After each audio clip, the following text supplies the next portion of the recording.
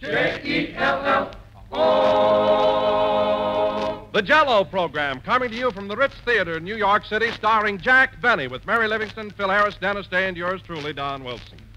And now, ladies and gentlemen, there being just two more shopping days till Christmas, we bring you that fugitive from Gimbel's basement, Jack Benny.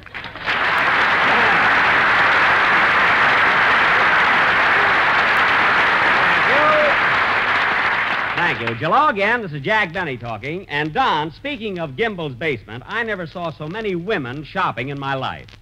I got shoved around like a blinza in Lindy's. Boy, what a mob. Pretty hectic, huh? Hectic. You know, Don, I can understand my derby getting caved in, my muffler torn, and the sleeve of my coat ripped off. But how I lost my pivot tooth, I'll never know. That was really an experience. Oh, I can just imagine what you must have gone through. You know, a funny thing about women, Don, all year long they're so helpless. You have to open the door for them. They can't light their own cigarettes. They cling to your arm as you walk down the street. They're as delicate as butterflies. And then, about two weeks before Christmas, a mad glint comes into their eyes. And with an umbrella for gouging and a handbag for slugging, off they go. Come on, girls, let's mangle the mail. That's their battle cry. Well, Jack, women are a little excitable when they're shopping around Christmas time, but I don't think they're as tough as you say. Oh, you don't, eh? Don, I was in Macy's yesterday afternoon, and a little gray haired lady, couldn't have been over five feet tall, put down her cane and yanked a washing machine right out of my arm. I tried to get it back, and she kicked my hat off. Imagine. My goodness, Jack, you don't mean to say that a little old lady took a big washing machine away from you. Don, I wouldn't have minded that so much, but it was a demonstrator. I'll probably never get my laundry back. that is my own fault, I guess, for waiting so long to shop. Oh, hello, Mary. Hello, doll. Doll? Well, look who's so affectionate around Christmas. You're certainly giving out with that soft soap. Oh, no, I'm not, Jack. You're not, eh? Then why did you call me doll? Because your hair is glued on.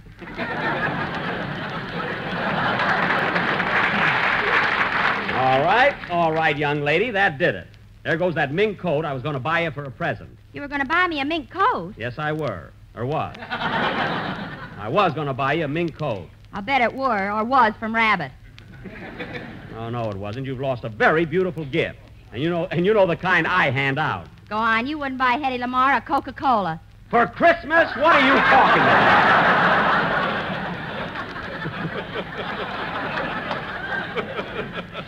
Let me tell you something, Mary. A girl like Hedy Lamarr could make a playboy out of me.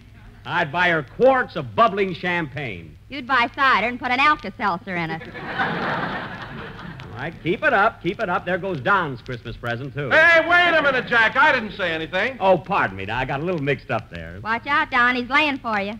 No, I wouldn't forget about Don's present, not after the way he laughed at the premiere last Tuesday night. How'd you like the picture, Don? Oh, I really enjoyed it, Jack. I got a big kick out of it. I laugh like anything. Sorry, Mary, the mink coat is over the dam. anyway, Don, now that you've seen Love Thy Neighbor, what do you think of Fred Allen in it? Well, to tell you the truth, I mean, don't you feel. don't you feel that I get much bigger laughs than he does? Well, to tell you the truth, Jack, I think you're very good in the picture, and so is Allen. The honors are hmm. equally distributed. Oh. Oh, I see. Oh. Oh. Uh-oh. Mary. Then, Don, in your fat headed opinion, you think Allen goes over as good as I do. Exactly. You both have a lot to do in the picture, you both photograph well, and you both get big laughs. Well, we both don't pay your salary, so start leaning my way. Imagine saying we photograph equally well. That's ridiculous. Jack looks much better than Allen. Why, certainly. And Allen you can have. Mary, one more crack out of you, and you'll be saying, oh, my goodness, I left my baby in the automat for Olsen and Johnson. Remember that. Oh, hello, Phil. Hiya, Jackson. Well, old pal, you got nothing to worry about. I got your Christmas present bought, packed, and ready to hand over. Oh, so you've been shopping too, eh, Phil? You said it all day yesterday, one store after another. Well, did the women kick you around much? Yeah, but I got it coming to me.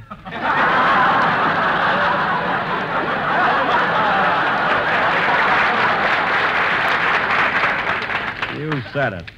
You know, Phil, I've been so busy, I haven't had a chance to buy your present yet. Uh, what did you get for me? I ain't saying. You'll have to wait till Christmas. Oh, come on, Phil, tell me. All right, Jackson, I'll tell you what I bought you. Remember that camel's hair overcoat we saw in the window on Fifth Avenue? The one you were so nuts about? Yeah? Well, I got you a box of nuts. Oh, well, Phil, unless you're kidding, when Mary is in the audience stooging for Olsen and Johnson, you'll be in the lobby trying to get out of a straitjacket. Catch on? The way I've been going the last few nights, a straight jacket wouldn't be bad. He's not fooling folks. you know, Phil lives on the 18th floor of the St. Moritz Hotel, and he never uses the elevator. He just goes in and out the window.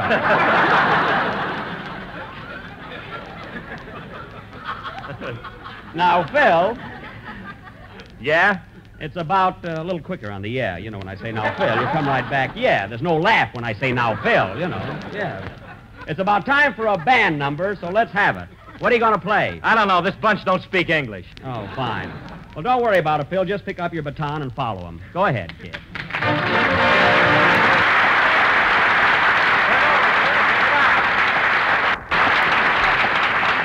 That was Jingle Bells, played by Phil Harris and his Central Park Troubadours. Uh, troubadours meaning they are traveling musicians, and Central Park meaning they ought to get a room tonight. That joke went over better the first show. It shows you we should change for the night show.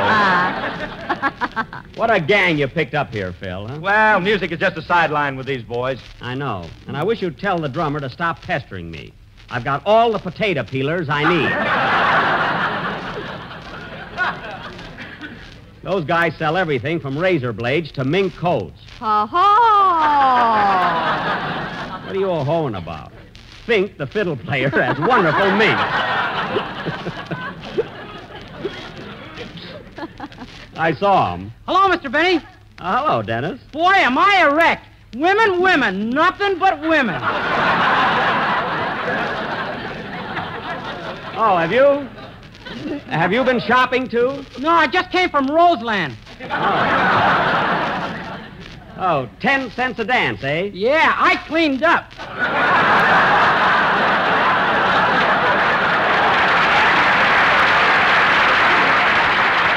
Say, Dennis. Dennis, I hear that you and Kenny Baker have been stepping out and seeing the town together. Is that right? Yeah, and you know what, Mr. Benny? What? The other night I made him pay for everything. I stuck him for $2.45. You did? Well, now, Dennis, that's not very nice. If Kenny is kind enough to show you a good time, the least you can do is go 50 50. Or better still, pay all the expenses yourself. It's all right to save money, Dennis, but there's nothing like being a good sport.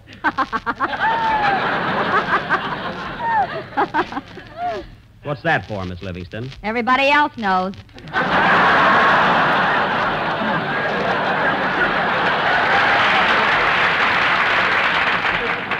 That's so. You see, Dennis, there's only one way to be popular. When you're out with a fella and he reaches for the check, you take it first. And if he should pick it up, you grab it right out of his hand. Grab it. I can't stand this. Mary, come back here. Okay. What's the matter with you? Dennis is just a kid, and while he's still young, he's got to be taught how to conduct himself in public and not be a cheapskate. I don't understand you, Mr. Benny. No, you don't?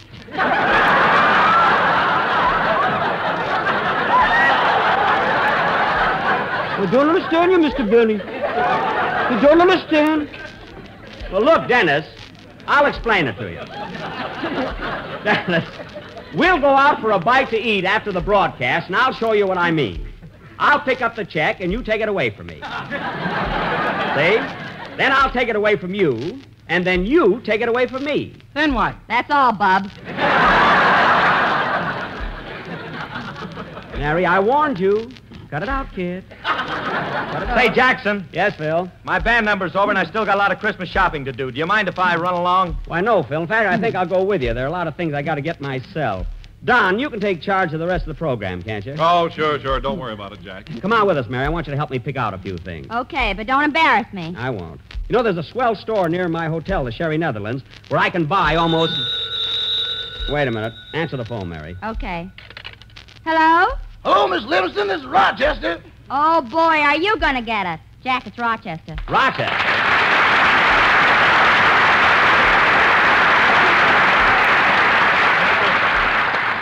Give me that phone. I'll find out right now where he's been for the past two weeks.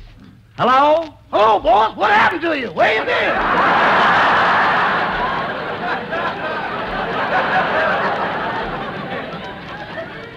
Where have I been? I've been on the phone for the last ten days trying to reach you. I called every hotspot in Harlem that's got a telephone. At the hot ones, you can't hear it ring. Rochester, I don't want any flippancies. I want the truth. Now, we arrived in New York a week ago Thursday. The 12th, they tell me.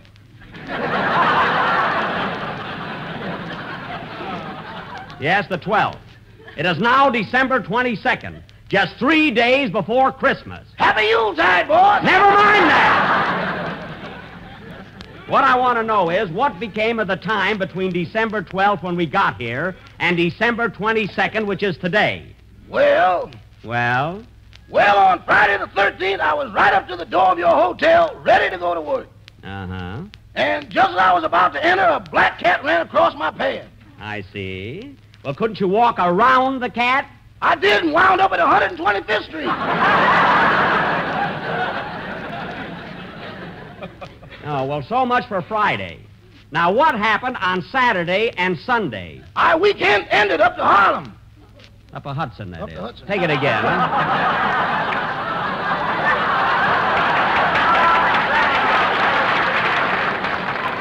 How did I know when he's on the other side of the telephone? Well, we'll get to Monday.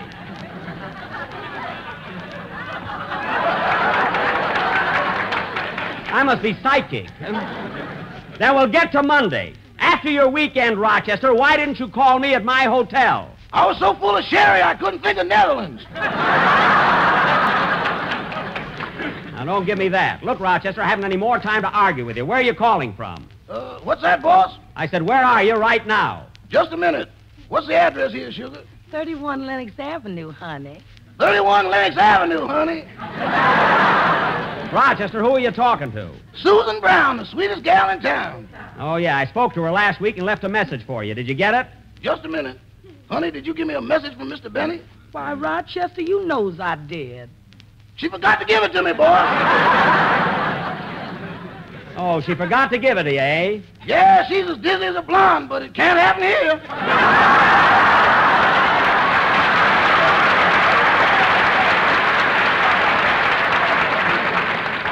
I see. Now, Rochester, I want you to go over to my hotel right away. That made up for the one you muffed.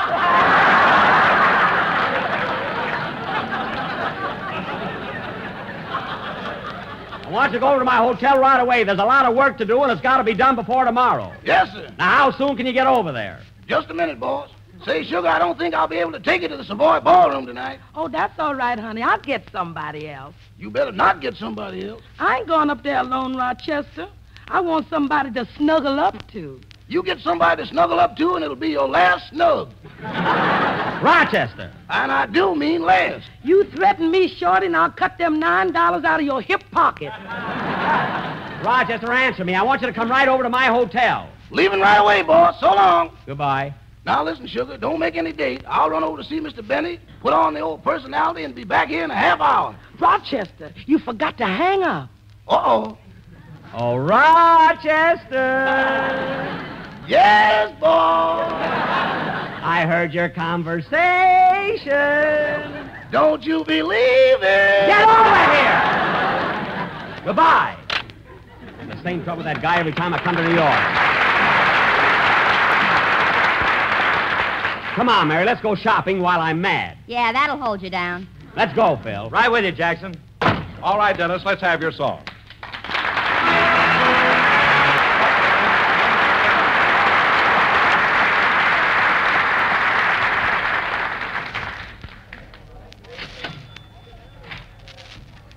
Boy, what a crowd. Stick close to me, Phil. You too, Mary. I don't want you to get lost. Okay, Papa.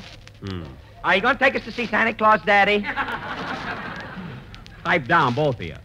Gotta have some system here. Now, let's see my Christmas list. I gotta buy a compact or something for my Aunt Molly. a lawnmower for Dennis, a Mickey for my riders. Let's see. A deck of cards for Simney. Let's see. What else here? Gee, look at that crowd of women at the bargain counter. Where? Oh, boy, what a mob. See you later, Jackson. I'm going over and mingle. See you later. Gosh, I wish I knew what to get for Aunt Molly. Mary, I wonder if she could use a lipstick. Has she got lips? What do you think? she got lips. Here's a counter. Yes, sir. What can I do for you?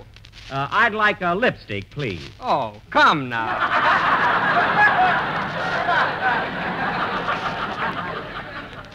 Look, it's not for me. I'm buying it for my Aunt Molly. I see. A lipstick for your Aunt Molly. That's who it's for. She lives in Chicago on LaSalle Street. What number?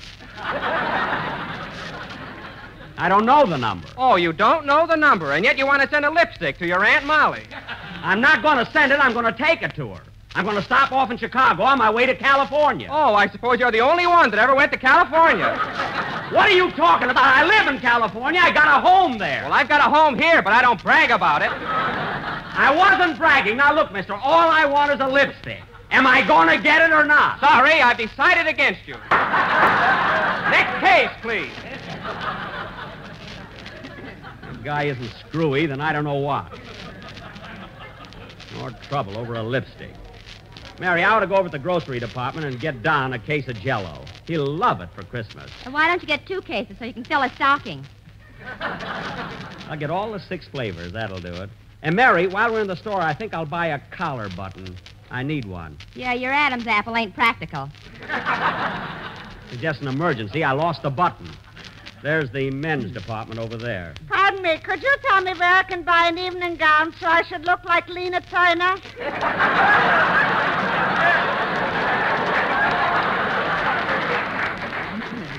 Miss, that's Lana Turner. Lena, Lena, I'll never make it. Well, I'm sorry, miss. I'm Jack Benny. I'm not a floor walker. I saw you a picture. Get ready.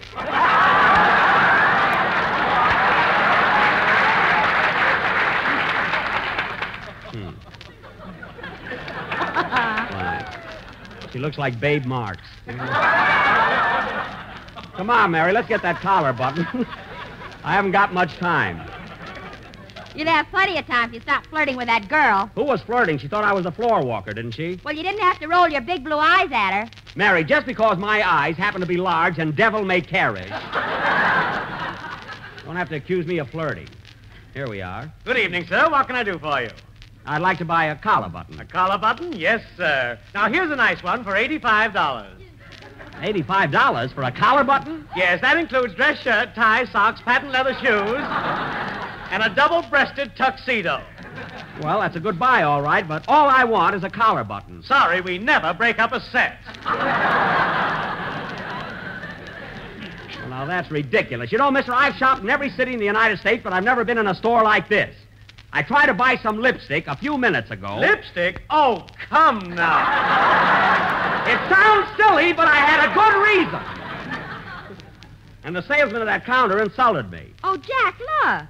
What is it? Look who's over there at that counter. Where? Right there. Isn't that Kenny Baker buying a camera? Well, sure enough, it is Kenny. Let's go over and say hello. Gee, miss, this camera looks swell. I think I'll take it. How much is it? Three dollars. Three dollars? Gee, Dennis would like it all right, but haven't you got something for 55 cents? Well, yes, but I thought you wanted to spend three dollars. I do, but he's already hooked me for 245. Oh, Kenny. Hello, Kenny. Huh? Oh, well, well, I'll be doggone. Hello, Jack. How are you, Mary? Gee, I'm glad to see you.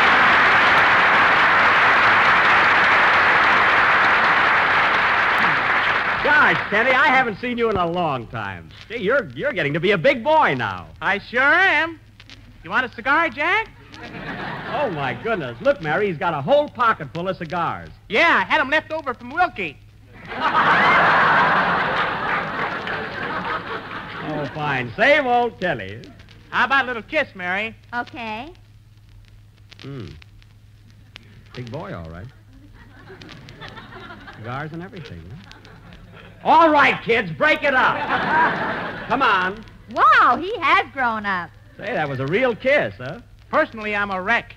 Well, pull yourself together. Come on with us, Kenny. You can buy your camera later. I want to talk to you. Okay. I'll see you later. I gotta buy some hose. All right. So long, Mary. Say, Kenny, how do you like your new job? See, that Fred Allen is pretty tough to work for, isn't he? No, he's swell. We get along great together. Oh. But I'll bet you don't have as much fun as you used to have on the old Jello show. Gee, you remember all the laughs and good times and everything? Yeah, but I'm having a wonderful time with Fred. Ah, Gee, talk about laughs. Say, he's a riot. that's so. Yeah. And you know what, Jack? Mr. Allen pays me every week.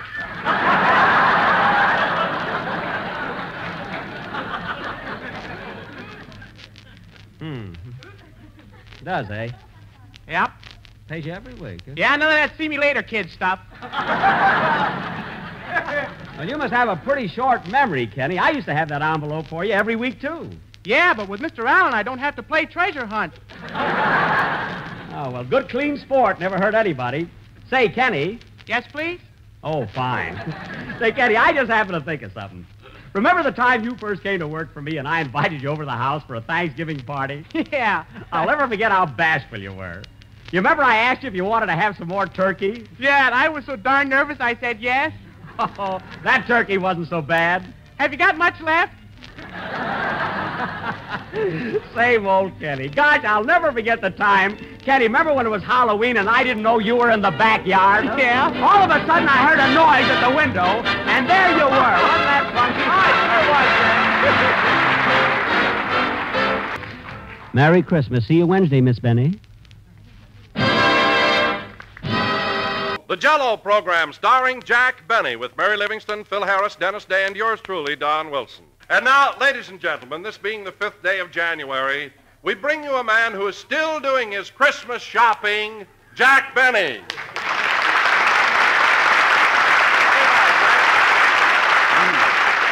Thank you, thank you. Jello again, this is Jack Benny talking. And Don, when you saw me in that department store yesterday, I wasn't shopping. I was exchanging some of my Christmas gifts. Well, that's quite a coincidence. I was doing the same thing. Would you believe it, Jack? Three different friends gave me electric razors. Now, you think that's bad? I got enough bottles of cologne to have people whistle at me for the next ten years.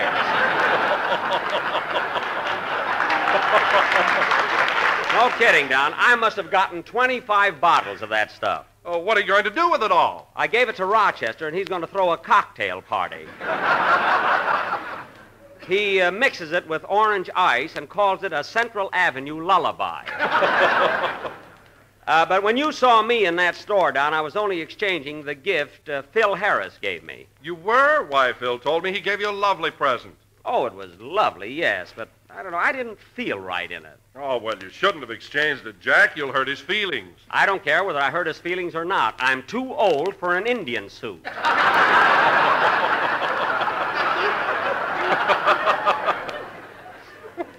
I don't know what's the matter with Phil. He gives the darndest Christmas presents. Last year, he sent me a manhole cover. Imagine a manhole cover. Oh, yes, I remember that. What'd you ever do with it, Jack? What could I do? I put Home Sweet Home on it and hung it on the wall. and I wish you could have seen what the. Oh, hello, Mary. Hello, Jack. Happy New Year, Don. Same to you, Mary. What about me? It's a wonder you wouldn't thank me for the swell time I showed you New Year's Eve. You didn't even phone me. I want to do it big. I'm going to hire a skywriter. It won't be necessary. You know, Don, I took Mary to the Wilshire Bowl, and boy, was I raring. At the stroke of 12, I grabbed a horn and blew the old year right out. You did, huh? Yep. And at 12.01, Jack put the horn in his pocket and said, Let's go home. Mary, the only reason I suggested going home early was because I didn't want to have a hangover the next day. A hangover from what? Breaking balloons? Listen, Mary, don't try to give the impression that I'm an old dodo. I was the life of the party. I had you on that dance floor every minute. Anything to keep me from eating.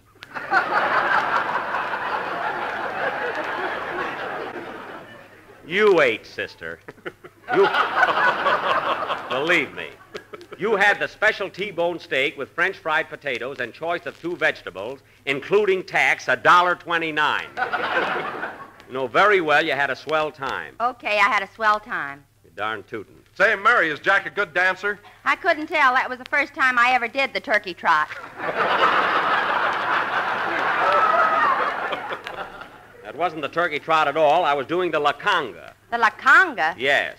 Couldn't you hear me going? One, two, three, uh. One, two, three, uh. One, two, three, uh. What'd you think that was? I thought your rheumatiz was giving you the biz. That was very funny, Mary. You know, I wonder why you and Phil don't quit this program and get one of your own. Harris and Livingstone, every week an audition. You're too smart for this show. Oh, hello, Dennis. Hello, Mr. Benny. Happy New Year.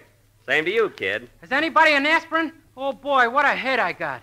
Why, Dennis, I'm ashamed of you. I bumped it getting out of my car. Oh, oh, I see. I'm sorry. That's all right. You can bump your head. I thought you meant you'd been celebrating too freely. By the way, Dennis, uh, where did you go New Year's Eve? I went there. Don't worry. Oh. Okay. Say, I wonder what's keeping Phil. You went where, Dennis? Never mind. I went there every night, just like you told me to. All right, all right. Say, Don, have you seen. Dennis, where have you been going every night? Mary, it's none of your business. It's a good picture, all right, but gee, I can't laugh all the time.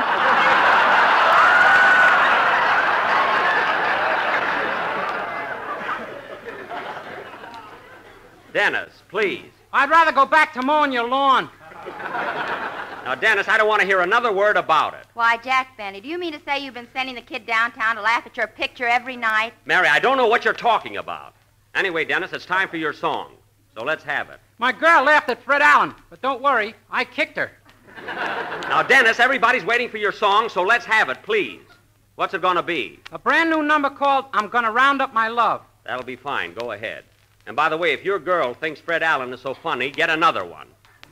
Mary, stop looking at me like that. Do you hear? Oh, brother. I wish that kid wouldn't babble so much.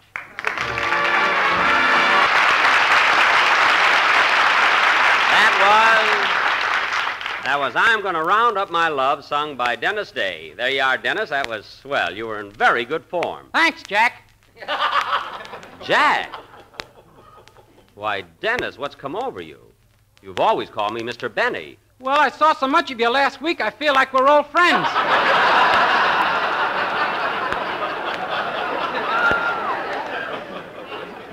Oh, I see what you mean. But you know, Dennis, I kind of like the idea of your calling me Mr. Benny. It adds a little dignity to the program and shows uh, your respect for me. Do you want me to call you Mr. Benny, too? That won't be necessary, Mary. Gee, I can call him Jack. And now, folks, Wait till the girls at the May Company hear about this. now wait a minute. Don't get smart, Miss Livingstone. Oh, do call me Mary. Now cut that out! you asked me a question, I answered it. Now let's forget it. Well, look who finally breezed in. Hiya, Jackson. Am I late? No, Phil. Uh, we realize that taking up a half hour of your valuable time once a week is quite an imposition. Now, hold on, Jackson. In fact, Phil, I think that next Sunday I'm going to have a microphone installed across the street in the pool room so you can say hi, hiya, folks, without putting your cue down. would you, uh, would you care for that? Now, before you bawl me out, Jackson, I want to tell you that I'm a changed man. You're looking at the new Harris. Oh, I am, eh? I'm not kidding. Oh. On January the 1st, I made a resolution. I'm going to cut out smoking, cut out drinking, cut out gambling, and I'm going to cut out staying up so late. Well, I'm glad to hear it. When are you going to cut out running after women? When they stop running.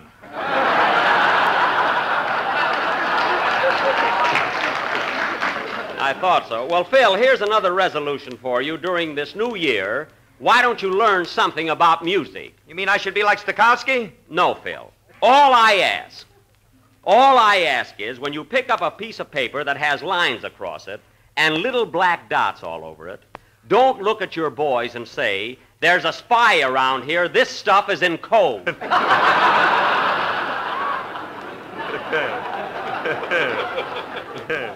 Little as they know, it embarrasses them.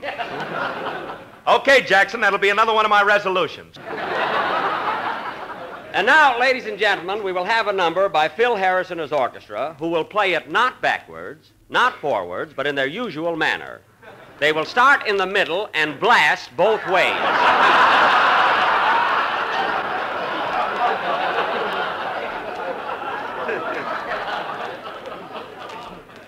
Uh, all right, Phil, let's have it. Okay.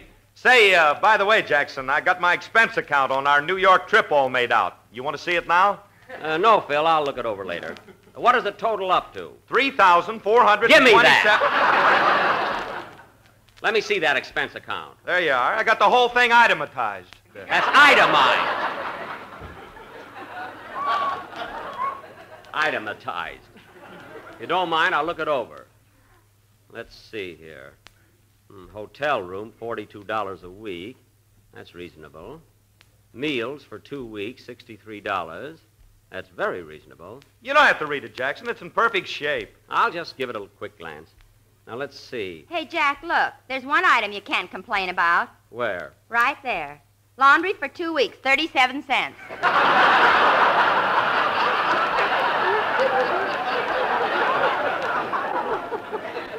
Oh, yes. Uh, that's not bad. Uh, let's see what else he has here. Bottle opener, 10 cents. Ice, 250. Bromo, $135. What do you want us to play, Jackson? Wait a minute, Phil. I'm not through yet. Taxi cabs, 1150. That's okay. Charles Bagby, musical arrangements for orchestra, 37 cents. 37 cents. That must be the same guy that does his laundry.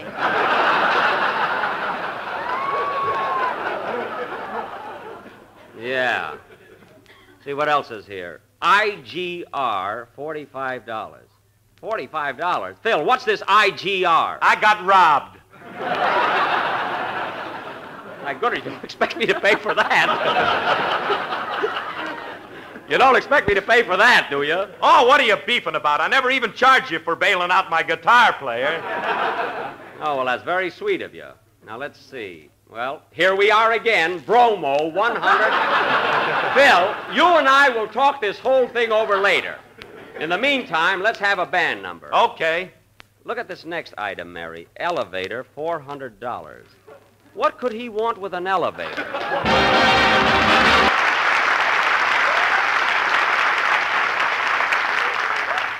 That was There'll Be Some Changes Made, played by Phil Harris and his orchestra, where there will be some changes made.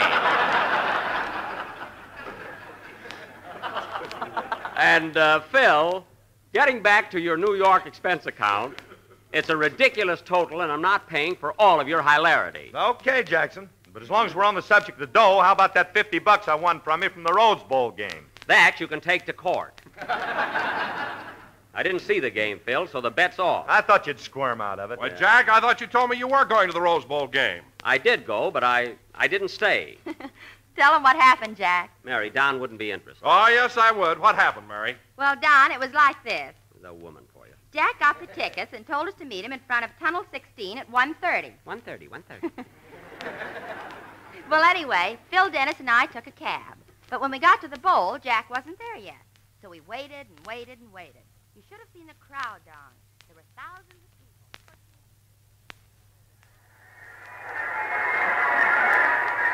Programs, programs, names and numbers of all the players. Program, miss? No, thanks. Come on, fellas, let's go in. We can't go in. We gotta wait for Jackson. Yeah, he's got the tickets. I don't see why he didn't come with us. Well, you know how romantic Jack is. He's bringing his girlfriend Gladys to the game, and they're driving out alone in the Maxwell. Say, that little waitress ain't so bad looking when she gets dressed up. I think that Jackson's stuck on her. You said it. Yeah, he said it.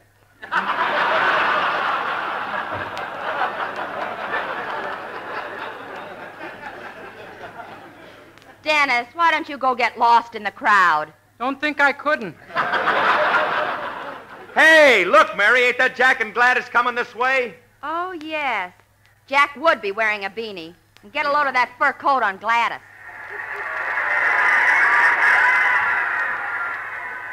Gee, Gladys, I, I never saw you looking so good. You're sure pretty when you're all dolled up. Thanks, Speedy. I mean it. Get your programs here. Program, mister, 15 cents. Oh, Speedy, can I have a program? You're darn right you can. Here's a half a dollar, buddy. Keep the change. Oh, boy, now I get my two pay out of Hawk.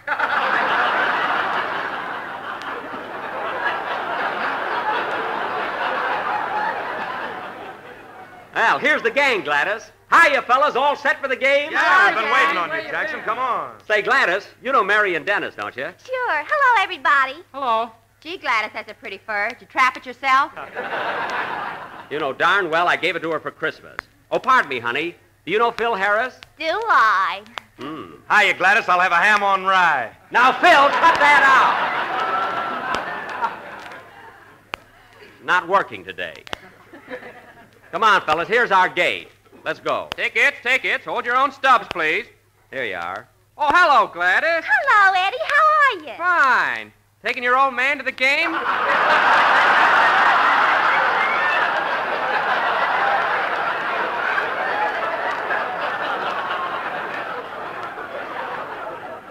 I'm not her old man. I'm her fella. Come on, sweetheart. Say, where's Dennis? I'm stuck in the turnstile. Well, push it a little, for heaven's sake. Here's Tunnel 16 over this way. Oh, yeah. Say, Gladys, are you still working at the Shamrock Cafe? No, I'm at a drive-in now. Speedy thought I ought to be outside where it's healthier. Darn right. What's the use of being in California and not enjoy the sun? It's great for you. Yeah, I wish I could get off the night shift. You will, honey. Well, here's the entrance, kids. Say, look who's here. Hiya, Gladys. Happy New Year. Same to you, Lefty. Lefty. Hmm. Who's that fresh guy, Gladys? Lefty Flanagan. Boy, can he drive a truck. Can imagine. Hey, look, there's a hot dog stand. Let's eat. Yeah, you want a hot dog, Gladys? I'm not hungry right now. Okay, we'll get him inside. Better get one now, Gladys. You know Seedy. That's Speedy.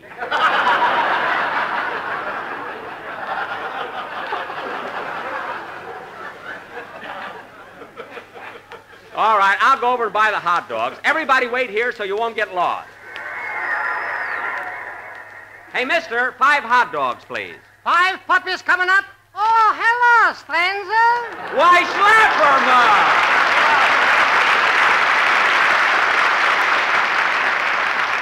Well, of all people, Schlepperman, are you running a hot dog stand now? And look at my sign, Jackie boy. All the hot dogs you can eat for ten cents. That's fine, but how can you make money with an offer like that?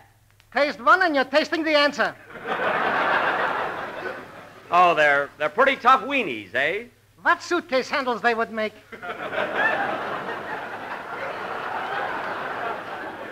Well, they still look good to me. Give me five of them.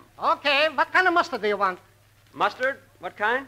Yeah, sure. I got strong, mild, and Chanel number five. Oh, mild, I guess. How much do I owe you?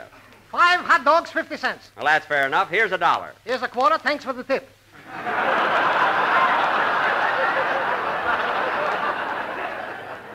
You're welcome. So long, Schlep. So long. Get your red hats here. You ain't hep till you dine with Schlep.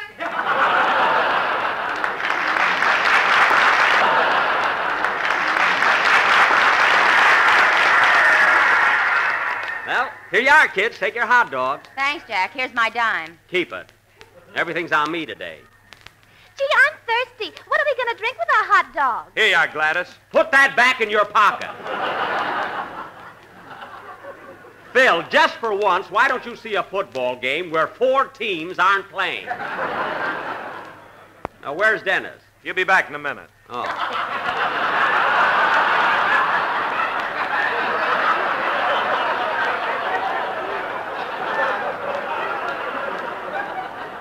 Well.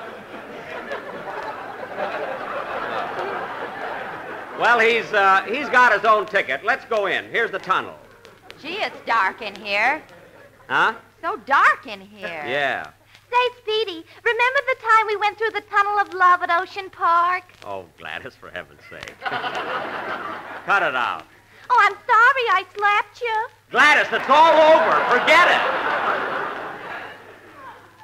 Now, come on. Stubbs, please. There you are. Right this way. Oh, hello, Gladys. Hello, Nick. Where you been keeping yourself? Oh, I've been around where you been. Come on, come on. Show us our seats. Listen, Gladys, you have to talk to every fella you meet? Oh, Speedy, you're so jealous. I'm not jealous. Here are your seats, mister. Thanks.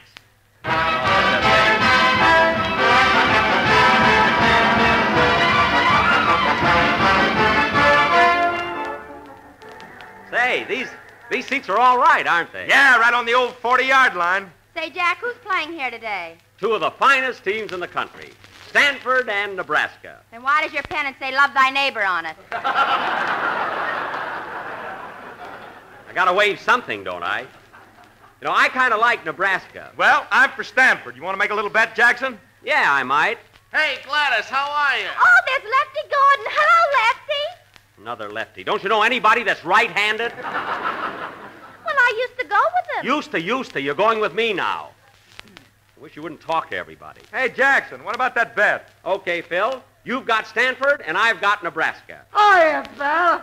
Is this seat taken, old pal, old pal? Oh, fine.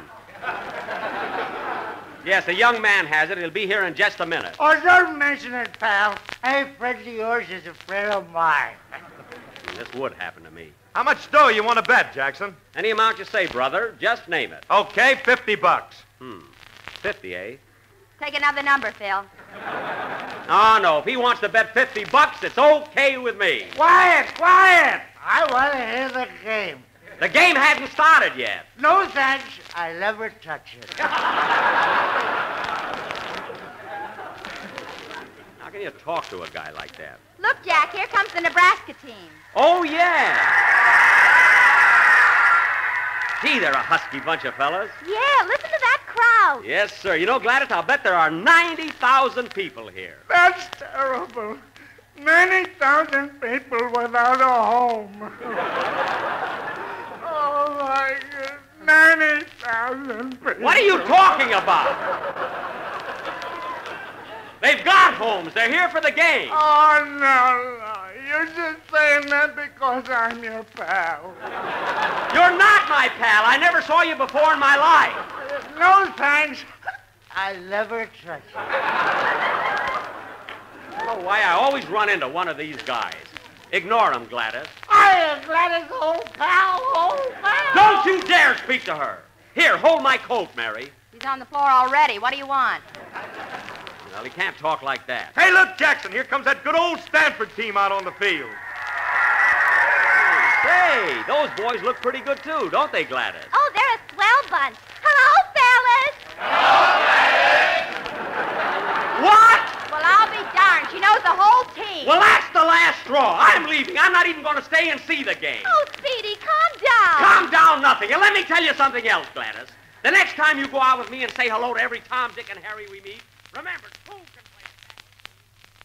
So there you are, Don. That's exactly what happened at the Rose Bowl game on New Year's Day. Jack really lost his head, huh? He sure did. Okay, I'm a fiery, jealous nature. What can I do? Play, Phil. Okay, Speedy.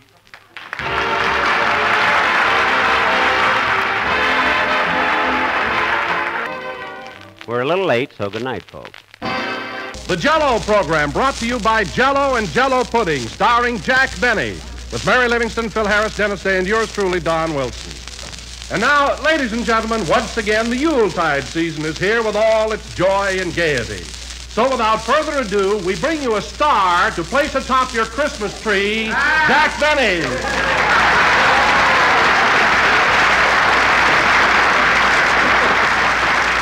Well, hello again. This is Jack Benny talking. And Don, that was quite a whimsical introduction. A star to place atop your Christmas tree. I suppose you said that because I'm a movie star. Is that right? No, Jack, that wasn't my thought at all. Oh. I meant that you actually and physically resemble a star. Well, I don't. Uh, I uh, I don't get it, Don. What do you mean? Well, for instance, you've got a dash of silver in your hair. Yes. And you've always got a merry twinkle in your eye. Yes. Yes. And the seat of your pants is always bright and shiny. Yes. Yes. Yes. And you're wearing the only pair of pointed shoes in Hollywood. Now wait a minute, Don. I'm not going to argue about the silver and the twinkle, and I'll even go along with the shiny pants. But these pointed shoes I've got on are very popular. They're French Shriner and Urner's new bayonet model. they're uh, they're very snappy, don't you think? Daffy is right. But personally, Jack, I like a shoe that spreads out. Listen, brother, any shoe you step into is doomed. Believe me, Oh, I'm not so heavy on my feet. You're not, eh? Don, your arches fell the first time your mother said, Come on, Snookums, walk toward me. but speaking about these shoes I'm wearing, Wow, get a load of them. Did vaudeville come back? No, vaudeville didn't come back. Just so happens that for a change, I switched to a pointed, tight-fitting shoe. Then where do you keep your money now? I've got a hollow tooth. I can go along with a gag, sister. now, let me tell you something, young lady. Any more of those Livingstone Lulus tonight, and your invitation to my Christmas party next Thursday is automatically canceled. Remember that. Oh, Jack, speaking of your party, what are you going to serve for dinner? Turkey, goose, or duck? Ham hocks, and not another word about it. Come early, Don. You know a lot of big, uh, a lot of big movie stars are going to be there. Movie stars. Name one. Now there'll be lots of them. Come on, name one. Oh, they'll be there. Don't stall. Name one movie star that's going to be at your party. All right, Rodney Dangerfield.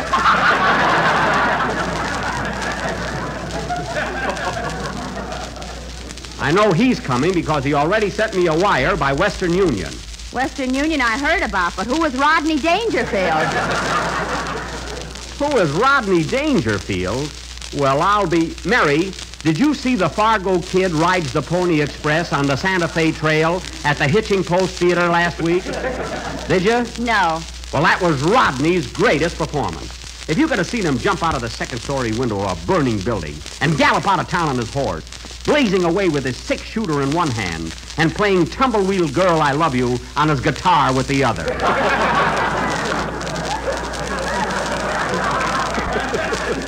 well, what a scene. Pretty thrilling, huh? Was it? A kid sitting in back of me got so excited he beat me on the head with a stick of licorice. anyway, you'll meet Rodney at my house next Thursday. Well, who else is coming, Jack? Well, you know, I'm making a picture with Carole Lombard, so naturally I had to invite her. And I also told her to ask Clark if he wanted to come. Gee whiz, is Clark Gable going to be at your party?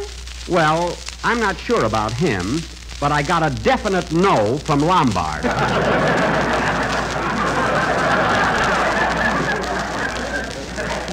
Let's see, and the uh, Gary Coopers can't come, and the Henry Fondas had a previous engagement, and Bob Taylor and Barbara Stanwyck have a toothache. Between them? How do I know? And then Claudette Colbert can't come. She sprained her ankle. I saw her dancing at the Mocambo last night. With that ankle? Poor kid. and then uh, Errol Flynn can't make it. He's in New York, you know. Now, let's see. Oh, yes, Barney Dean. He's coming. I'm, I'm sure of that. Well, here I go again. Who's Barney Dean? Who's Barney Dean? Did you see Sergeant York? Yes. Well, he was a soldier in that.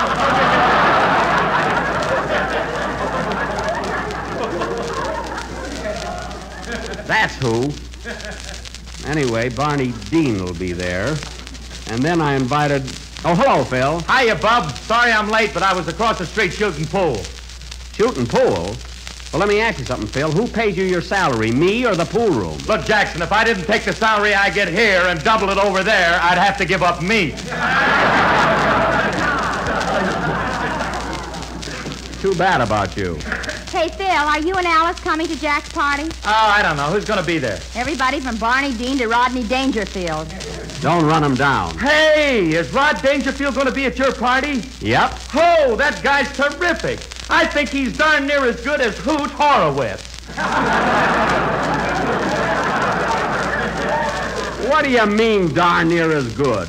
Did you see Rodney's latest picture, the Fargo kid rides the Pony Express on the Santa Fe Trail? Yeah, I seen it last week. That was a thriller, wasn't it? You said it. I got so excited I hit some old bird in the front of me with my licorice stick.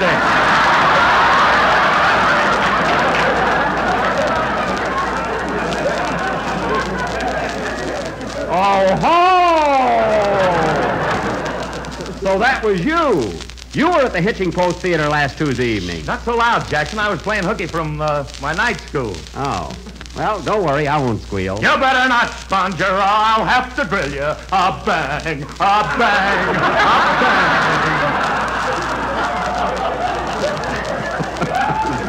You're not a drilling me, son, because I'm the sheriff. A bang, a bang, a bang. Uh-oh! a bang. These two.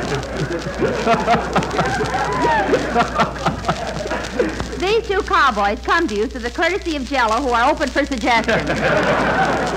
Never mind. We'll talk about the picture later, Phil. Now, how about a band number? Okay. Hold it. Come in. Mr. Benny, Yes. am I going to be invited to your Christmas party? My name is Pigeon. Walter Pidgeon? No, Dead Pigeon. A bang, a bang, a bang.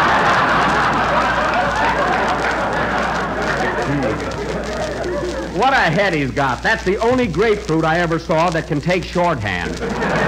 He's my secretary, folks. Play, Phil. That was Popo Catapedal, played by Phil Harris and his Yuletide Orchestra. Yule meaning you'll have to go a long way to hear a band like this, and tide meaning I wish they'd go out with us. Uh, but no, uh, but no kidding, Phil. That number sounded swell. It was really the nuts. All right, Don. Phil's number was the nuts. Oh, Jack, this one is utterly absurd. Don, Phil's band number was the nuts. You know it wasn't. That's not the point. Come on, Don. Phil's band number was the nuts. Oh, all right. Ladies and gentlemen, the next time you go to your neighborhood grocer, You see? why not ask him for a package of Jello with its new locked-in flavor? Now, here's the clever part, folks. Oh, Jack, I'll never be able to face my friend. Don Nuts! Oh, very well. So whether your name is Hazel or Filbert, you will not regret buying this tempting and economical dessert. Buy Hickory. Very good. Very good. There you are, Don. That was one of the most novel things I've ever written. Oh, Jack, you didn't write that. Yes, I did. All by yourself? All by myself. You mean it came to you like a flash? Like a bolt out of the blue. Keep talking, brother. When I get the right lead, I'm going to murder you. Oh, don't be so critical. That was a very clever commercial. Wasn't it, Dennis? Hey, where's Dennis? Here I am, and back at Mr. Wilson. Oh, Peekaboo. peekaboo. You gotta humor the kid. you know. Say, Dennis, have you got a nice song prepared for today? Yeah, but first I want to thank you for letting me come over to the studio the other day. Oh, don't mention it. That was a pretty hot love scene you did with Carole Lombard, by golly. Yes, it was. Gosh, when you grabbed her and gave her that big kiss, I got so excited I was quivering all over. You were? She didn't even move a muscle. Never mind. What's the matter with that girl? I don't know. Look, boy, she kisses Gable when she leaves home in the morning, and she kisses him when she gets back at night. Anything in between is strictly cheesecake.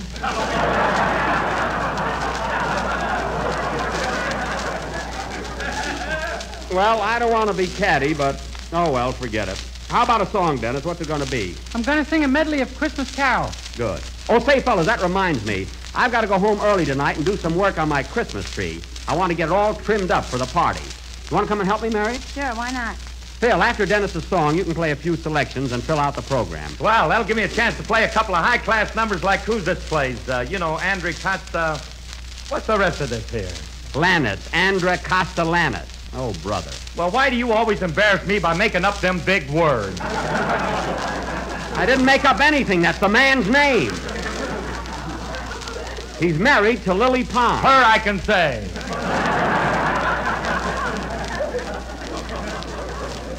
Look, Phil, just accompany Dennis's song, then put on your hat and go home. Come on, Mary, let's get out of here. What's that? Come in. Telegram. I mean, special delivery for Mary Livingstone. Right here, Bud. Give him a tip, will you, Jack? Okay.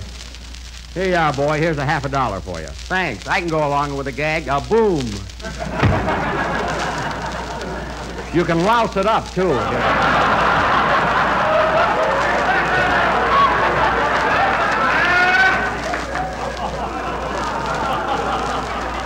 He had to put a boom on the end of it. Wasn't satisfied the way it was written. Had to put a boom. Anyway, I'd like to see one stooge in this town with hair.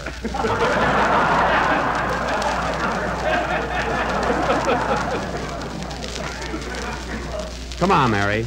Oh, wait a minute, Jack. This letter's from Mama. You can read it in the cab. Come on. Oh, let her read it now, Jack. Mary's mother's a. She's just a, a riot. Oh, all right. I'm glad you got that out, too.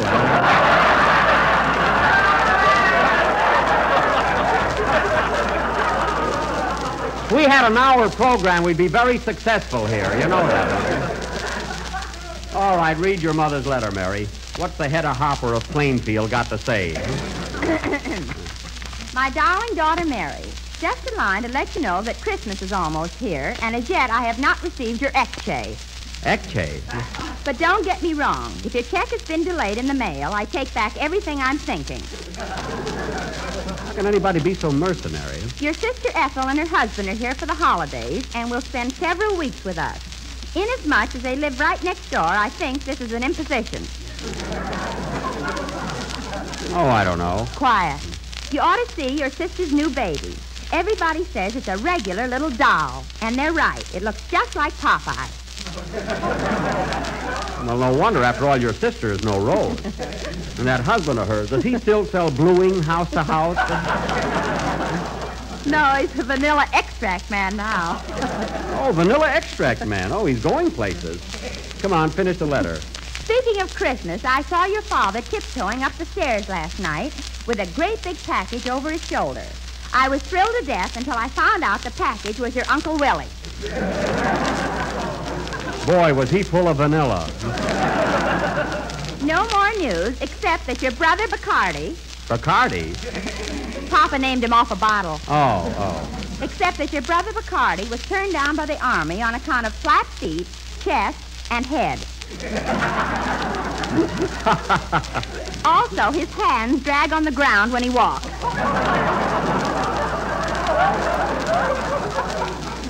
Gee, his nails must be a mess. Love to all, Mama. well, I'm glad that's over. Oh, wait a minute. Here's the P.S. Tell Jack I heard him do Dr. Jekyll and Mr. Hyde on the program a few weeks ago. What a pew foreman. Pew foreman? Let's see that. Well, I'll be darned. Hmm, if I'd have known this was going to happen, I'd have put another cup of water in that perfume I sent her.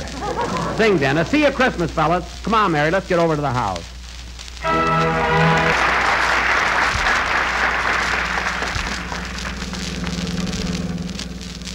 Right up here, buddy. It's that big white house with the iron reindeer on the lawn. Okay, pal. Boy, look at that meter. A dollar and a half. Hmm. Oh, driver, how much do I owe you? Like she said, a dollar and a half.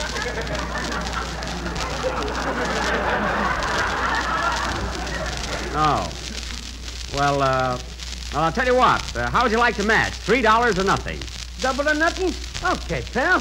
I'm matching you. Just a second. Okay, here goes. Come on, lift up.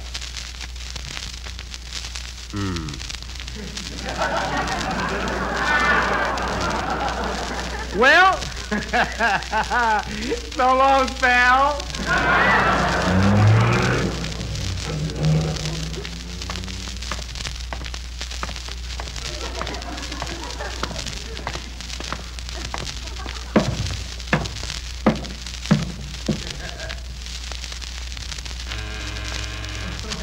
Darn that Rochester! Why doesn't he answer the door?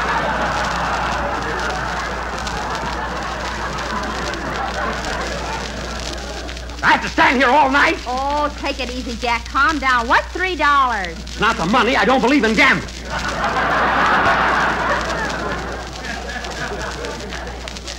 don't talk to me. I feel awful. Why don't you take off one of those shoes and cut your throat?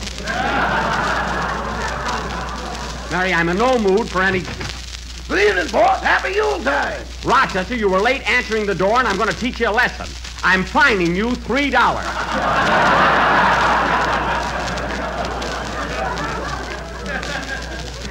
You understand? I wish the stock market would come back that fast. Never mind. Any messages, Rochester? Yes, sir. Mr. Charles Boyer called and said he won't be able to attend your Christmas party. Why not? You got me, boss. He gave his excuse in French. Well, Well, that's the sneakiest thing I ever heard of. Any other messages? Yes, Lady Mendl phoned. Said she got your lovely invitation, and who are you?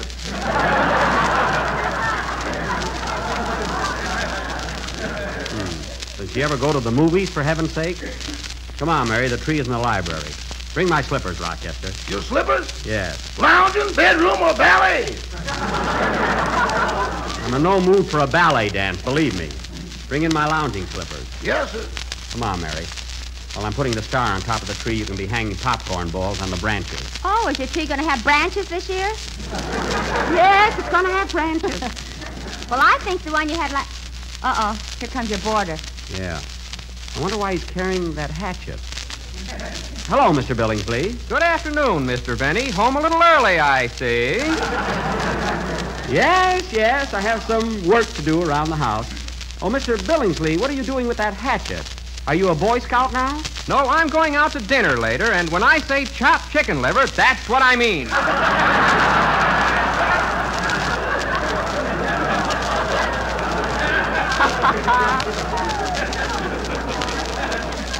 Oh, uh. oh, I, uh. I see. Well, goodbye, Mr. Benny. Goodbye. Keep 'em flying. Hmm. I can't. I can't understand Mr. Billingsley lately. You know, Mary, he slept under his bed last night. He hung onto the springs like a bat, you know? Weird fellow. Well, there you are. There's my Christmas tree, Mary. Isn't it nice? Yeah, that's the biggest one you ever had. Where'd you get it? Got it just north of Redwood City. Well, let's start with the decorations. Mary, you hang up these candy canes, and I'll. Rochester, what happened to that box of popcorn balls we had in the closet? I got bad news, boss. There's nothing in there now but a big fat mouse. Darn it, I'm short of ornaments. Gotta have something to hang on that tree. Yes, those socks look awful by themselves. The socks are coming off as soon as they're dry.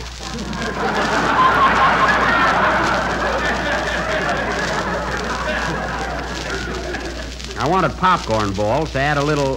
Say, I have an idea. How would oranges look there? Oranges? Yeah, I've got a backyard full of them. I'll go out and pick some. Meanwhile, start with those candy canes, Mary. I'll be right back. Jingle bells, jingle bells, yum bum bum bum bum, dum dum dum. Three dollars. I had to match them. Yum dum dum dum bum bum bum bum bum. Oh well. Uh, jingle bells, jingle bells, yum dum tee. Let's see. I think there's some big ones in this tree over here. Yeah, these will be fine. They're nice big juicy ones. I'll take about a dozen. Let's see. One, two, three, four, five. Hello, mister. What are you doing? Hello, six. Oh, oh, hello, little girl. Where did you come from? Just looking around your yard. Where's your polo bear? My polar bear? Oh, he's asleep for the winter. Do you live around here? Yes, we just moved into that new house next to Ronald Colman. Oh, next to Ronald Colman's. Oh, that's swell. We're, we're going to be neighbors, aren't we? Uh-huh. You're Jack Benny, aren't you? That's right. That's who I am. Uh, gee, I heard you do Dr. Jekyll and Mr. Hyde on the radio. What a performance!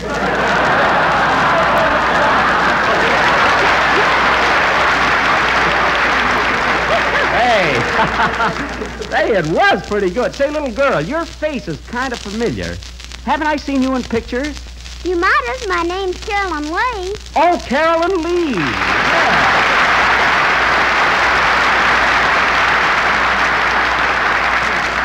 Well, this is certainly a surprise. So, little Miss Lee is my neighbor. Ah, you can call me Carolyn. Ah, good. And, and you can call me Jack. Okay, Jack.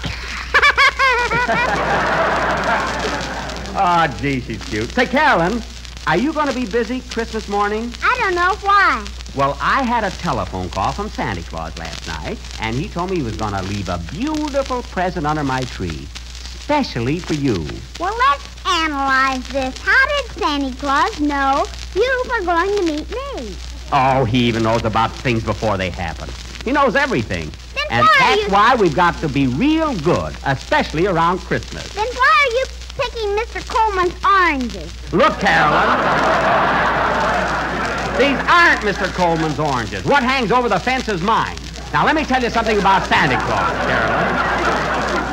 Every year at this time, he makes a list of good little boys and girls, and when they wake up Christmas morning. Hey, boss, boss, come in here. I'll be with you in a minute. And Carolyn, if these old boys and girls have been real good. You gotta come in now, boss. Mr. Billingsley's chopping down the Christmas tree. What? chopping down the tree? See you later, Carolyn. Mr. Billingsley! Mr. Billingsley, Mary, stop him! It's too late now.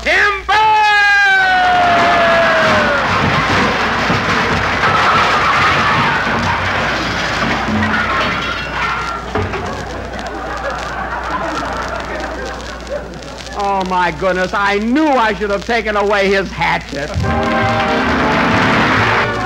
We're a little late, so good night, folks, and Merry Christmas to all. The Grape Nut Flake program coming to you from Fort Devens near Boston, Massachusetts, and starring Jack Benny with Mary Livingstone, Dennis Day, Rochester, yours truly, Don Wilson, and our guest conductor, Abe Lyman. And now, ladies and gentlemen, from Fort Devens near the historic city of Boston, Massachusetts, we bring you that leftover bag from the Boston Tea Party, Jack Benny.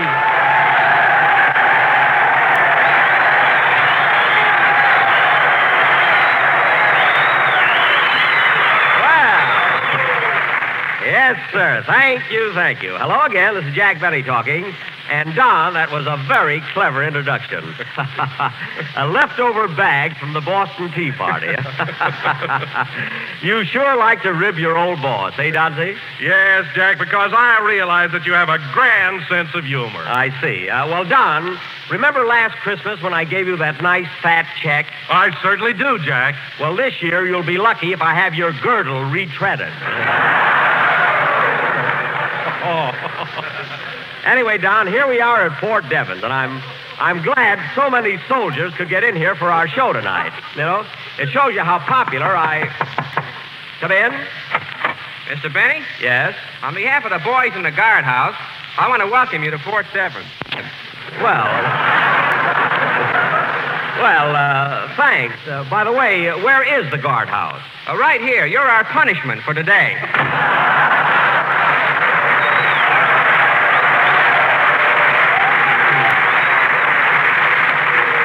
Well, I, I should have known this was the guardhouse. When I came in, the sentry handed me a paring knife, a sack of potatoes, and said, Don't quit till you see the whites of their eyes. anyway, I'm having fun. Oh, hello, Mary. Hello, Jack. Gosh, isn't it cold up here in Massachusetts? Yes, Mary, it's pretty near close to zero. But of course, I I don't feel it. I'm the rugged type, you know. I I can take it. Well, don't blow your nose. It might fall off. It is a little blue, isn't it? But after living in a warm place like California, my blood is pretty thin, you know. What blood? I've got plenty. Didn't I go to the Red Cross blood bank last week? Yeah, and you were sure sore when they wouldn't give you any. I was not. Well, say, Mary, uh, thanks for that Christmas present you sent me. I'm just dying to open it and see what's inside. Oh, I didn't open mine uh, either, Mary. Uh, what did you get me this year? Well, remember that gold wristwatch you saw on Tiffany's window? The one you were so nuts about? Yes. Well, I got you a box of nuts.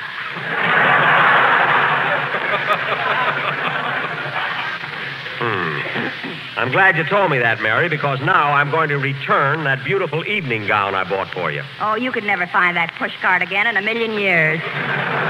I can try, sister. Hello, Mr. Benny. Oh, oh, hello, Dennis. Uh, come on over here. Is it all right if I finish these potatoes later? Well, why not? We've already peeled enough for supper, I think. Uh, we're just talking about Christmas, Dennis. Uh, what did you get for your old Uncle Jackie? Hmm? I didn't get anything. Uh, you mean yes, of course. Listen, kid, I don't want to hint, but uh, I saw a beautiful gold wristwatch in Tiffany's window that I admired very much. You can get it for 75 bucks. $75 for a Christmas present? Yes. Gee, that's a lot of money. It'd be different if you were my girl. That's my girl. Get it right. Now, if you're smart, Dennis, and I, I think you are, you'll buy me that watch. And now, folks, All of a sudden, I'm smart. just remember what I said, that's all.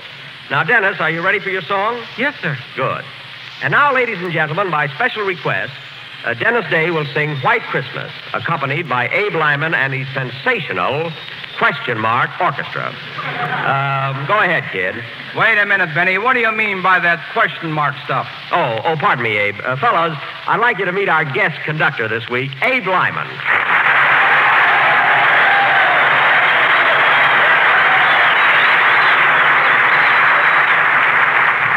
Well, you you got a nice hand there, Abe. Never mind that.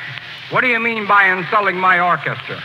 Well, it's only a, it's only a joke. I I always kid Phil Harris and his boys. you know. Well, we don't happen to be like Phil Harris. I've got a very fine aggravation of musicians.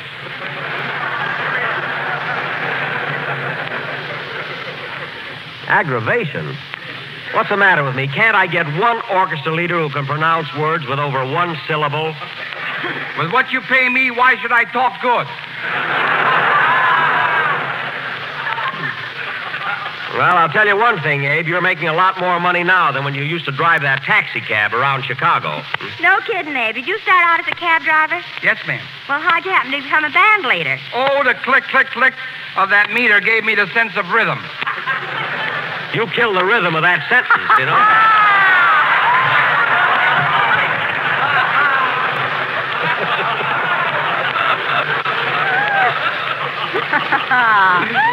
the uh, the click of the meter, eh? That gave Jack a nervous breakdown once.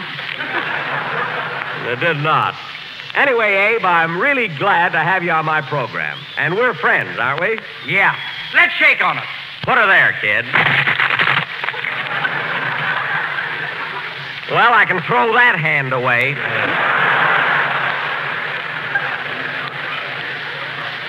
What a what a grip he's got. Say, Mr. Benny, I don't think I ever met Mr. Lyman.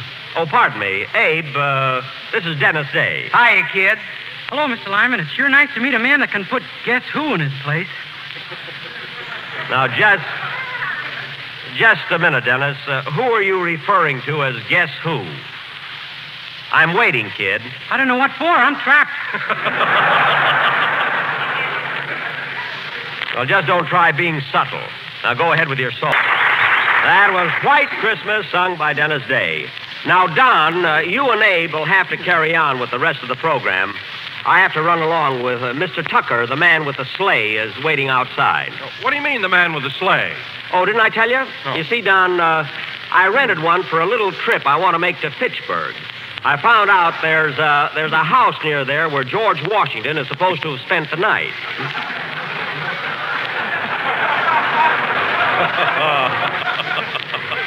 I don't get it.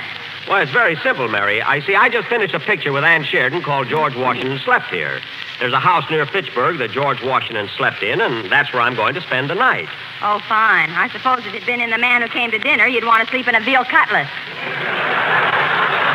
There's no connection. Now get your coat, Mary. Uh, you and Dennis are coming with me. So long, Don. See you later, Abe.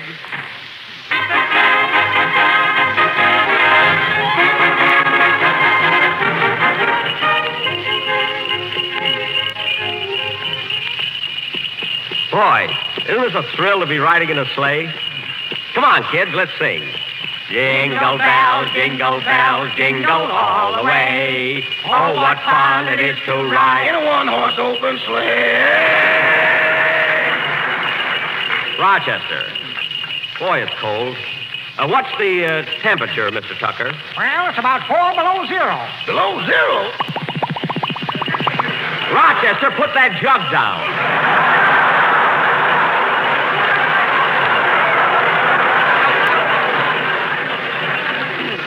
Now put away that Applejack. We've been riding for an hour. How long before we get there? Uh, how far is the old Peabody place, Mr. Tucker? Just a piece up the road here. Good. Dennis, will you stop that wiggling? I'm n- n- n- not wiggling. I'm c- c- cold. Well, pull the robe around you. Can't you hurry a little, Mr. Tucker? I wouldn't be in a hurry to get to that Peabody place if I were you. Everybody says it's haunted. Haunted? Rochester! Put that down! Gosh, it sure, sure gets dark in a hurry, doesn't it? There's the old Peabody place up ahead. Gee, it's spooky looking. Yeah. Say, the caretaker must be in. There's a light flickering in the upstairs window. Here we are. Oh, Peaches. Take it easy, girl. Peaches. It's a fine name for a horse. Named after my wife. Looks just like her. Carry my grips, Rochester. Come on, Mary. Dennis, let's go inside. Oh, no, I'm going back to town. But, Mary, this is the house George Washington slept in. Look at that old stone chimney and those those gables on the roof. I wouldn't care if Clark was hanging out of them. I wouldn't go in. What about you, Dennis? You want to spend the night here? No, no, no, no, no, no, thank you. Hmm. Well, that's three of us. So long, boys.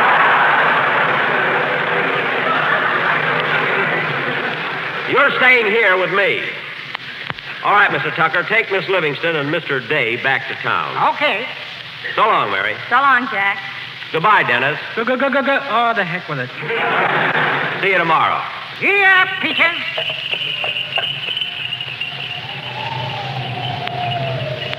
Boy, that that night wind is sure chilly. Sure is.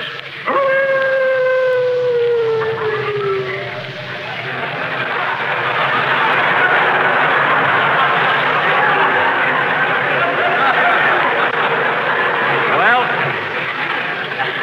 let's uh, let's not stand out here all alone in the dark. Let's go in. Yeah. Knock on the door, Rochester. I'm holding the jug.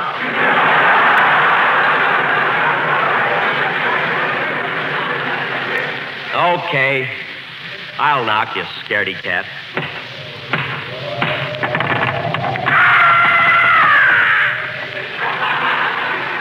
Nobody home. Let's go.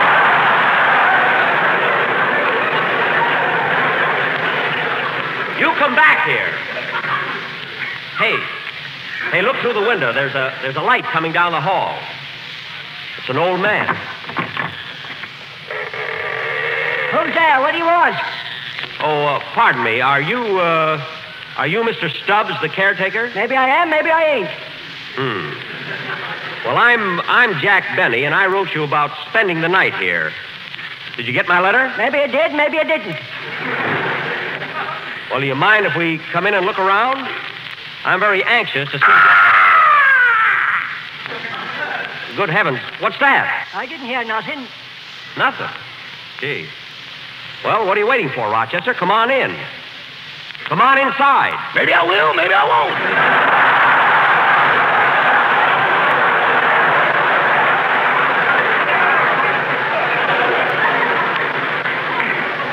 You.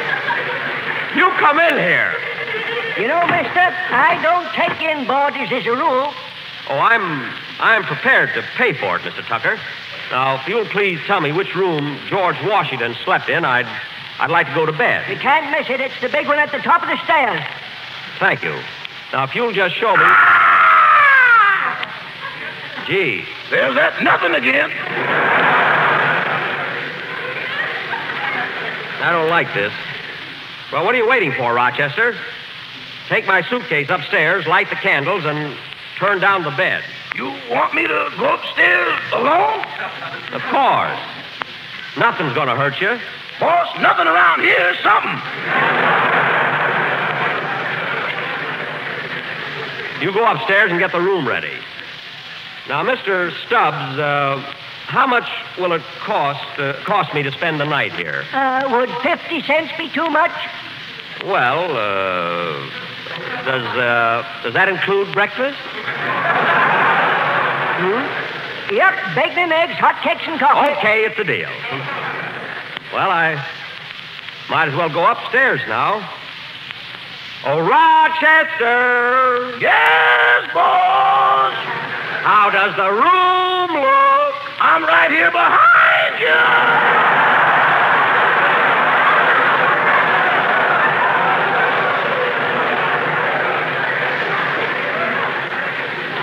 You get upstairs. Now, Mr. Stubbs and I'll be up in a minute. As long as we're all going up, let's make it a convoy. All right. Lead the way, Mr. Stubbs. Gee, I'm, I'm excited. Uh, here's your room right here. Well, good night, Mr. Stubbs. Good night. Well, here we are, boss. Yeah. Let me have that. Let me have that candle, Rochester. Wow, this is a big room. Wow, this is a big room. That echo again. I'm Jack Benny. I'm Jack Benny. I'm going to spend the night here. I wouldn't stay here for a million dollars.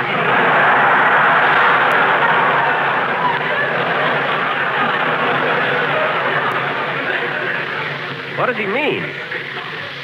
Gee, look. Look at that old four poster bed. Well, I might as well turn in. Just think, Rochester. George Washington slept in this house. Uh-huh. Right here in this very room. Uh-huh. Gosh, if this bed could only talk. If that bed says one word, I'll bounce through Boston. That was just a figure of speech. Well, I guess I'll guess I'll get in bed. Oh, say, Rochester, open the window, will you? Yes, sir. Oh, Darn those shutters. Rochester, reach out and close them. let whoever's out there reach in and close them.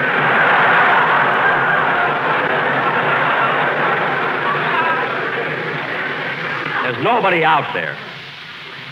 Oh, good night, Rochester. You're going to sleep in the next room. Alone? Yes, alone. Good night, boss. Gosh, I'm tired. Just think. I'm sleeping in the, the same bed George Washington slept in during the Revolutionary War. Gee, it doesn't seem possible.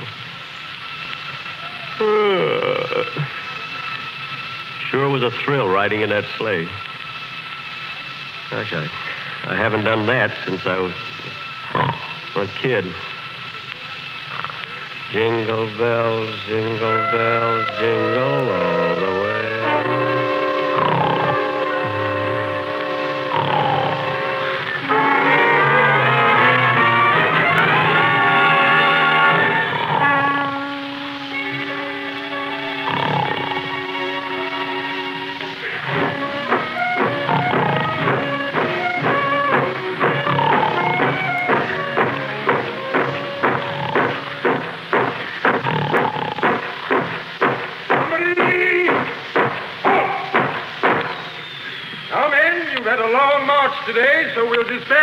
For the night. Yes, General Washington. General Washington. Which room is mine, Mr. Stubbs? It's that big one at the head of the stairs. Thank you, sir. Here's your 25 cents. 25 cents. I'm paying 50. Maybe he isn't going to eat breakfast. Yeah, that's it.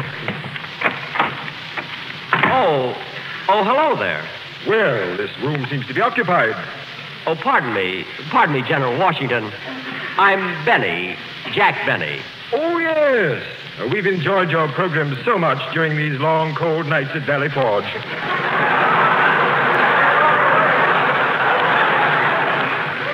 Gee. Gee, thank you. Thank you, General. I'm getting tired. Would you please move over, Mr. Benny? Of course, of course. It's a large bed. Uh, climb in, General. Uh, just a moment. Do you mind if I hang my wig right here next to yours?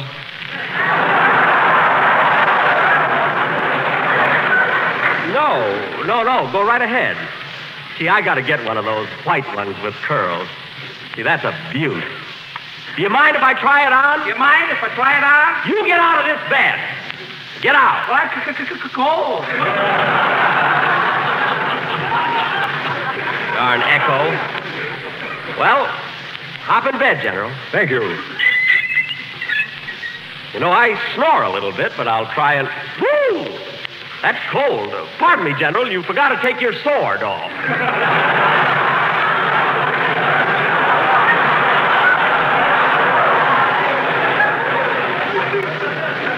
So I did. I'm always forgetting that.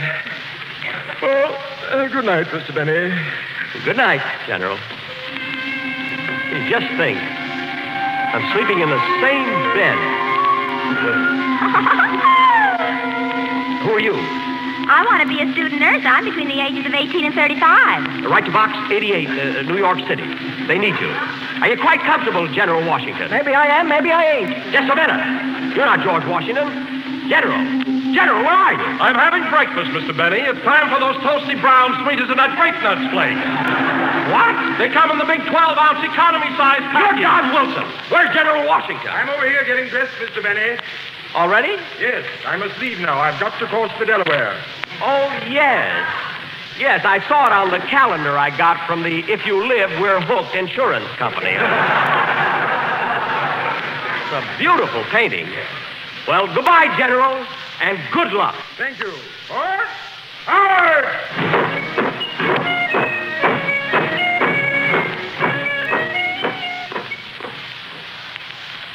Gee, he's a nice fella. I never expected to bump into. Well, I'll be darned, he took the wrong wig. Oh, General! Oh, General Washington! General, General, come back! You've got my wig!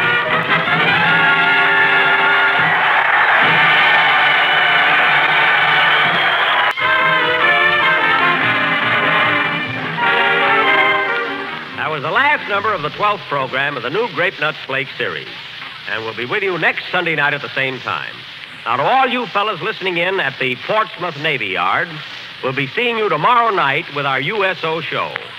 And the following night, we'll see all you boys at Camp Edward near Buzzard Bay. Good night, Joni.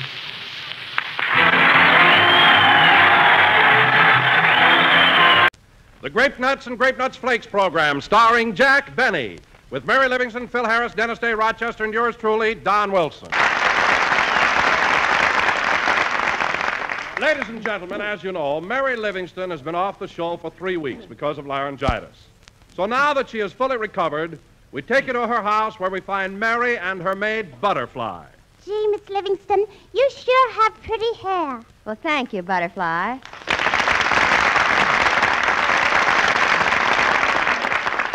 Ouch! Be careful with the comb you're pulling. Oh, excuse me.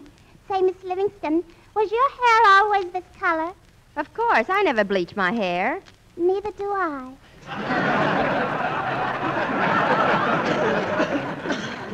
Well, I'm glad you told me. Now, Butterfly, co- uh, comb the ends into a roll. Yes, ma'am. You know what, Miss Livingstone? What? I think your hair is even prettier than Mr. Benny's.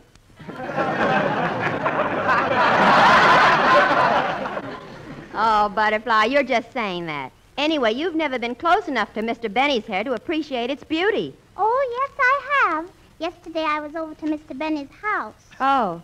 He wasn't home, so Uncle Rochester showed it to me.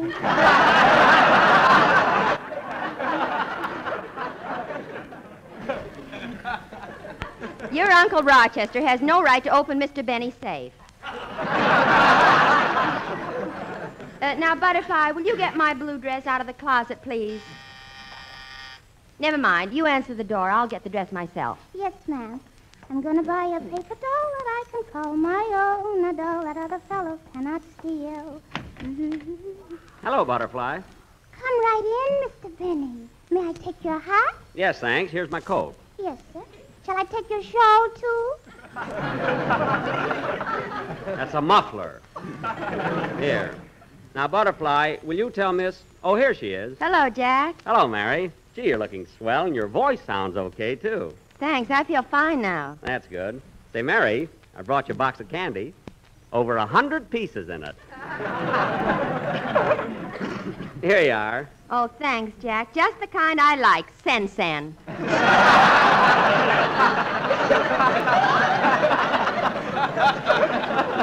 Well, I'm glad you do. You know, it, it cost me extra to have it wrapped as a gift, you know. Oh, Jack, you're so nice. I know. But maybe I shouldn't have given it to you now. It'll make your Christmas present look like nothing.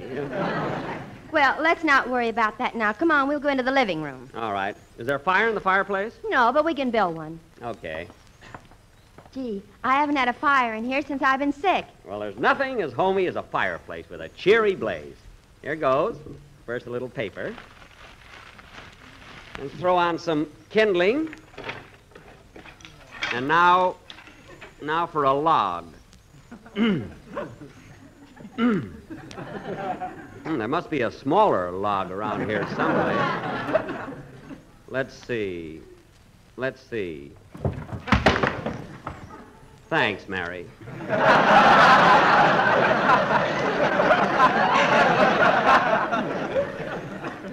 hey, look. Look, that log came from the tree that used to be in your backyard. Yes, I know. Gosh, Mary, look what it says on it.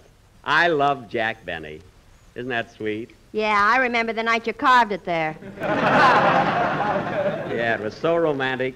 I'll never forget that night if I live to be 40. You know, I...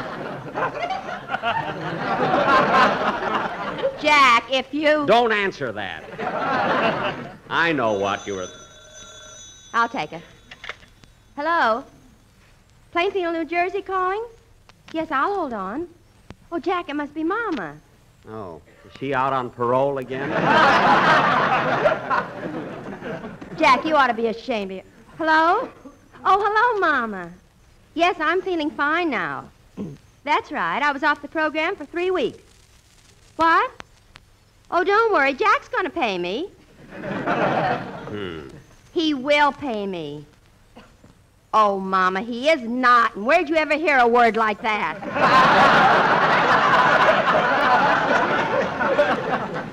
Hmm. Uh, that's what Papa calls you? Mary, tell your mother. Quiet, Jack. No. Say, Mama, did you get the packages I sent?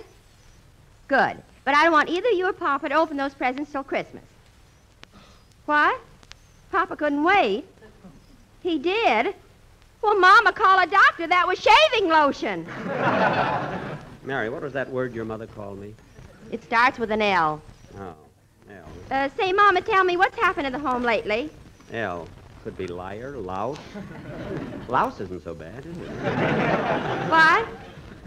What, Mama? Cousin Harry was made a sergeant? Oh, that's too bad. What's bad about it? Last week he was a lieutenant.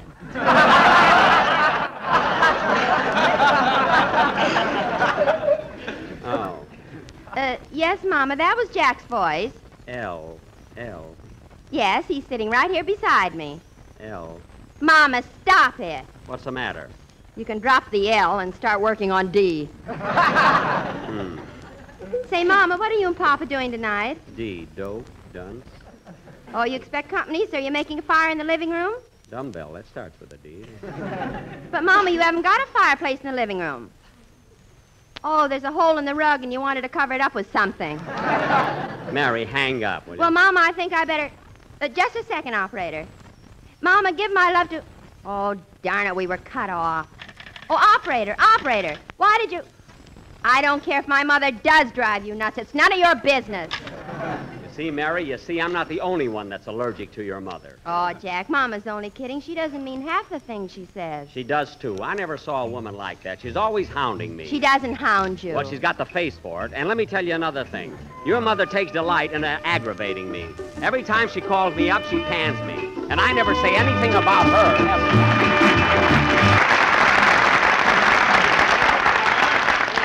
All right, all right, Mary, I'm sorry. Well, you ought to be. Every time we talk about my mother, we get into an argument. You're right, Mary. We shouldn't argue. Let's kiss and make up. Okay.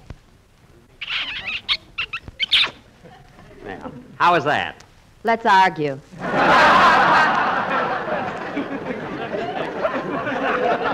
Oh, yeah? That was all right, and you know it. Now, straighten your lipstick. Oh, you and your wet lips. Every time you kiss me, you skid. Now, what do you want me to do? Have them retreaded? I skid. You can't say one nice thing. There's someone at the door. That's all right. Butterfly will get it. You can't say one thing without trying to be funny. Oh, Jack, you take everything so seriously. Where's your sense of humor? Sense of humor. Listen, Mary, you have no regard for my feelings. And in the first place. Hello, Mr. Benny. Hello, Dennis. In the first place, I only came here to visit. Hello, Miss Livingstone. Hello, Dennis. I only came here to cheer you up because you've been ill. Well, this is a fine way to do it. Just because I pull a gag on you once in a while, you hit the ceiling. I hit the ceiling. What's going on here? Look, Mary, when you had laryngitis, I was a constant visitor. I'm the best friend you ever had. Do you mind if I sit down? No, no, go ahead. No, sit down, Dennis. You know, Mary, I even brought you a box of candy, and what thanks do I get? What do you expect for a box of cents and a kiss for every piece?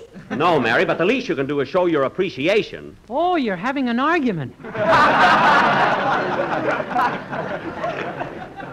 Dennis, why don't you please be quiet? Gee, everywhere I go, there's an argument. Oh, where have you been, Dennis? Home. Now, Mary, as far as I'm concerned. At my house, it's louder. Dennis. They ought to be breaking it up by now. The argument? No, the house. Dennis, we're not having a fight. It was just a little misunderstanding, that's all. Now, Mary, let's not argue in front of the kid. Mm, You're right, Jack, and especially about such a silly thing. I'm a dope. Well, I'm a dope, too. You want to know something? What? It's nothing to be ashamed of.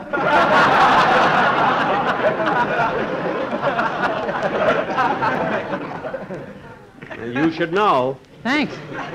Well, I guess I'll run along now. Wait a minute, Dennis. What'd you come over here for? Oh, I forgot. I came over to visit Miss Livingstone. You did? Well, sit down and stay a while. Okay. Well, guess I'll run along now. Dennis, you just got here. What's that package under your arm? Oh, I made a record of a song and I wanted Miss Livingstone to hear it. Well, that's fine. We'll play it later. Oh, Butterfly, see who's at the door. Yes, Miss Livingstone? Oh, it must be Rochester. There's my new car out in front. That yellow one? Why, it looks like a taxicab. Well, it was, Mary, but it's the only thing I could get. Anyway, I converted it strictly to private use. Oh. If it weren't for the color, no one would know it used to be a taxi.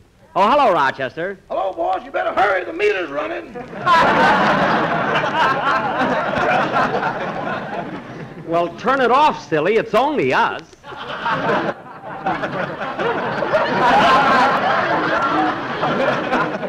Why, Jack, if you're using that taxi for your own private use, why do you have a meter on it? He never knows when he's going to give a friend a lift. Well, Rochester, it pays to be nice. It pays him. Oh, that's not the reason at all.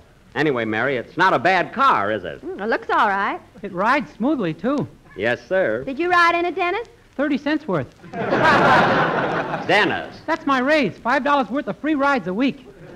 listen, kid, I give you those rides because. I give, I give you those rides because I like you.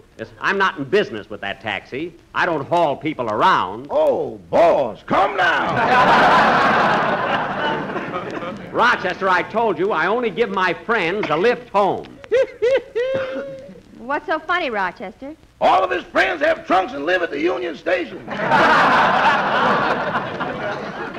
Rochester, stop making things up. And you better hurry or we'll be, we'll, we'll be late for the super chief. I mean, stop mixing me up. I know what you mean, boss, but we got to go Christmas shopping. Oh, that's right. Let's get going. I want to do my shopping while the stores are still loaded with stuff. So let's. Oh, Butterfly. Butterfly, there's someone at the door. Butterfly, where are you? Oh, well, I'll answer it myself. Well, of all people. I locked myself out.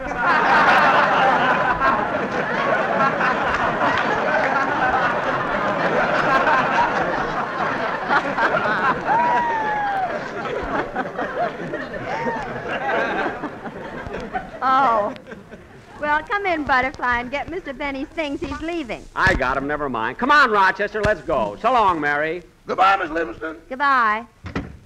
I'm gonna buy a paper doll that I can call my own. A doll that other. Oh, Dennis, I forgot you were still here. Yeah, I just put my record on the phonograph. Would you like to hear it, Miss Livingstone? Sure, I would. Go ahead and play it. Okay. Say, Miss Livingstone, would you like to. Oh, well. What, Dennis? Never mind. Let's sit this one out. Yes, I'd rather just listen to it.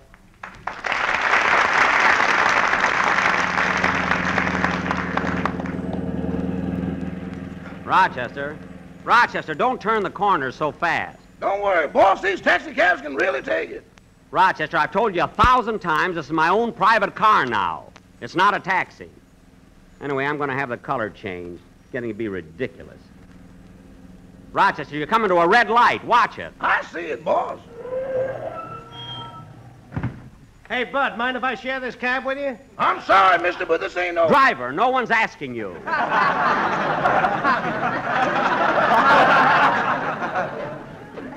Uh, certainly, uh, certainly, mister. Hop right in. Okay. Maple Avenue, driver.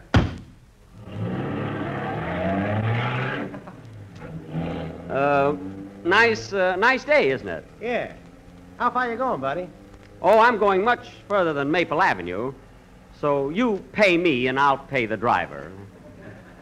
That'll save time. I wish he'd step on it. I'm in a hurry to get home. You are? Yeah. I don't want to miss the Fred Allen program. What? there. Gosh, boss, how could you reach the brake from the back seat? Never mind. This is where you get out, mister. Why? What happened? What did I say? Get out. Get out. You can't put me out of this cab. Hey, driver. I'm sorry, mister, but you'll have to get out. Oh, I do, hey? Well, my name is Brown, and I'm going to report you to the president of this company. Mr. Brown, you may not know it, but you were thrown out by the president, vice president, secretary, treasurer, and star of stage, screen, and taxicabs. That's telling them, Rochester. Let's go.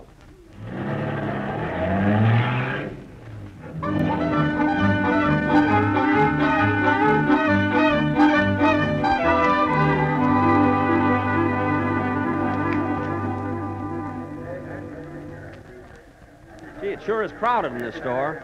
I wish I'd have done my Christmas shopping early like I did last year. You going to buy any gifts in here, Rochester? No, I already did my shopping. You did? Where? At Saks Central Avenue. Now, let's see. I want to get something for my girl, Gladys Zabisco. But I don't know what. Why don't you ask the floor walker? Yeah. Oh, mister.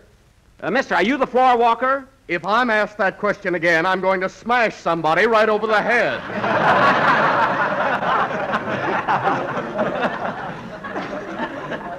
What are you mad about? I just asked you if you were the floor walker. You see this carnation in my lapel? Yes. Or what do you think I am, a long stem?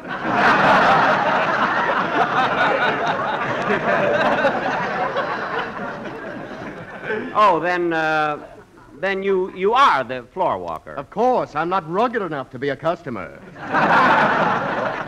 now, what can I do for you? Well, I'm interested in something for my girlfriend. Uh, what uh, what would you suggest? Well, what does your girl look like? Well, she's kind of thin and scrawny, and her hair's sort of stringy. But she really has a nice personality. She has a little turned up nose, and she has two ears. And they. Uh, Well, everybody's got two ears. On the same side?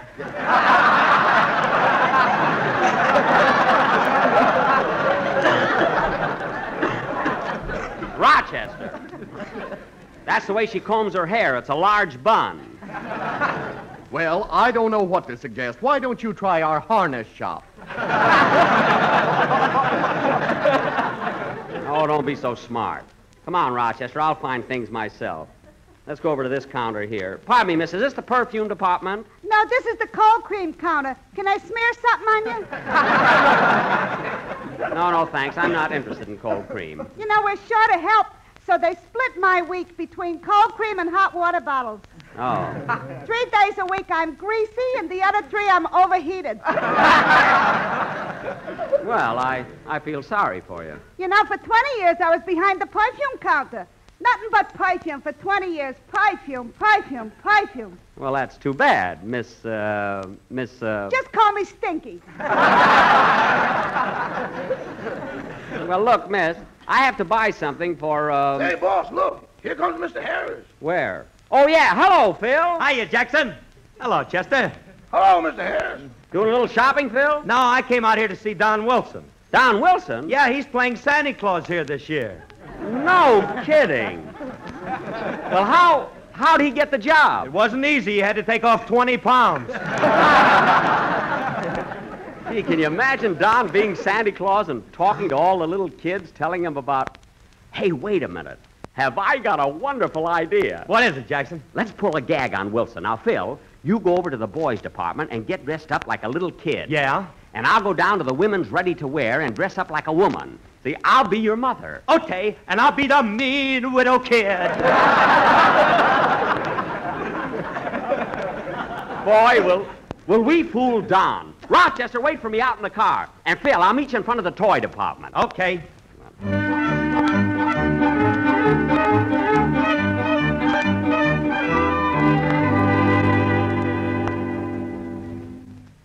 Gee, I wish Jackson would hurry up. I feel like a dope standing here dressed up like a little kid.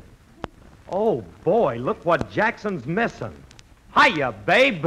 Shut up, it's me.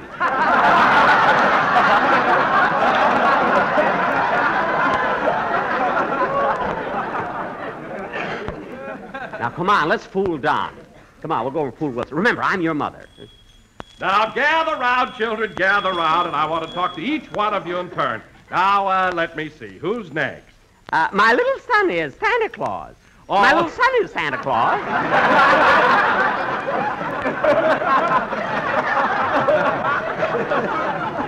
All right, madam. Now, where is your little boy? now, where is he? Oh, Clearwater.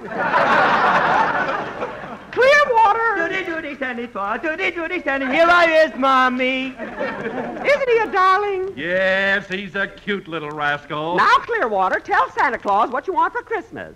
Go ahead, don't be bashful. No, I don't want to do it. I don't want to do it. No, I don't want to do it. Now, Clearwater clap saddle. Tell Santa what you want. No, I don't want to do it. I don't want Clearwater. to do it. No, I don't Clearwater, take your foot out of your mouth. There. Now the other one. That's better. Now, little boy, tell Santa what you want for Christmas. I want some grape nuts flakes. Grape nuts flakes? Yes, my mommy and my dad, he tells me that they're toasty brown and they're sweet as a nut. That's right, my smart little man. And they're a whole grain cereal. You're absolutely right, Santa. Oh, how cute. Look at that nice little boy sitting on Santa Claus's lap. Such pretty golden coils he's got. Yes, that, that little boy happens to be mine. I'm not talking to you. Hmm. Now, tell me, Sonny, wouldn't you like to have a bicycle? No, I want a Grape Nuts Flakes because they're delicious, nutritious, and not rationed. That's right. That's right, and what else? Well, there are basic seven food, the kind of food my dad would. He wants me to eat more of. Well, well, well. You certainly are a good little boy. You should be proud of him, Mrs. Clapsaddle.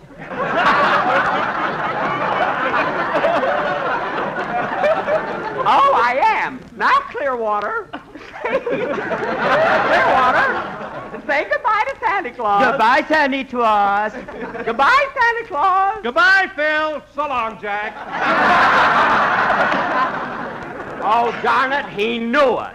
He knew it all the time. What are we gonna do now, Mommy dear? Oh, shut up, you little jerk. Come on, let's get out of here.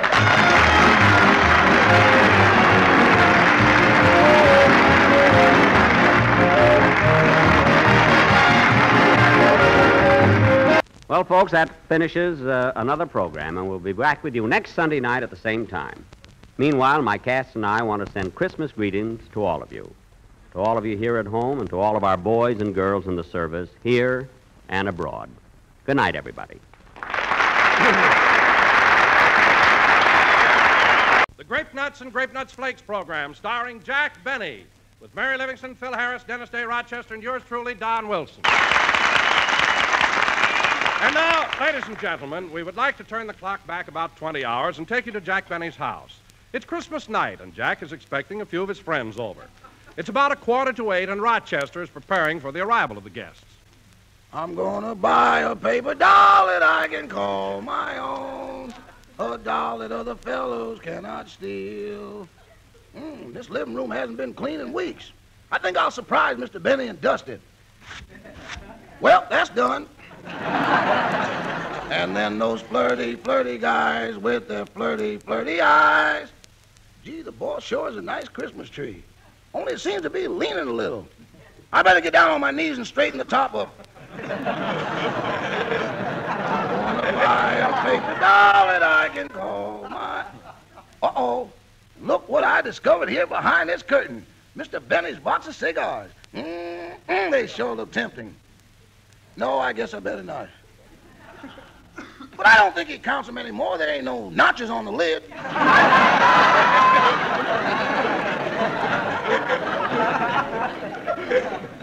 Should I or shouldn't I?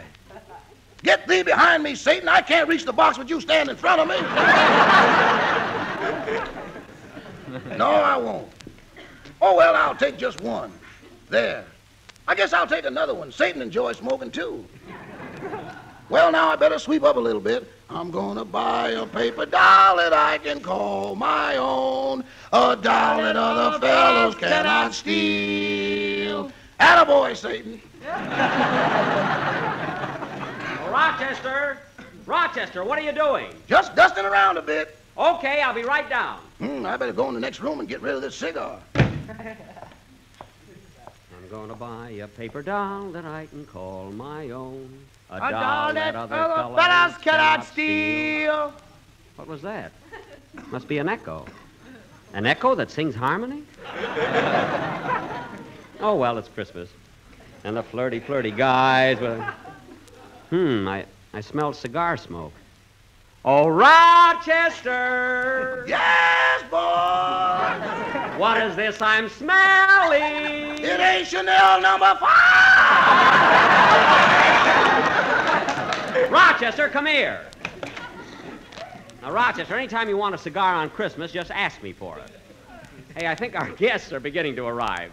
Isn't that Miss Livingstone's car pulling up? Yeah, I'll go to the door, boss. No, Rochester, I'll go. I'm going to surprise Mary. I got some mistletoe over the door, and the minute she comes in, I'm going to kiss her. Shh, quiet.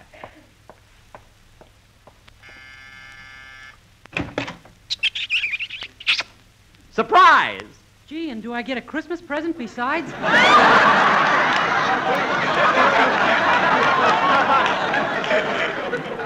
Dennis, I thought it was Miss Livingstone. Well, she drove me over here, and she's parking the car. Oh, darn it. I hung that mistletoe up there especially for Mary. I wanted the kiss to be a surprise for her. Go on, you trap me this way every year.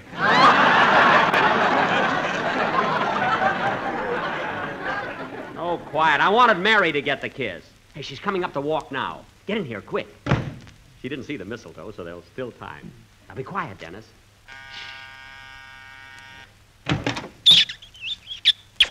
Dennis, I was supposed to do that. For heaven's sake. Hello, Jack. Merry Christmas. Same to you, Mary. Give me a kiss. There. Jack, I was hoping for a white Christmas, not a wet one. Oh, you liked it all right. Say, Mary, come on in the living room. I want to show you how I got things fixed up. Okay. Oh, by the way, I sent my maid Butterfly to help out. Is she here? Yep, she's in the kitchen. Say, you have got the room fixed up nice. It looks swell. It sure does. And Mary, do you like the Christmas tree? Oh, Jack, it's very pretty, and I don't think the year in the garage hurt it a bit.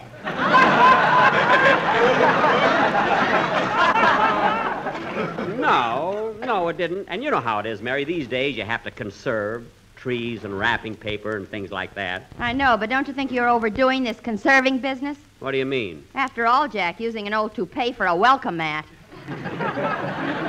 Mary, it isn't an old toupee. Oh, no? Every time somebody wipes their feet on it, you have to run out and comb it again. Mary, stop clowning, will Say, you? boss, if you're expecting guests, you better get Mr. Billingsley out of the house. Today he's crazier than ever. He is not. Well, right now he's in his room wrapping up a Christmas present for you, and he's wrapping it in wallpaper. Oh, what's he giving me? A wall!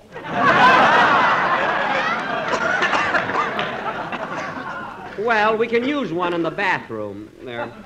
Say, uh, Mary, come in. I wonder who that is. Hello, Mary. Hiya, Jackson. Merry Christmas. Merry Yeah, Merry Christmas, Christmas, Bill. Bill. Merry Christmas. And say, you brought your band with you. That's swell. Yeah. Yeah, I'm glad they're here, but you'd think they're, they're coming to a party. They'd dress up a little. What are you talking about? They shaved, didn't they? Yes, but why aren't they wearing shirts? Well, that's where they shaved. They want people to see you. Oh. Well, your guitar player shaved two clothes. There's a rib sticking out there. anyway, take the boys in the next room and they can set up their instruments. Okay. Oh, by the way, Phil, maybe the boys would like to have a drink first. No, as long as they're here in the house, they might as well stay.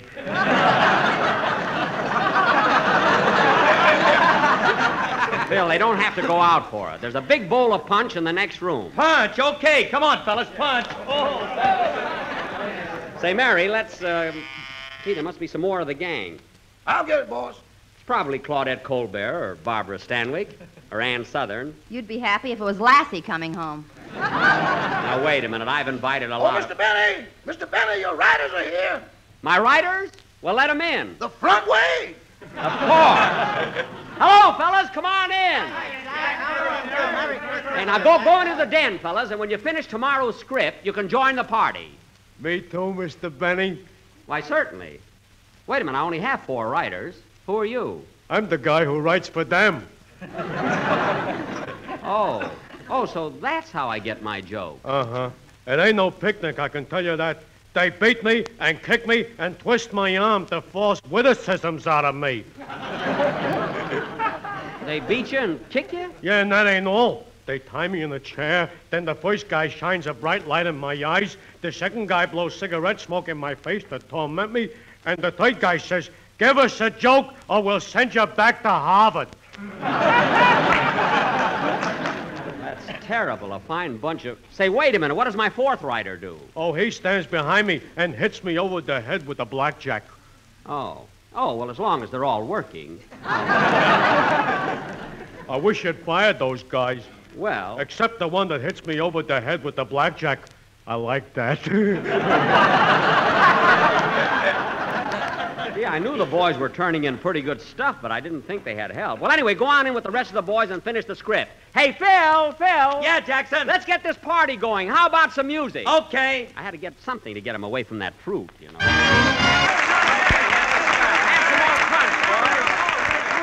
hey, have some more punch, fellas. That was swell. No kidding. Say, Mary, the band sounds pretty good in here. Yeah. Jack, you ought to uh, get the food out. Is it ready yet? Well, I think Butterfly should have it prepared by now. Well, let's go out in the kitchen and see how she's getting along. Okay. Hello, Butterfly. How's everything going? Oh, fine, Miss Livingstone. Now, Butterfly, did you put the long stemmed glasses on the table like I told you to? Yes, sir. Well, what about the bucket with the ice cubes in it? I took care of that, boss. Here it is. And I put the bottle in the bucket of ice. Yes, the bottle's okay. Uh huh. There's enough cracked ice around it. Now put a clean napkin over it. And butterfly, just before you serve it, you're supposed to turn it slowly in the ice, like this. See? Oh, boy, what you go through for a bottle of Pepsi Cola. Well, Mary, I want everything to be perfect. I know. Now, Butterfly, when the guests are at the table, you serve from the left and take away the dishes from the right. Hmm? I said you must serve from the left and take away from the right. Oh, well, okay, if you're superstitious. Hmm. No, no, Butterfly, it's not a superstition. That's just the right way to do it, according to Emily Post. Oh. Was she your last maid? Butterfly, we'll explain it to you some other time. Come on, Mary, let's go. Oh, Miss Livingstone. Yes? Please, could I be able to leave right after I serve tonight? I have a date. Why, Butterfly, you have a boyfriend? Oh, come on, Butterfly, tell us. Have you really got a boyfriend? Mm-hmm. He's in the army. Oh. Private? No, I split him with another girl.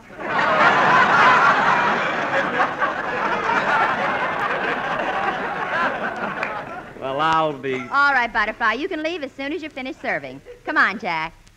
Hey, Jackson, we're waiting. How about the grub, Bob? It's coming, it's coming. Say, Don, when did you get in? Oh, just a minute ago. And, Jack, I want to thank you for the bonus you gave me for Christmas. Well, I couldn't think of anything to buy, and I know cash always comes in handy. What'd you do with it, Don? What did I do with it? You see this diamond stick pin in my necktie? Yes? Well, I took your bonus, added a little of my own money to it, and bought the tie. Well, I knew it would come in handy. Come on, Don, let's join the gang. We'll sing and play games and have some fun till the food's ready. Say, Jack, here comes that screwy boarder of yours. Oh, yes. Hello, Mr. Billingsley. Good evening, Mr. Benny. Having a merry uh, Christmas, I Yes.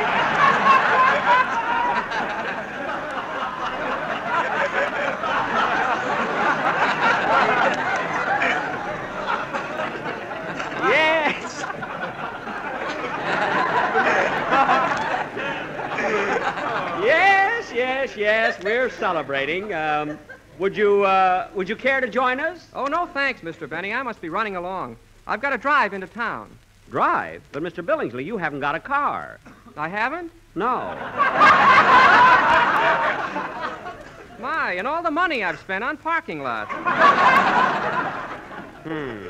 Oh, by the way, that reminds me. Of what? I wish I was a sleigh bell in honor of Kris Kringle.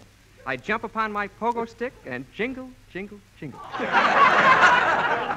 Say, say, that's, that, that's very good.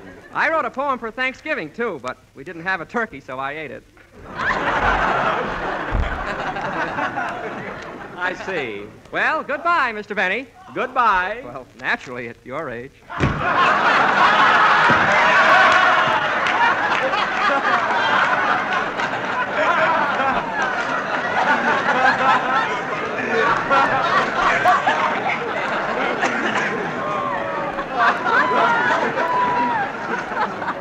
Oh, brother. Oh, what a what a guy. Come on, Jack. Let's join the crowd. You said we were going to play games and everything. Yeah. Well, is everybody having a good time? Quiet, Jack. Dennis is going to sing for the gang. Oh, he is? Oh, yeah.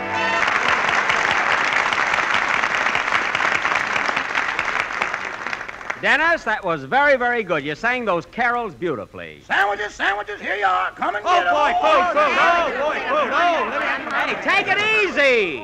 Take it easy, Hey, fellas. what kind of sandwiches are they? Thin ones. They are not. Now, look, fellas, those sandwiches.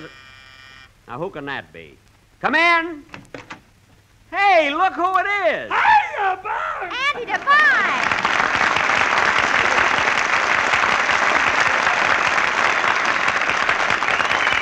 Merry Christmas, Merry everybody. Merry Christmas, Andy. Doggone. Well, Andy, this sure is a surprise. You know, we haven't seen you since last Christmas. Yes, sir. It must be six or seven months. Well, come on, Andy. Grab yourself a bite to eat, and then we're going to play games and have some fun. hey, wait a minute, Buck. Ma sent you a Christmas present. It's in this box. Well, thanks, Andy. What is it? Our pet homing pigeon. You remember that silver gray one? Oh, yeah. But, gee, your ma was so fond of that pigeon. Yeah, I know, Buck, but, but she wants you to have it now. Well, won't she miss it? Yeah, but what's the difference? It died this morning.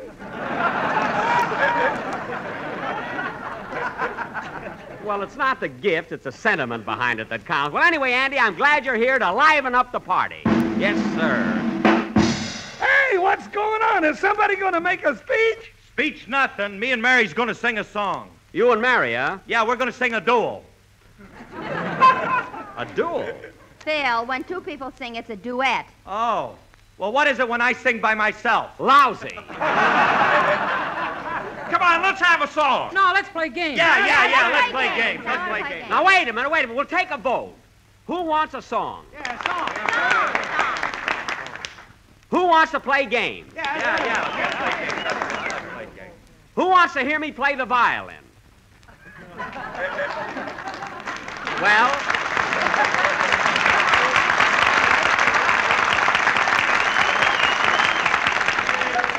doggone it, audience, you crabbed a good joke.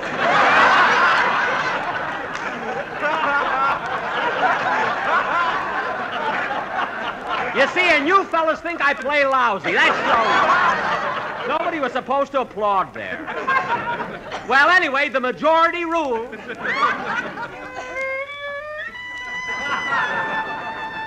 But, Jack, nobody wants to hear you play. Quiet, Mary. My vote is as good as theirs.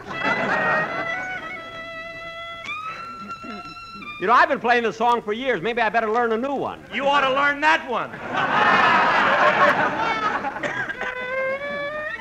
Hey, this party's getting dull. We ought to do something to liven it up. I've got an idea. Let's sing Jingle Bells. Okay, let's go.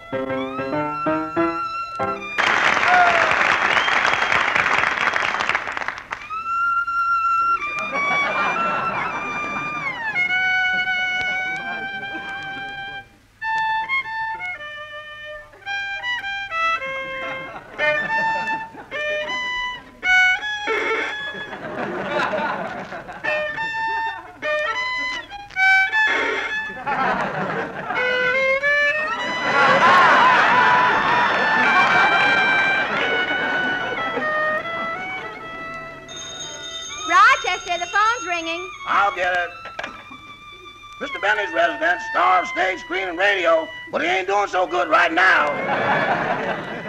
Hello, may I speak to Mr. Benny, please? Just a minute. Mr. Benny, telephone call for you. Oh, darn it. You folks will excuse me, won't you? Oh, go answer the phone. Hmm. Hello? Hello, Jack. Merry Christmas. Oh, hello, Gladys. Hey, that's Jack's girlfriend, Gladys Zybisco. Well, Gladys, I'm waiting for you. Why aren't you here yet? I'm sorry, Jack, but I can't make it. Hilda didn't come to work today, so I have to wait on her tables, too.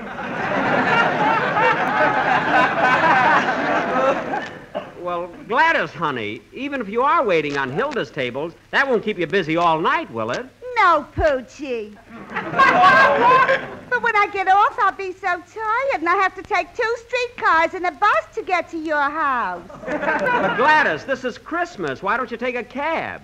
You're getting Hilda's tips. you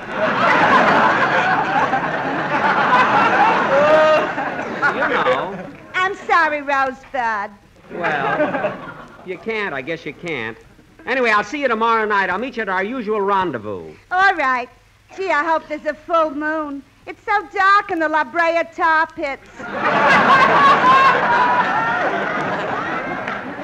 Yeah. Well, see you there tomorrow night, Gladys. Goodbye. Goodbye. Oh, honey. Yeah. Don't forget to wear your hip boots. well, fellas, Gladys won't be here, so what do you say we. Hey, Rochester. Rochester. Yes, boss. Where is everybody? Have they gone home? No, boss, the party's just starting. They're all out in the backyard. Oh, good. What are they doing? Burying your violin. Burying my violin? Well, for goodness sake, you'd think that Miss Livingstone would stop them. Stop them? She was the head pallbearer. well, I'll show them. Imagine burying my violin.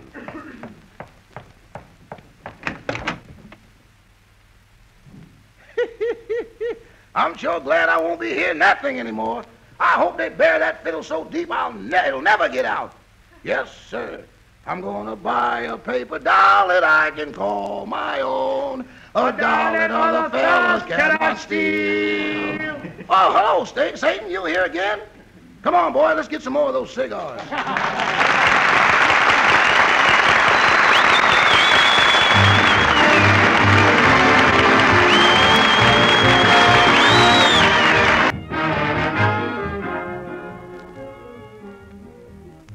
Well, folks, before we're back with you again next Sunday, it will be 1944. So, on behalf of my cast, my sponsor, and myself, I want to extend to all of you in America and to all of our armed forces and allies everywhere best wishes for a happy and victorious New Year. Good night, everybody.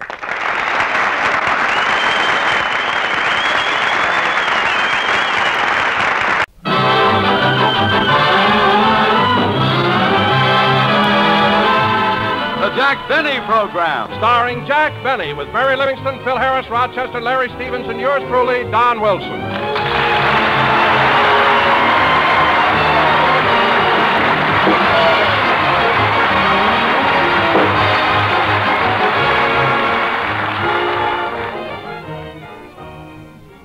Tis the night before Christmas, and at Jack Benny's house, there are presents for all, even cheese for the mouse. Jack is up on a chair, then he's down on his knee, but you have to do that when you're trimming a tree.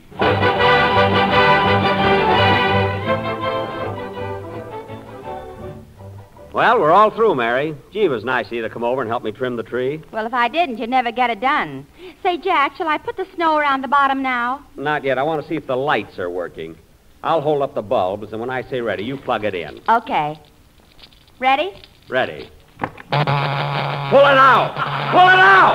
Pull it out!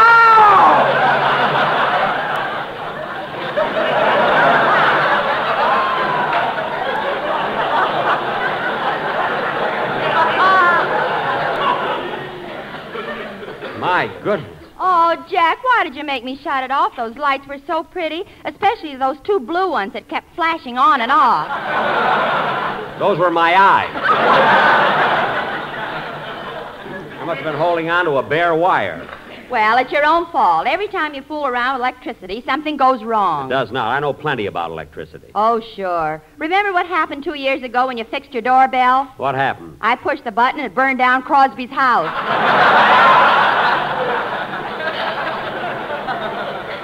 Oh, stop stop exaggerating. Anyway, hand me that roll of tape. Give me that tape. I'll fix this bare wire right now. Here you are. Thanks. Comes to electricity, I know what I'm doing. See, when you see a bare wire, you just tape it up like like this. And that way it's in- insulated against outside elements. There, that ought to be enough tape. All right, Mary, plug it in. Okay. Pull it out! Pull it out! Pull it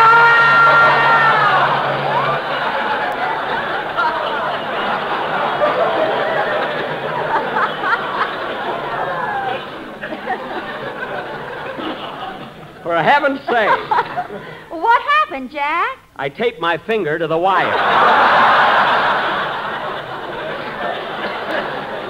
That's what happened. Oh, gee. And that time it is even prettier than before. What do you mean? Your nose lit up, too. It did not. Let's get this tree finished before the gang gets here. But, Jack, what about the lights? We'll have to let that go until later. Now, hand me one of those. Oh, uh, Mr. Benny, What is it, Rochester? I baked that cake like you told me to. Good. Did you have enough whipped cream to spell out Merry Christmas on top? Yeah. Say, boss, how many R's in Mary? Two. Oh. So you better add one. Add one. I better cross one out. I got three. Well, leave it. It's better than ruining the cake. Okay. Oh, Rochester, will you please take these Christmas tree lights and fix them? Fix them? Yes. I ain't fooling around with electricity. Now, what are you afraid of? I ain't gonna get hit by nothing I can't hit back. Oh. Ima- Imagine being afraid of electricity. Suppose Robert Fulton was afraid of electricity. He never would have invented the electric light.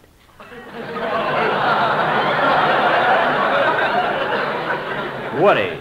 Jack, you're thinking of Thomas Edison. Edison. Well, then, what did Robert Fulton do? He said, don't give up the ship. That was John Paul Jones. Now, let's not start that again. Now, Rochester, please fix these lights, will you? Okay, okay. Let's see. Now, in electricity, there's the electrons and the electrodes. then there's the positive and the negative. But I ain't positive which one is negative. Hmm. then there's the atoms. Now, the atoms are supposed to go from the positive to the negative, or maybe they go from the electrons to the electrodes. then again, maybe they go from Natchez to Mobile.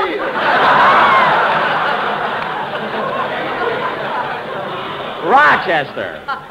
Now, as long as these atoms keep passing each other, everything is all right. Yeah. But when they meet halfway and start fighting, they're going to turn on anybody who tries to butt in. Rochester, I'm not interested in the scientific details. I just want you to fix those lights. And I promise you, while you're holding the wires, no one in this room will turn on the switch. I know, boss. While I'm holding the wire, you ain't going to turn on the switch, and Miss Livingstone ain't going to turn on the switch. Of course not. But way up there at Boulder Dam, there's a little man sitting in a room with thousands of wires around him. What?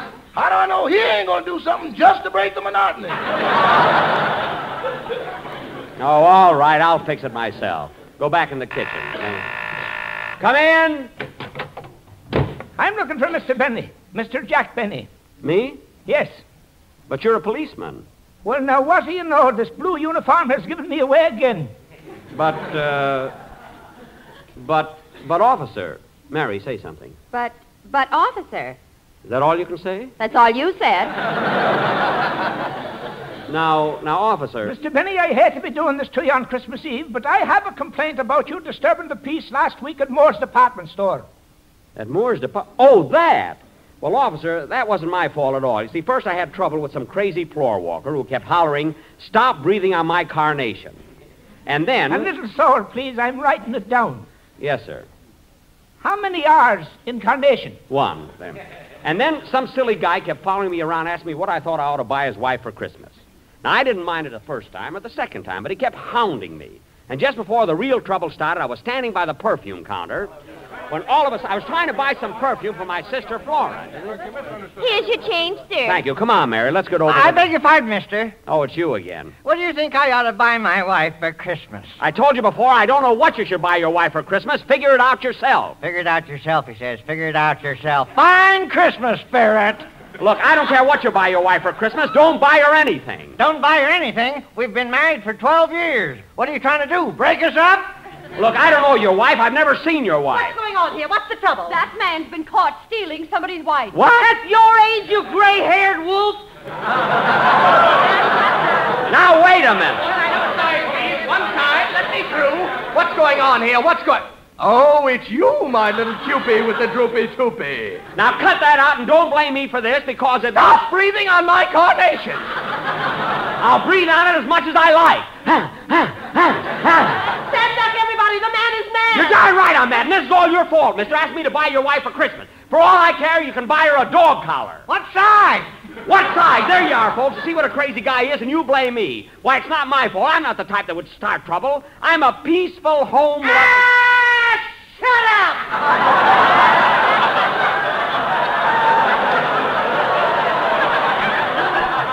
Oh, come on, Mary. Let's get out of here. And that's that's exactly what happened, officer. Believe me. By golly, it's amazing. It sounds like something you'd hear on the radio. Yeah. Well, I'm convinced it wasn't your fault, and I'm going to forget all about this complaint and be wishing you folks a Merry Christmas. The same to you, officer. And a Happy New Year. Thank you. Goodbye. Say, Mary, he was a nice fella at that. wasn't he? Yes, he was. Now, come on, Mary. Let's put the presents around the tree before the gang gets here. Huh?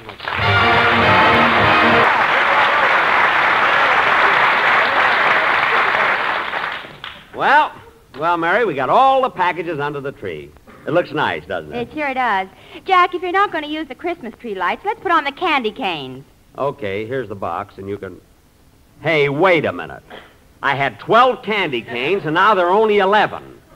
Where's the other one? Don't look at me. I'm not looking at you, I'm asking you. All right, I ate it. Here's ten cents.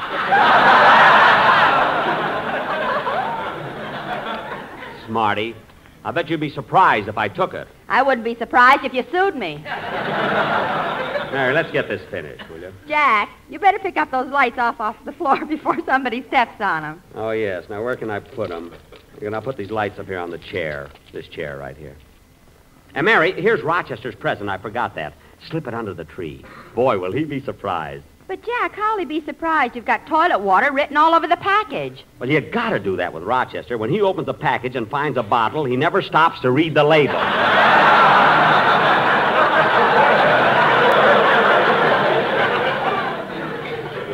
last last year, I gave him a miniature ship and a bottle, and the mast stuck out of his mouth for three days. Every time I asked him something, he had to answer me through the crow's nest. Believe me, Mary, I, I know what I'm doing. Well, Jack, I guess that does it. Tree's all finished. Yeah. Gee, it looks swell. I'm kind of tired. I think I'll sit down for a minute and smoke a cigarette. Mary, have you got a match? No. Oh, well. Oh, say, boss, What is it, Rochester? are your socks dry yet? My socks? I think so. Well, people will be here soon. You better take 'em off the tree. No, that's right. You take 'em off, will you, Rochester? I'm tired. I want to sit here a while. Yes, sir. Say, this tree looks all nice, but it's kind of dark. Oh, no wonder the lights aren't plugged in. I'll fix that. Pull it out! Pull it out! Pull it out!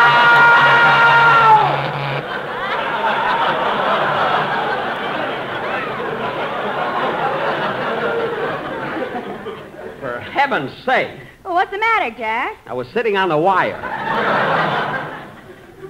As long as you're here, Rochester, give me a match. You don't need it now. Your cigarette is lit.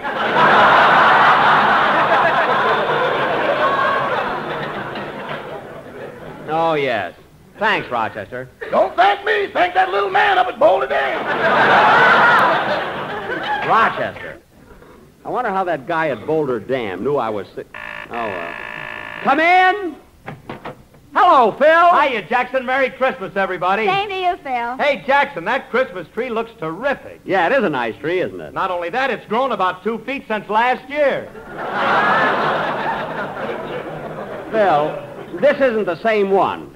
You know, Phil, I believe in the old-fashioned way of getting a tree.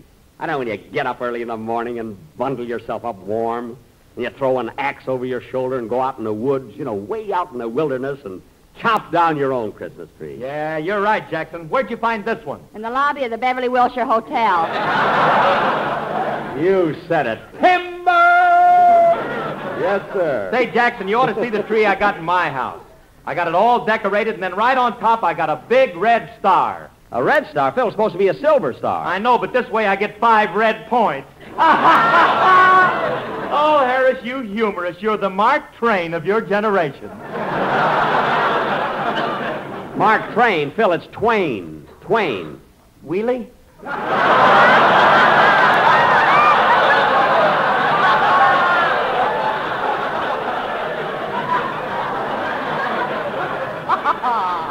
Phil, after a gag like that, you're lucky Santa doesn't scratch you with his claws. say, say, that was pretty good, too. Don't bother sending us Cracker Jack, Mother. We're now getting corn by the ton. Oh, I don't know, Mary. I thought that was pretty cute. Hey, Phil, what do you got in that package there? Oh, I forgot, Jackson. It's a Christmas present for you. For me? Yeah, me and the boys in the band all chipped in and got it for you. Well, thanks, thanks. I'll put it under the tree. Oh, no, you don't. No, you don't. Open it up right now. Okay. It was certainly nice of you and the boys to think of me. You know, I really didn't. Oh, Phil, thanks. Gee, a beautiful turtleneck sweater. Gee. Well, look inside of it, Jackson. Inside? Oh. Oh, Phil. What is it, Jack? A turtle.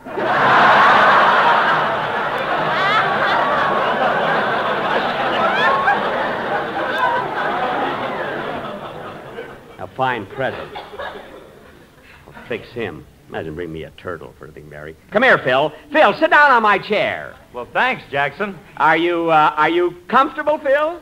Sure. Good, good. Mary, Mary, push in the plug. Oh, Jack, you wouldn't dare. Hand me the plug. I'll give it to him myself. Hey, Jackson, what about my present? Yes, sit where you are. You'll get it. You'll get it. It's a surprise. Mary, watch him jump. One, two, three. There. Hmm. Phil, Phil, don't you feel anything? No, why? Hmm. Well, what about the surprise? What's the matter? Uh, we're having a little trouble at Boulder Dam.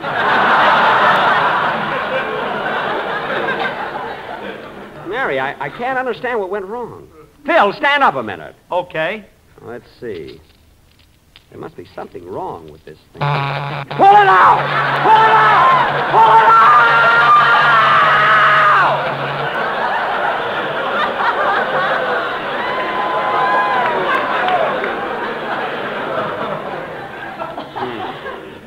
Fine thing to do to a guy on Christmas Eve.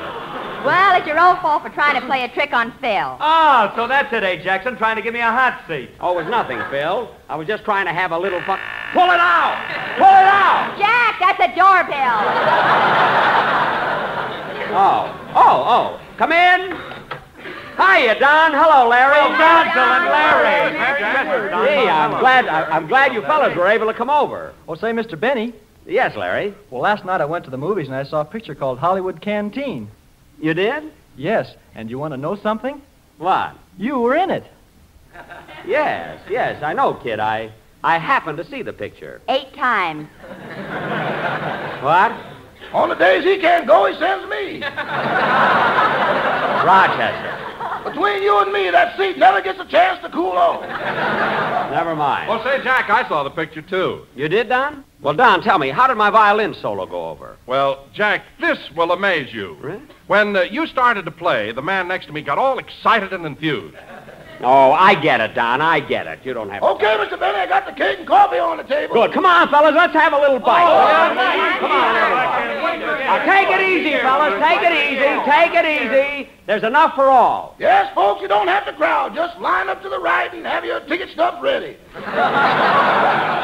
Rochester, this is Christmas. Oh, oh, yes, excuse me. Now, fellas. Hey, who can that be? Come in. Well, I'll be darned. Hiya, Buck. Hello, everybody.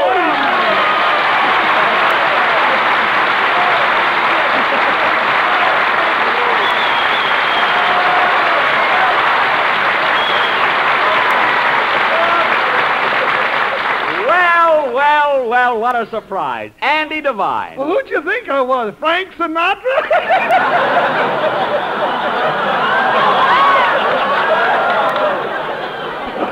No, no, Andy, your voice and figure are both a little huskier, I think. Uh, hey, Andy, there's Don Wilson. Oh, yeah. Hello, Skinny. Hello, Fatso. Well, that's the first time I ever heard a pot call a pot a pot.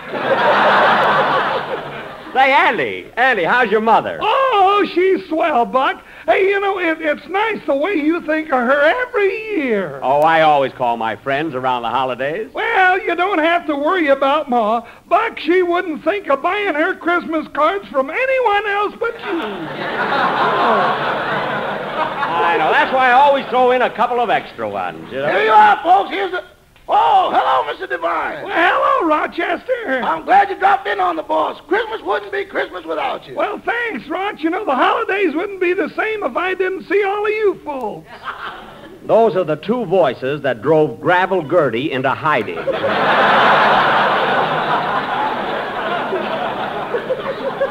Say, come on, Andy. You're just in time to have a bite to eat. And listen, I've been saving a bottle of champagne just for this occasion. Let's drink a toast. Champagne, oh, Come on, yeah. fellas, everybody. Oh, Rochester, give me that bottle of champagne. Here you are, boss. Shall I open it? No, I'll open it myself. Thank you.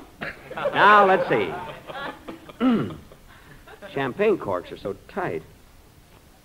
Mm. Gee, they're hard to get loose. Um, mm. For goodness sake, fellas, don't just stand there. Pull the cork out of his mouth. Okay, hold your head still, Jackson. I'll pull a cork out. now, there. Uh, Jack, Jack, say something.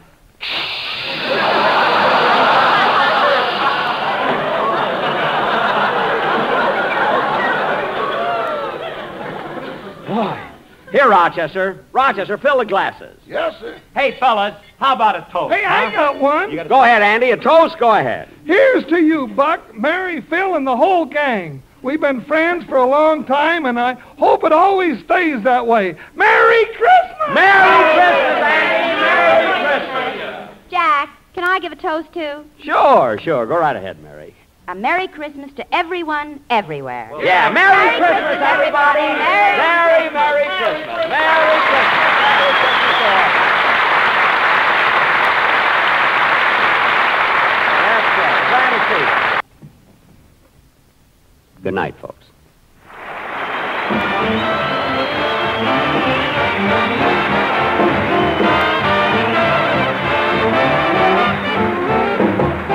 The Jack Benny Program.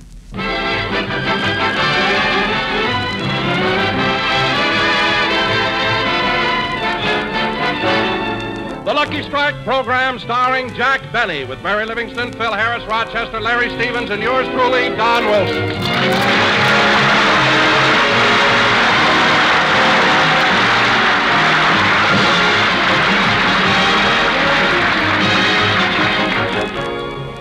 Ladies and gentlemen, two weeks ago, Jack Benny had dinner at Mr. and Mrs. Ronald Colman's house. And tonight, as a typical good neighbor, Jack has invited the Colmans over to his house.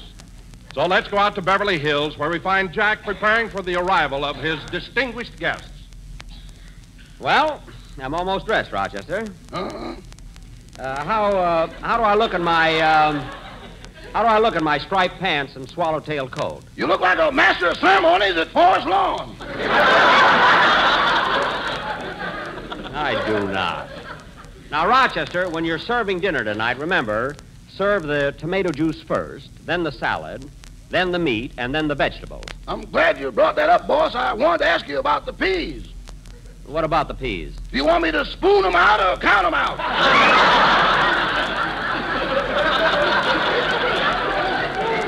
Uh, spoon them out tonight. There's nothing too good for the Colmans. And um, uh, don't forget, uh, for dessert, we're having a flaming plum pudding. How do you fix it, boss? Well, you take the plum pudding and put it in a bowl. Uh-huh. Uh, then you take a pint of brandy, good brandy, you know, real old brandy, and you pour it over the pudding. Continue, boss. You fascinate me. Then you take a match and set fire to the brandy. You what? You take a match and set fire to the brandy. Boss, I doubt if I'll have the heart.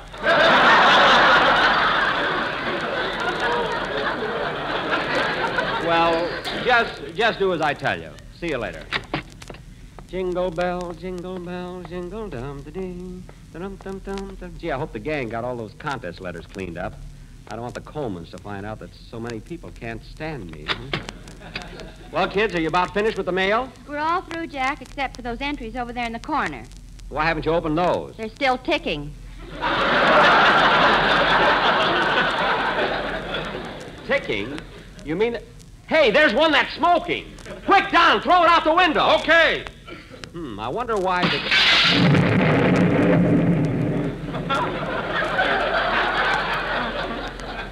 hmm. Fine Christmas spirit. That that thing could have. Hello, Mr. Benny. Huh? Who are you? I was just passing by and something blew me in.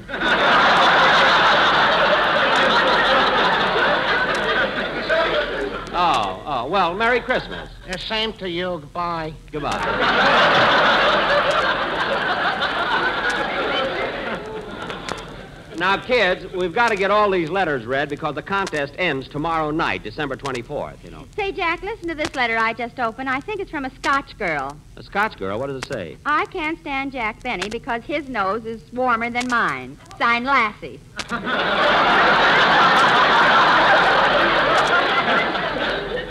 Oh, she's just mad because she read that big story about me in Newsweek. Anyway, kids, never mind the rest of those letters. Mr. and Mrs. Colman will be here for dinner soon. I also invited their friend, Jack Wellington. So please be on your best behavior, especially you, Phil. Me? Yes, you. Just for tonight, don't bring your jug to the table with you. please. Now, wait a minute, Jackson. Have you ever tried eating that meat straight? I know it's awful, Phil, but do it just as a favor to me. And another thing, Phil. When you take the jacket off the baked potato, you're not supposed to go.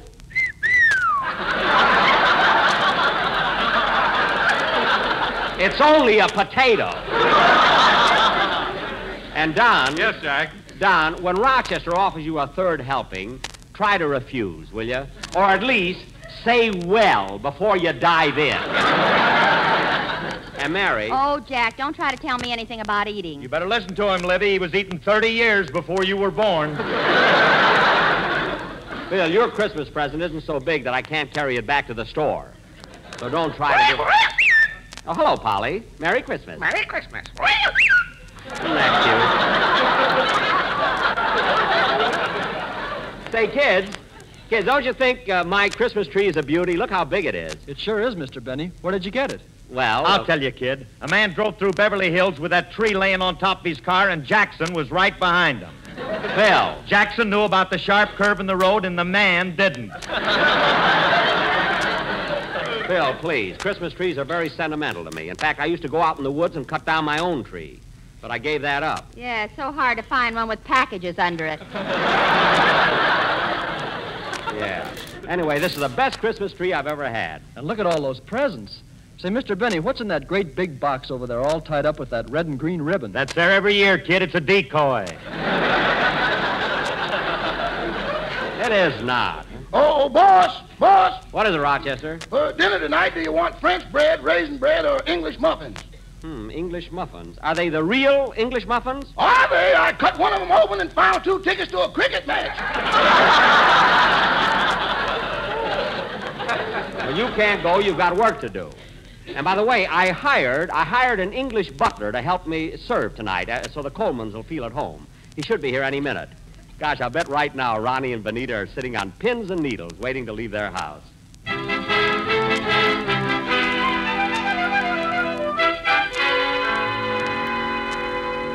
Oh, Ronnie! Ronnie, where are you? Right here in the library, Benita.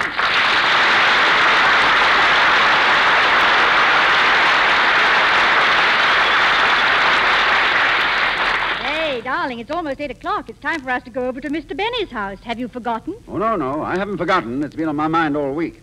Say, uh, uh, perhaps we can phone and make some excuse. No, no, darling, we can't do that. He's probably gone to a great deal of trouble preparing dinner. In fact, just this afternoon, his butler, uh, oh, what's his butler's name again? Um, Manchester? uh, Manchester. Well, he came to the back door and wanted to borrow some sugar, so I gave him a saucerful. You gave him a saucerful? Yes, they already have all our cups. Yes. Yes, I, I wondered why Sherwood served my afternoon tea in a Dixie cup. but I guess you're right, Benita. Maybe we should go. I'll never forget when Benny invited us to his house three years ago and we didn't show up. You know, it made him so angry he wrote a letter to Britain asking for his bundle back.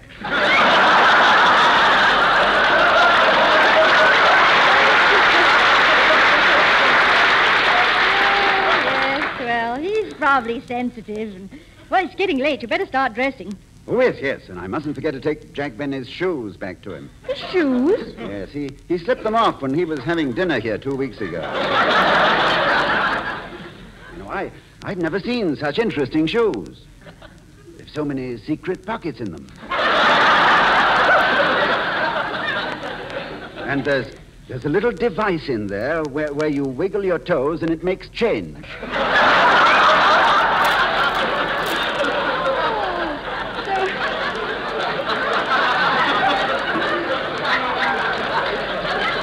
Well, so those belong to Mr. Benny. I should have known they weren't yours when I saw the box spring in the arch support. Yeah, I noticed that, too. Uh, by the way, Benita, who's invited to the dinner besides us? Well, I understand there'll be Mary Livingstone. She's on his program, you know. Mary Livingstone. Uh, didn't she at one time work behind the stocking counter at the May Company? Yes, and I can't understand her giving up a good job like that. now, let's see. Oh, yes, besides Mary Livingstone, there'll be that uh, Phil Harris fellow. Oh, yes. Ham hocks and turnip greens.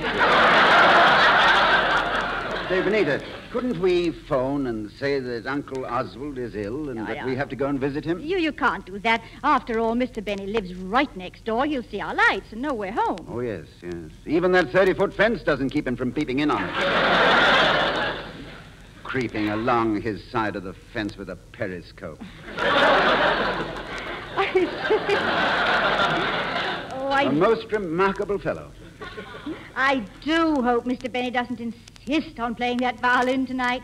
Why, Benita, why did you have to bring that up? For ten years, I've been plagued with love in bloom. I've hoped, I've wished, yes, even prayed for a minor disaster, a fire, a tornado, even termites, anything. But destroy that violin. Well, if he can't be stopped, then in the name of heaven, let him play right. Give him the will, give him the strength, give him the talent to hit that high note. Perhaps he's got short fingers. Well, every day for ten years, it's been love in bloom. And now it's a new one. Kiss me once and kiss me twice and da da da da da.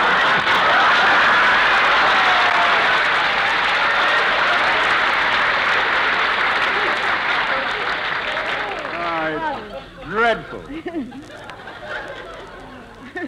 Well, I'm sorry, dear, but I didn't mean to lose my temper. well, cheer up, darling. I'm sure we'll have a lovely evening at Mr. Benny's. Yeah, I hope so.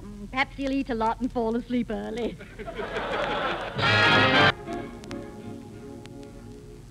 Uh, Jack, do you want to come in the dining room and see if the table looks all right? Uh, in a minute, Mary. I'm busy.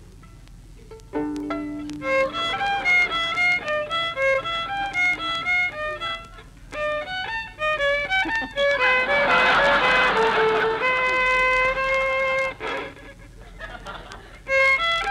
Jack. Jack, you're not going to play your violin tonight. I am, too. the Colmans are pretty high class people. They don't go places just to eat. Now, let me practice.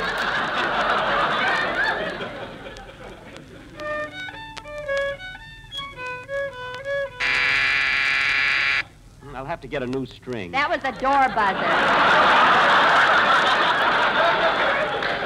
Oh. Oh, oh, oh, say, maybe that's the.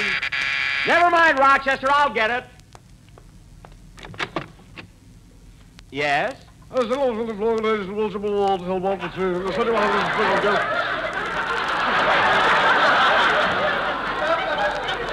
Oh, oh, yes, you're the English butler I ordered. Have you had much experience at serving? Yes, yes, the vessel in English, that you go in the other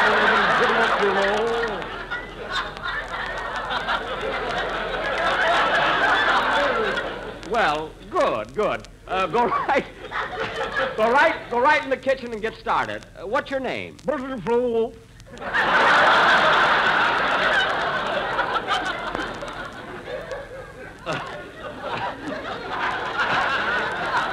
What was that?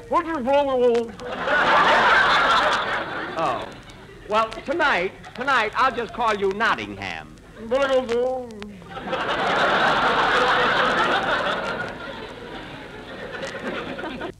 Jack, who is that? It was the uh, it was the English butler I hired for tonight. I'm go- I'm calling him Nottingham. Uh, do you think that's English enough? Uh, why don't you call him the White Cliffs of Dover? No, no, that's too long. Uh, maybe I Hey, ought Jackson, why don't you call him Heathcliff? Heathcliff? Sure, you're trying to pull a bluff. oh, Philsy, they ought to hang you up instead of your stocking. You can say that again. Oh, oh, that must be the Colmans now. I'll get it. No, no, Rochester. That's why I got the English butler. Uh, Nottingham, uh, answer the door, please.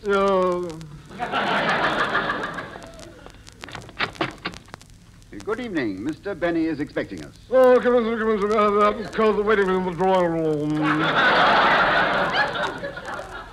Uh, what was that? I said, come in, sir, come in, sir. I haven't called the waiting room, the drawing Oh, Ronnie, Ronnie, Benita, I'm glad you came so early. Hello, Jack, old boy. So good of you to have us over. Oh, it's a pleasure indeed. Nottingham, take Mr. and Mrs. Colman's hat, coat, and canoe.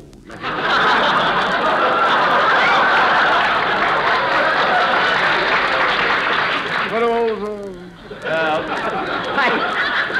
Thank you. You know, Jack, I just made an awful mistake. I didn't know you had a second butler. Oh, yes, yes, he's English, you know. But his English accent is so thick.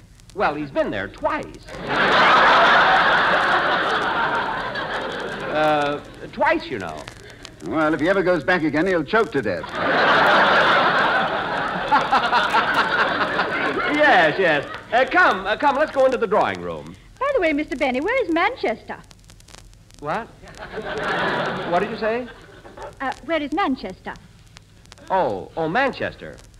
Well, you go out Sepulveda Boulevard, through Culver City, you turn left at the no, second no. traffic no, light. Jack. Uh, Jack, Benita means Manchester, your butler. Oh, oh, that's Rochester. Rochester. Let Nottingham do it. I'm not talking to you. Uh, Benita, my butler's name is Rochester. He's in the cut, uh, kitchen getting the grub, getting dinner ready. Uh, come, let's go into the drawing room. I want you to meet my associates. Here we are, Mr. and Mrs. Colman. This is my radio cast. How do you How do you do? How do you do, Mr. and Mrs. Colman? Hiya, Ronnie. Benita, what do you hear from the tea and crumpets? Well, you know, Ronnie, he's Phil's such an unruly blighter. you should excuse the expression. By the way, Ronnie, I have a little surprise for you this evening. I also invited your friend Jack Wellington to dinner. Wellington, splendid. Did you hear that, Benita? Yes, isn't that nice? Uh, sit down, folks. We'll have cocktails in just a few minutes. I hope you'll pardon the way my house looks, but I've been so busy opening mail. you know. Oh, that reminds me. How is your I Can't Stand Jack Benny radio contest coming along? Oh, wonderful, wonderful. Of course, it ends tomorrow night. So, Benita, if you want to get your letter in, be sure it's postmarked before midnight, December 24th. You know, Jack just received a citation in Congress because of all the national unity his I Can't Stand Jack Benny contest is promoting. Was that national unity? Yes, it's the first time in history that the Republicans and Democrats agree on the same thing. Yes, sir, that's me. yep. Oh, Ronnie, look at that Christmas tree. Isn't it beautiful? Yes, it certainly is. I suppose you folks have a nice Christmas tree, too. Well, we bought a nice tree, but while we were driving home, a peculiar thing happened. yes, Ronnie made a sharp turn, and that's the last we saw of it. Oh, oh, that's a shame. Well, how about some cocktails? Um, uh, what, what would you like, Ronnie? Oh, nothing right now, thanks, Jack. But after dinner, perhaps a little B and B. Oh, so will I. For dinner, I always have an S and S. S and S. Now, what's that? half soda and half sympathy soothing syrup. Yes, it's awfully good. Whole news, blues, williams, royals. What? Oh, he must mean that Wellington is here. Oh, come right in. Come right in. Hello, Benny, old boy. Ronnie Benita. Wellington. Mr. Benny told us you were coming. Uh, Mr. Wellington, this is my radio gang here. It's Mary, Phil, Don, and Larry. How do you do? I that. How do you do? Benita. We're all here now. Hey, Wellington, you lost half your glasses. Phil, that's a monocle.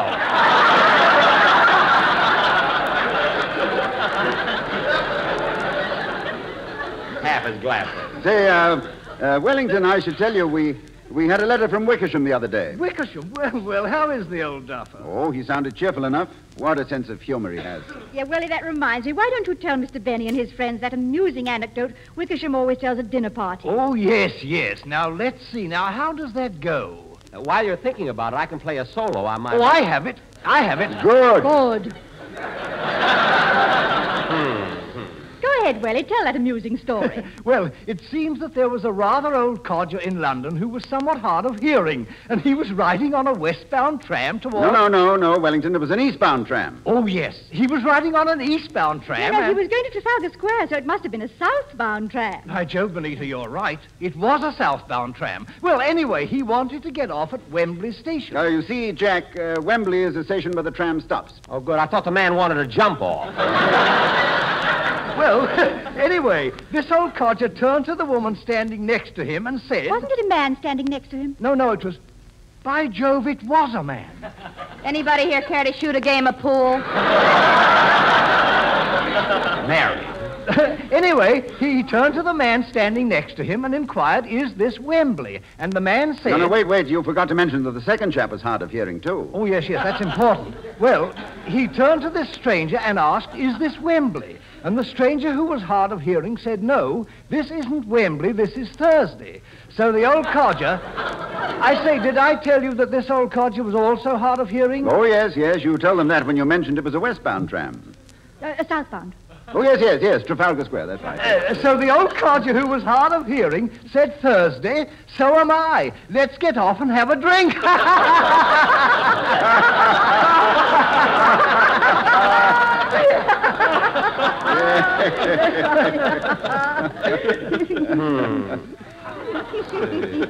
Southbound tram, Trafalgar Square. Oh, it was a very amusing story, Mr. Wellington. Very funny. Uh, would you folks care for a cigarette? Yes, Thank you. Thank you.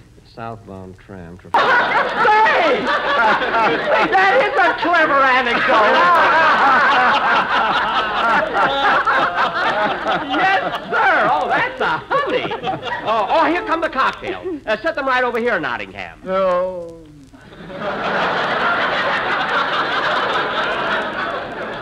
Well, folks, dinner will be ready pretty soon, and I can't tell you how happy I am that you were all able to come over, particularly at this time so close to Christmas. Oh, thank you, Jack. Oh, thank you. And since it is so close to Christmas, I think it would be nice if we had Larry Stevens sing an appropriate song. Oh, good, good. By all means. Are you ready, Larry? Yes, Mr. Benny. Go right ahead. Here, let me sit next to you, Mary.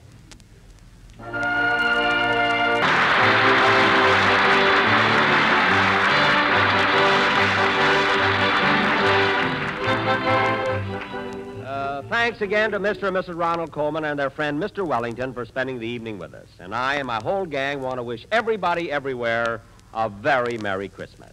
Good night.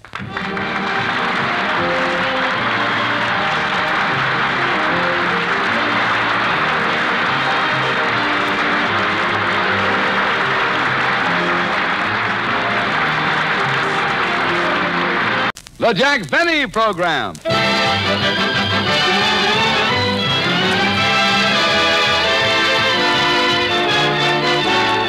Lucky Strike program, starring Jack Benny with Mary Livingstone, Phil Harris, Rochester, Larry Stevens, and yours truly, Don Wilson.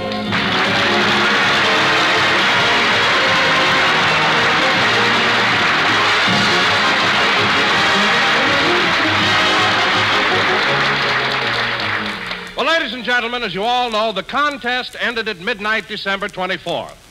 However, there were so many people that couldn't stand Jack Benny. it will take a couple of weeks to finish reading all the letters, and the winners will be announced shortly afterwards. So let's go out to Jack's house in Beverly Hills, where we find Jack, Mary, and Rochester busily sorting the latest entries. Gosh, the way this mail has been pouring in the last few days. Yeah, there sure is a lot of it, boys. Yes, sir. Quiet, Polly. Daddy's working. Hmm. Look at this mail. It's absolutely amazing how many people can't stand me. Yeah, and Jack, look at this pile of letters over here. 48,000 of them are all from St. Joe. Now, wait a minute, Mary. There must be some mistake. They love me in St. Joe. you remember when I was there last year, they put up a statue of me in the public park. Well, they're sending it back. There's a hunk of granite in each envelope. Oh, Mary, you're just making that up. no, I'm not. Here's a note in one of the letters. What does it say? Uh, we're sending back all of Mr. Benny's statue except the ears. We're keeping those for bird baths.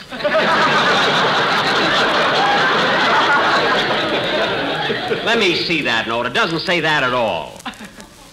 Gee, it does at that. what am I going to do with all these pieces of my statue? Why don't you glue them together and set it out on your front lawn?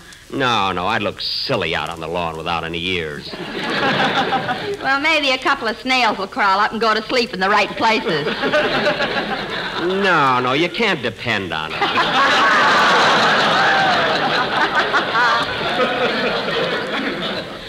well, come on, let's try. Merry Christmas, Merry Christmas. Polly, Polly, Christmas is over. And I got to teach her to say Happy New Year. Polly, now listen, Polly. Happy New Year. Happy New Year. Merry Christmas. No, no, no, no. It's Happy New Year. Happy New Year. Merry Christmas. No, no, Polly. Now listen, listen, Polly. Happy New Year. Happy New Year. Come on now, Polly, say it. Happy New Year. Happy New Year. Atta girl. Isn't it wonderful how you can train a Mary? It sure is. And now, Polly, a very happy New Year. Merry Christmas.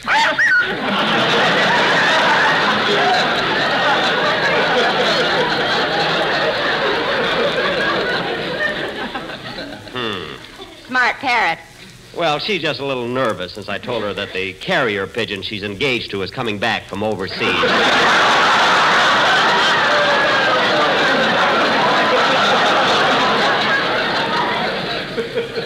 He'd be here now, but he couldn't get a train out of San Francisco. he may have to fly. Now, let's see. We got to finish sorting the. Rochester, why did you tear up that letter? This one was a mistake, boss. It said, I can't stand Rochester. Who signed that? The gas man. Well, we haven't heard from him in about five years. Mary, what are you laughing at? Get this letter. I can't stand Jack Benny because he plays the violin. Signed, a dead cat. That's probably from somebody. Probably from somebody who doesn't like me. Hmm, could be. Certainly, huh? Oh, boss, boss, you won't believe it. What is it, Rochester? Here's a letter from the Big Three. The Big Three? Well, what does it say? We couldn't stand Jack Benny before the contest. Signed Anaheim, Azusa, and Cucamonga.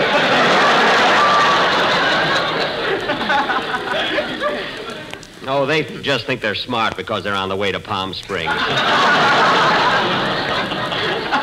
anyway, there's the phone. I'll get it. No, no, Rochester, you stay with the mail. I'll have Nottingham answer it. Nottingham? Jack, have you still got that English butler around here? I thought you only hired him for last week to impress the Colmans. Well, we're so busy with the mail, I kept him on to help out. Uh, Nottingham, answer the door. Isn't he classy? He even puts on his coat to answer the phone. Oh, oh, Mr. Benny, phone. Come, come, sir. Will you please tell me what's going on? Oh. Well, well, sir, we have to do that.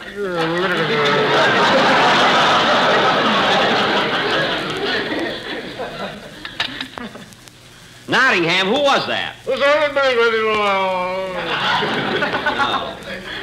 All right, Mary, now we'll have. Uh, Jack, what did Nottingham say? He said my lawyer was on the phone. I thought he said the grocer. No, no, Mary. Grocer is groff.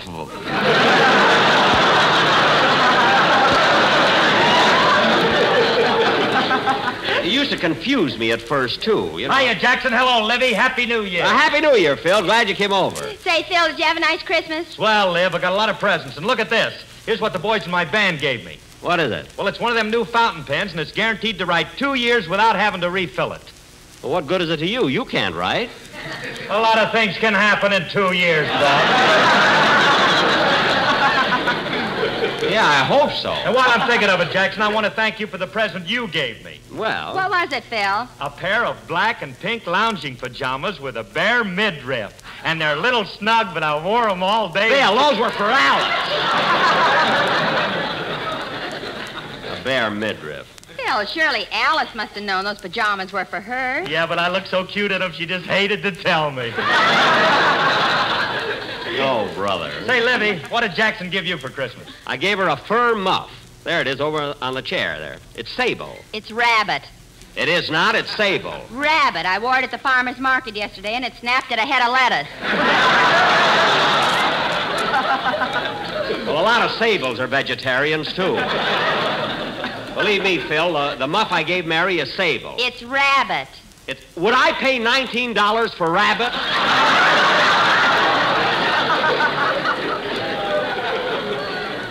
Would I? You wouldn't pay $19 for $20. I would, too.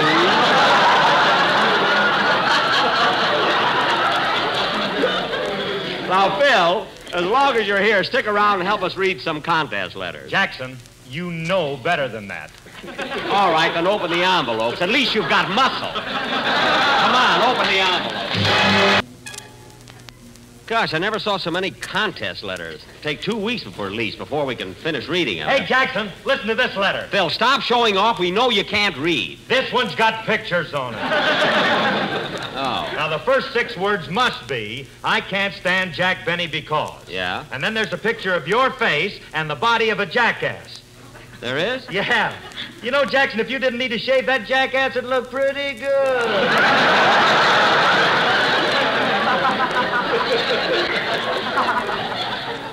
Oh, yeah? Oh, boss, boss. What is it, Rochester? Nottingham would like to see you.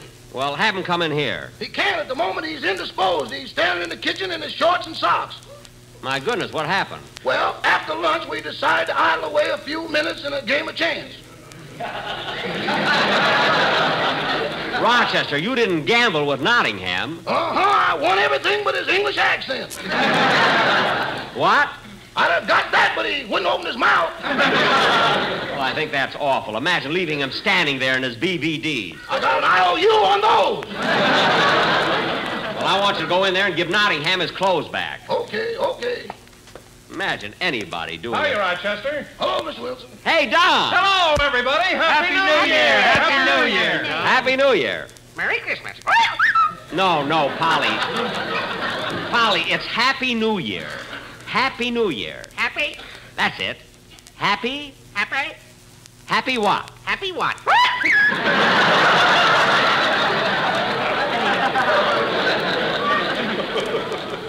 I wish that carrier pigeon would get here. Don, uh, how did you happen to be around this neighborhood? Well, I just wanted to drop in and thank everybody for their Christmas gift. Hey, Donzie, what did Jackson give you? Well, Jack didn't give me anything for Christmas because he gave me a birthday present and he thought my birthday was too close to Christmas. when is your birthday, Don? The 23rd of August.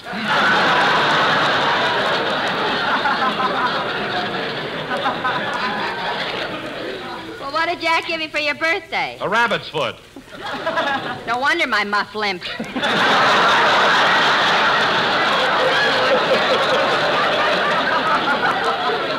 Never mind.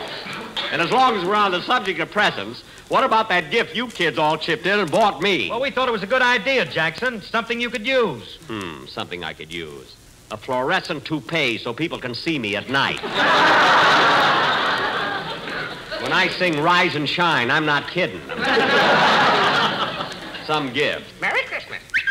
Polly, it's Happy New Year. Happy New Year. I'm going to train that bird if I have to get... Jack, now with a whip and a chair. Well, I'll talk to him when we're alone. Uh, hello, everybody. Hello, Larry. Hi, Hello, kid. Hello, kid. Well, I'm glad you came over. You can help us with the mail. Well, I have to run along. I just dropped by to wish you a happy new year. Oh, same to you, kid. By the way, Larry, I got a lot of compliments on your song last week. Well, thank you. I've got another one I'm working on for next week. You have? Well, come on, let's hear it. Yeah, sing it for us, Larry, Larry. Come on. Okay. Smoke it once and smoke it twice. Polly, Larry's going to sing now. Hey, that was that was swell, Larry. I'm glad you picked that one. Now, kids, let's try and get the rest of this contest mail finished so we can try. Nottingham, answer the door.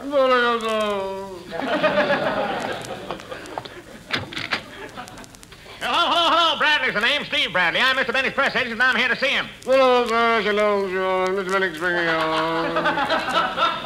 Huh? What'd he say? Hello, sir. Hello, sir. Mr. Bennick speaking. Well, thanks, and a Happy New Year to you, too.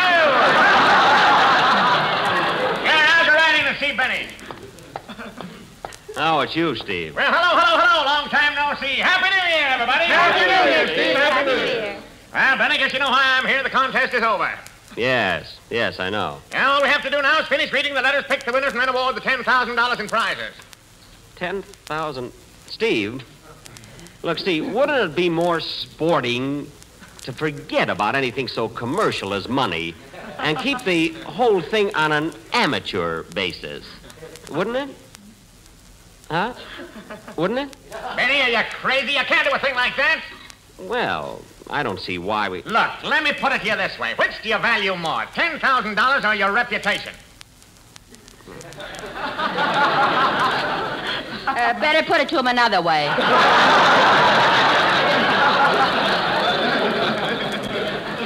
Oh, well, all right. Atta boy, Benny. Now just hand me over that $10,000 and I'll buy the victory bonds for the prizes. But, Steve, we don't know the winners yet. We still got mail to read. Yeah, I know, I know, but you don't want anything to hold us up. I gotta go out now and buy those bonds and have them ready. Okay, okay. I'll have to go down to my vault and get the money. Uh, uh, before I go, I want you all to repeat the oath after me. I promise not to reveal that Jack Benny has a secret vault hidden in his home. I promise not to reveal that Jack Benny has a secret vault hidden in his home. And if I should tell anyone, either consciously or unconsciously, And if I should tell anyone, either consciously or unconsciously, may I lose my umbrella during the rainy season. may I lose my umbrella during the rainy season. Now, everybody bow their heads while I.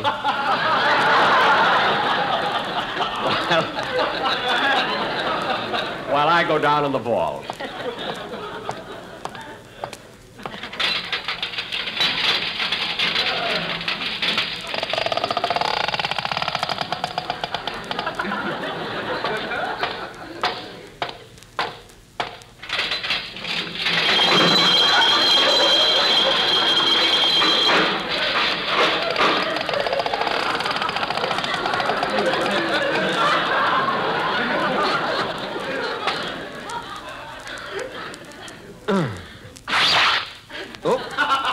My pants on the barbed wire.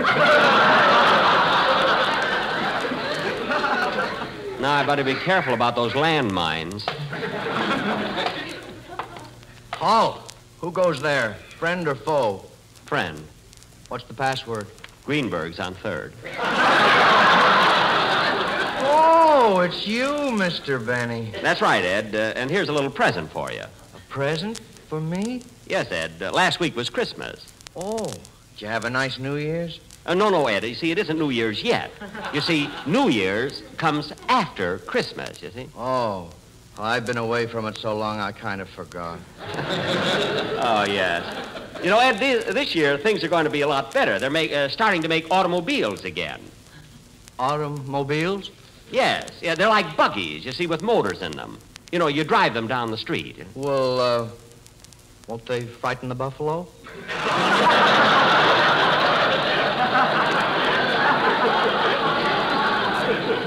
No, no, no. You see, buffalo are extinct. There are very few of them around anymore. Well, I got to get into my vault now. Shall I turn my back? No, no, no, Ed. You're you're bonded. It's all right. now let's see. The combination is right to 45, left to 160, back to 15, then left to 110. There.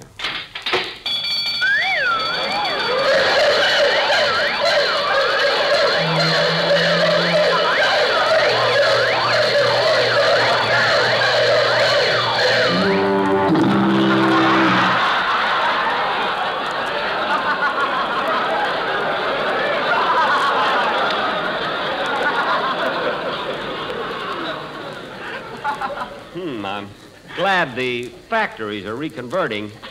Now I'll be able to buy a louder burglar alarm. Mr. Benny, How much money are you putting in? I'm not putting anything in, Ed. I'm taking some out. My, this is thrilling. Well, well, so long, Ed. Happy New Year. Same to you. Whoopee.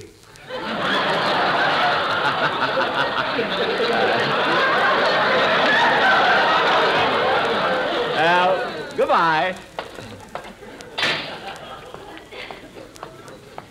All right, all right, Steve. Here's the money for the prizes. Uh, thanks, Benny. See you next week. Happy New Year, everybody. Happy New Year, Steve. Happy New Year. Well, kids, that's that. Just think, another year almost gone. Boy, how they roll around. Imagine it'll soon be 1946. I wonder what the new year will bring.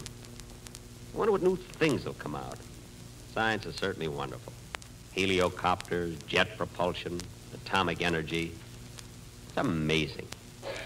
I wonder what they'll... Hmm, it's kind of late. I wonder who that can be. Oh, hello. Hello, you're Jack Benny, aren't you? Why, why, yes, yes, little boy. Who are you? I'm the New Year.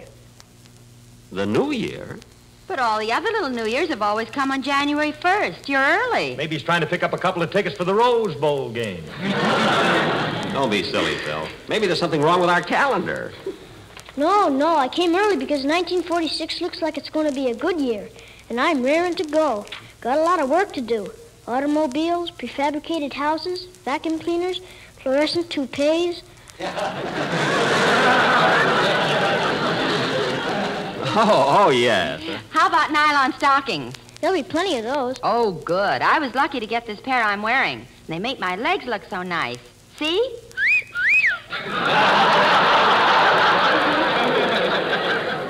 Well. Hey, this kid's really ahead of time. Well, look, uh, Sonny, uh, how about radio in 1946? That is, uh, what I mean is television. Uh, what, uh, what are my chances in television? Would you really like to know? Yes. Sit down, Mr. Benny. Thank you, thank you. Well, all right, kid, I can take it. I mean, tell me, what are my chances in television? Well, first of all, tell me, how old are you, Mr. Benny? Sit down, kid.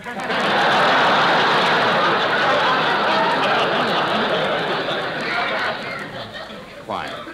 What, uh, what did you say, Sonny? I said, how old are you? Uh, 37. Uh, 37? That's a joke, son. It is not. Now, what were you going to say about Oh, the... Jack, look out the window. There's an old man coming up the walk. Yeah, and he looks like Father Time. Father Time. What is this, anyway?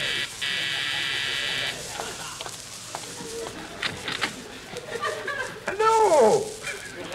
Hey, you're not Father Time, are you? Father Time? I don't know what you're talking about, Bub. I'm looking for my grandson. I was told to come in here. Oh, you mean... He was supposed to be in a New Year's play the kids are giving at the schoolhouse, but they run away. Oh. Oh. Oh, so that's it. Hiya, Grandpa. Oh, oh, so there you are, you little shaver. Come on back to the schoolhouse. The people are waiting for the New Year. Come on, let's get going. Let go of my ear. Yeah, take it easy on the little fella. I just told you, Bub is my grandson. He's in a school play. He ain't the real New Year. Well, he sure fooled me.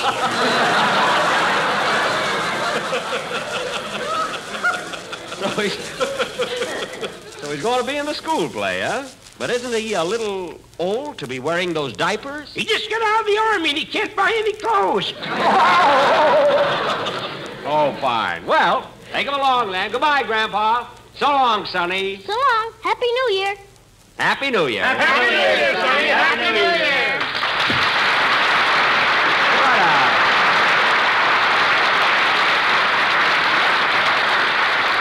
Oh boy, what a what a cute kid.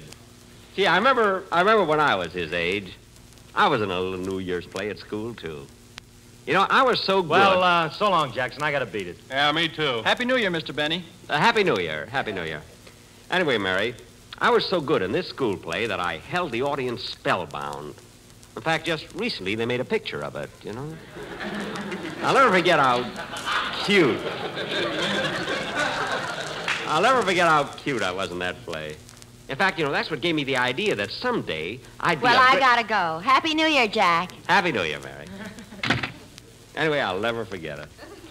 Yeah, I walked out on the stage wearing a little pair of wings, and across my chest was a banner saying, Happy New Year, 18, I mean, 1912.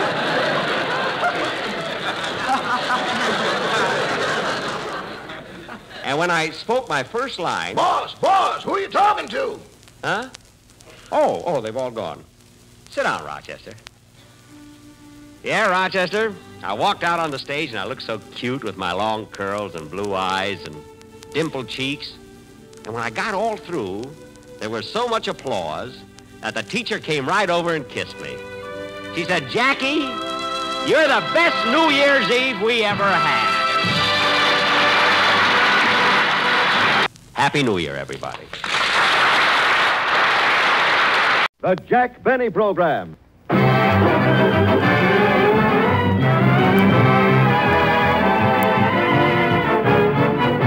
Lucky Strike program starring Jack Benny with Mary Livingstone, Phil Harris, Rochester, Dennis Day, and yours truly, Don Wilson.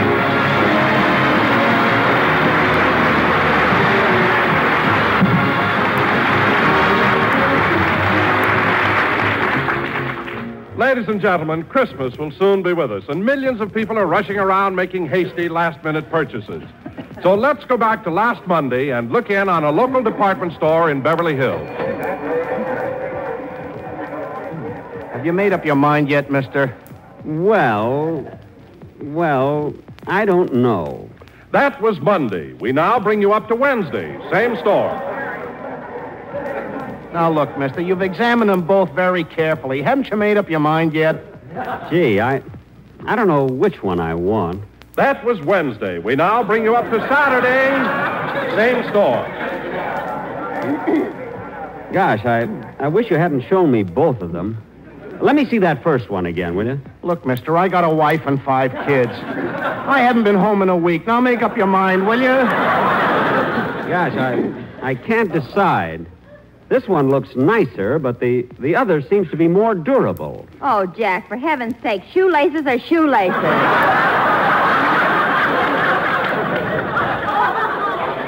Mary, when you're buying a gift for somebody, you don't rush into things. Now, let's see. If I take the. Oh, pardon me. Hello? Yes? Oh, thanks. Thanks for telling me. Goodbye. Gee, it's so hard. Look, to- mister, I want to go home. I got six kids now.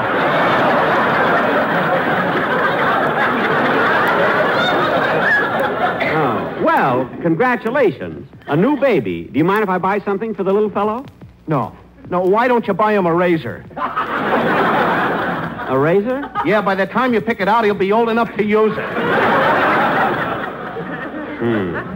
That's an old joke. It was new when we came in here. Well, look, mister, I'll take these shoelaces, the, the shorter ones. Well, thank heavens. Now, do you want the metal tips or the plastic tips? Here we go again. I'll take the plastic ones. The metal ones rust. You're right, Jack, but of course you know the plastic ones crack. Oh. Well, then wait a minute. Uh, let me see. If that phone rings again, I'm going to punch you right in the nose.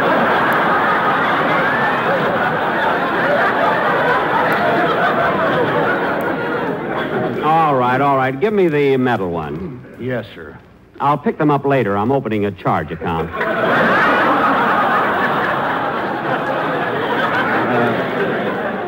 Uh, come on, Mary.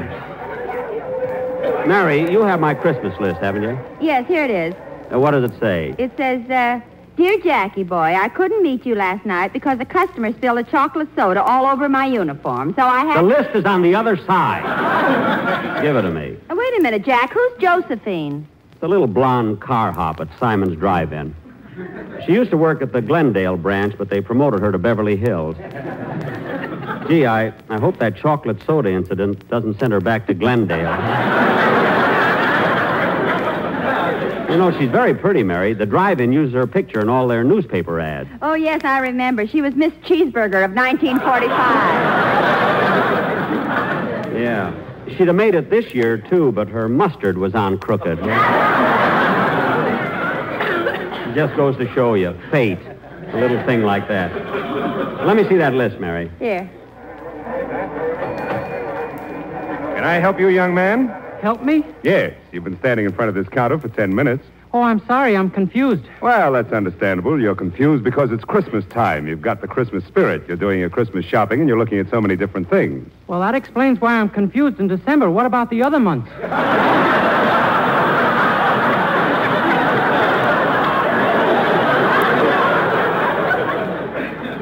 Well, I wouldn't know about that. I'm a coal miner by trade. I'm just doing this to help pay the fine.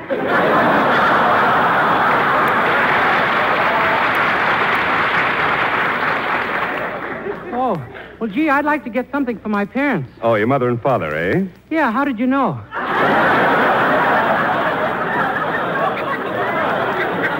I, uh, I just figured it out. Oh, I know. I think I'll get my mother a new corset. Well, don't you think she, should- she should come down and pick out her own corset? Oh, mother hasn't left the house for three days. Is she sick? No, the string broke on her old one and she can't get through the door. Oh, that's too bad. Yeah. We were spending a quiet evening at home when boing!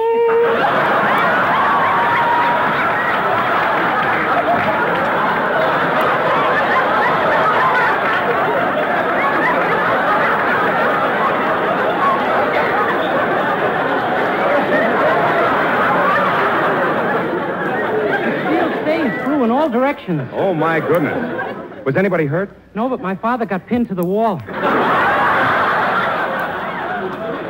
Anyway, wrap me up that size 44 corset and I'll take it with me. Yes, sir.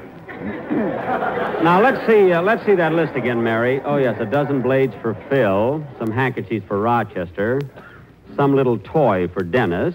You told me at Ciro's last night you were going to buy Dennis a grand piano. Last night I had four glasses of muscatel. I'm all right now. So where's the toy department? Oh, wait a minute, Jack. What about your producer, Robert Ballin? Oh yes, I don't know what to get him. Oh, Jack, look. Why don't you get him one of those new canvas golf bags? Yeah, he'd love that. And it's only $15. Oh. Gee, I just happened to think he he doesn't play golf. Well, why don't you give him a nice cocktail shaker? Say, say, that sounds good. And it's only $12.50. Hmm. I just happen to remember he doesn't drink either. Uh, what else can I buy him? A knife and fork. Let's see you get out of that. Oh, stop, will you? I'll think of something. Now, let's see. Hi, Jack. Long time no see. Huh? What? Oh, oh, hello. Come on, Mary. Uh, who is that? Oh, he's a racetrack tout I used to see at Santa Anita. You remember we ran into him at the Union Station last year? Oh, yes. Say, Mary, I want to get a watch for my sponsor. I wonder where the jewelry department is. Well, there's the floor walker. Ask him. Oh, yes. Oh, floor walker. Floor walker.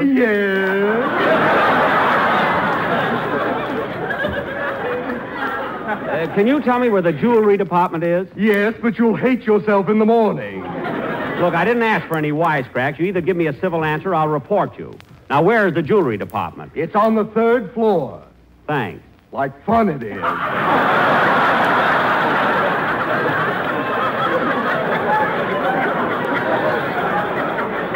Never mind. I'll find it myself. Hmm.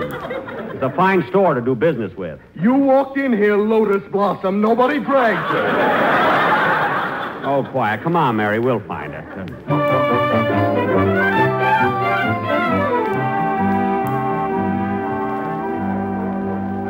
Mary, let's go upstairs and get that watch for my sponsor. We'll take one of these elevators. Well, number five is just about to go up. Yeah, let's hurry. Hey, uh, Jack. Hey, Jack. Huh? Oh, oh, it's you again. Yeah. Come here a minute. What is that? Where are you going? Upstairs. Which elevator you taking? Uh, number five. Uh-uh.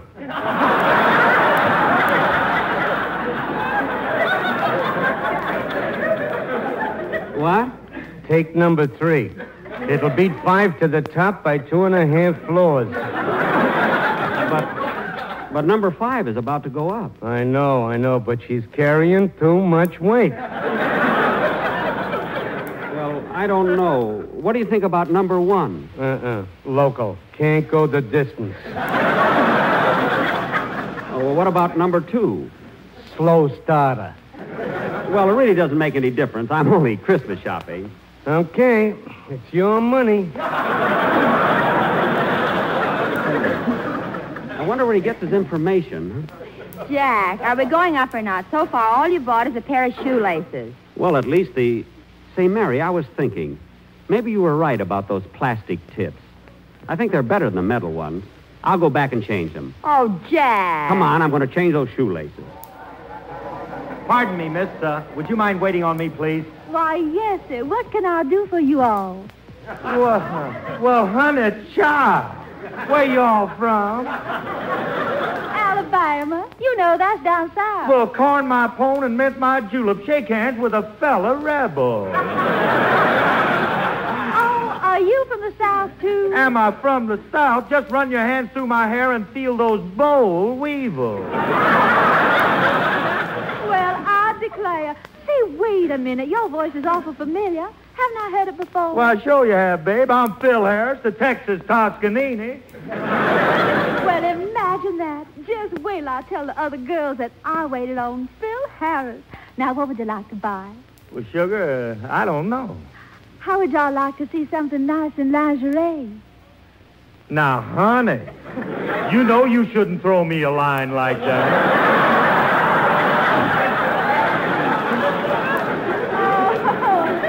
Oh, gee, You're so cute. Yeah, everybody notices it.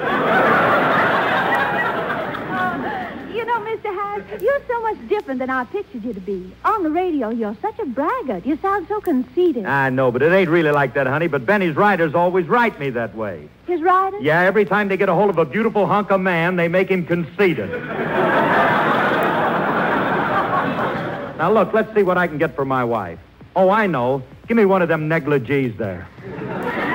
Yes. Shall I wrap it as a gift? Yeah, and fix the package so she can't peek into it. You know, seal it over with some of that there scotch and soda tape. I'll have it wrapped up for you in just a minute. But look, mister, plastic tips or metal tips, what difference does it make? Well, it's a gift, and I want it to be right. But those other shoelaces are more expensive. I don't care. I'll take them anyway. When he buys shoelaces, money is no object. That's right. Give me the expensive one. All right, all right. You're not hurting me. I work on commission. Just wrap them, and I'll pick them up later. Come on, Mary. Uh, Jack, I want to stop a minute at the lingerie counter.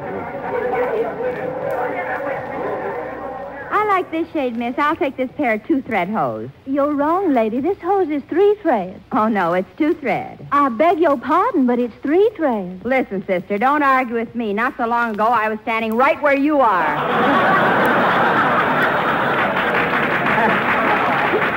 That's telling her, Mary. Mary, uh, Mary, while you're buying the stockings, I'll go over to the toy department and get something for Dennis. All right, Jack, I'll see you later. Well, there you are, Mr. Wilson. How does that shoe feel? Oh, it fits perfectly. I'll take that pair. That's fine. And would you like some extra shoelaces? No, I always get a pair for Christmas. Well, that must keep you excited. Yes, I never know whether I'm going to get plastic tips or metal tips. Oh, well, I'll have these shoes wrapped for you in just a minute, Mr. Wilson. Fine. Oh, hello, Don. Well, how are you, Jack? Doing your Christmas shopping? Yeah, I was just going over to the toy department. I just came from there, and I bought you the most novel thing you've ever seen in your life. For me? Yes. In fact, I'm not even going to wait till Christmas. I'm going to show it to you right now. Well, what is it? Look. But, Don, that's nothing but a set of toy wooden soldiers. That's not for me. Just watch what happens when I wind them up. But, Don. Yeah. Never mind, Don. I don't want it, but it was a nice thought anyway. See you later.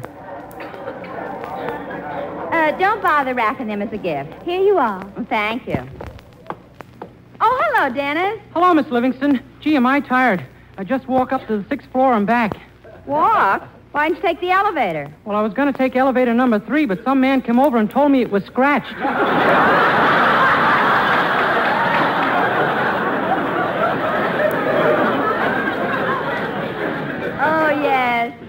Yes. He's a friend friend of Jack's. What are you doing here in the music department? Oh, I was just going to buy some records. Here's a swell one, Mary. You want to hear it? Yes, put it on. Okay.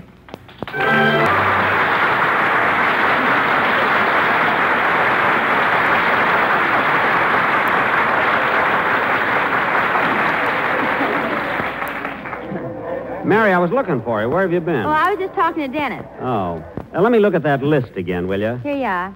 Gee, I still have to get a present for my old girl, Gladys Zybisco. I don't know what to get her.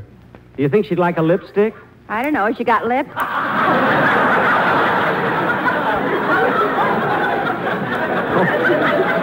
don't, don't be so catty. I, I think, uh, I think I'll buy her a bottle of, uh, I think I'll buy her a bottle of perfume. Let's see what else. Oh, yes, I'll have to send something to Fred Allen. Fred Allen. I didn't know you and Fred exchanged gifts. Oh, sure. This year I'd like to get him something he needs. I wonder what department sells plasma. oh, well, come on. I'll get the perfume first. I think it's right over there. Oh, by look, oh, look, there's Jack Benny. Hello!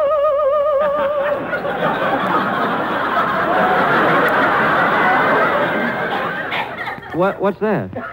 May I have your autograph, Mr. Benny? My autograph? Yes, it will make me so very happy. Yes, indeed, so very happy. well, I'll, uh, I'll, I'll be glad to. There you are. Oh, thank you very much, Mr. Benny. Thank you. Goodbye.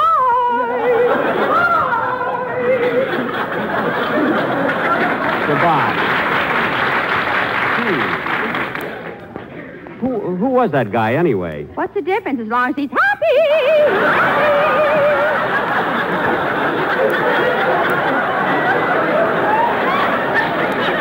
Yeah. Well, here's the perfume counter. What? Here's the perfume counter. Oh, yes, yes. Uh, uh, pardon me, sir. Uh, I'd like to buy some perfume. Okay, mister. What kind of perfume would you like?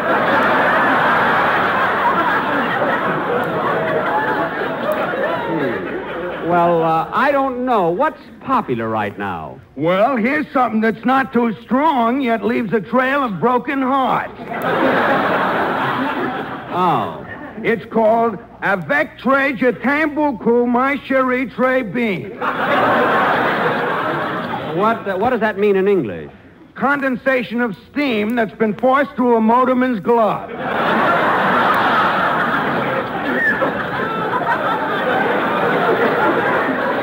Gee, they go to so much trouble. No, no, I don't think I'd like that. Well, here's some other perfume called Essence of Smog. Well, I don't know. Mary, do you think I ought to take a bottle of this? Duh, certainly. Uh, how much is it, mister? This is 25 bucks an ounce, and the other one I showed you is 30 bucks. Well, haven't you anything a little more reasonable? Yeah? I even have some perfume for 25 cents an ounce. 25 cents an ounce. Uh, What kind of a bottle does that come in? It don't come in no bottle. We keep it on tap.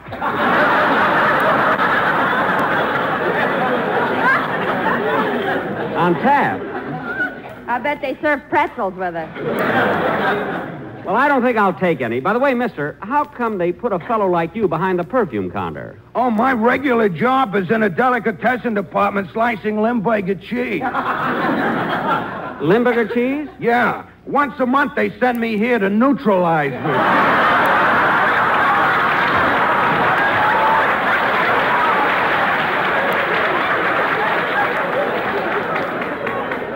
Well, what do you know? Uh, come on, Mary. Uh, I'll get the perfume later. Let's go home, huh? I'm, uh, I'm tired. Well, don't forget to stop at the notions counter to pick up the shoelaces you bought, the ones with the plastic tips. The shoelaces? Mm-hmm. I bet. Hey, wait a minute. Did I get the plastic tips? Sure, you went back and changed them. Oh, yeah. You know, Mary, now that I think about it. Jack! Yes, Mary, I might as well get what I want, and I'd rather have the metal tips. Come on.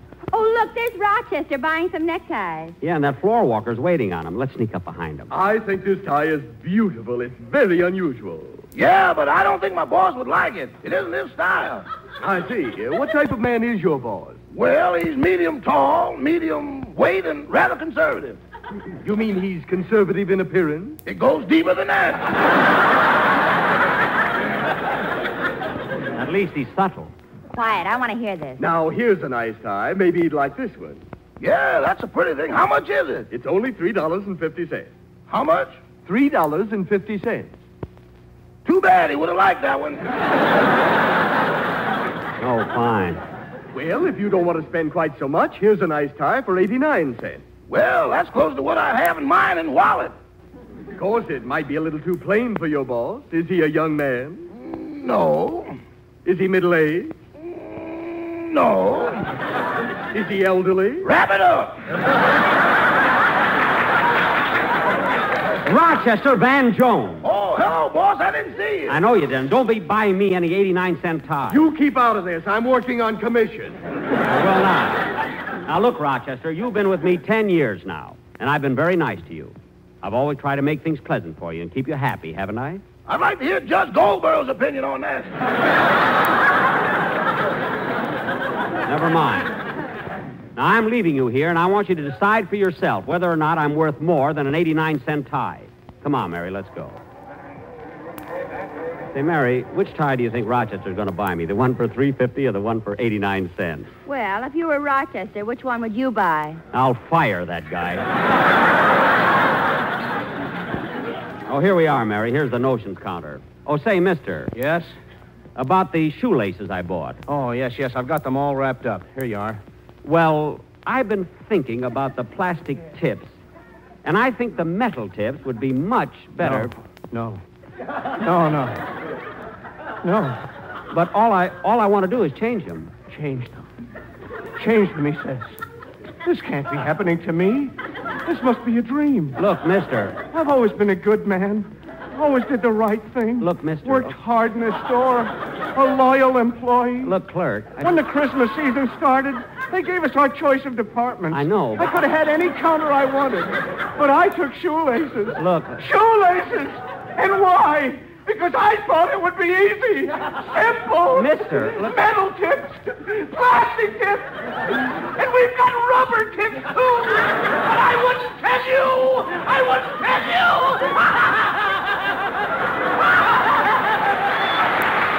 I wouldn't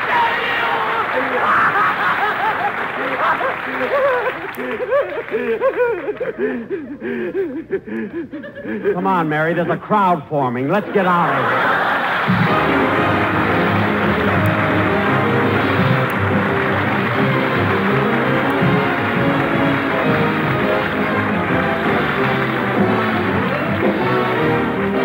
Good night, folks. The Jack Benny Program.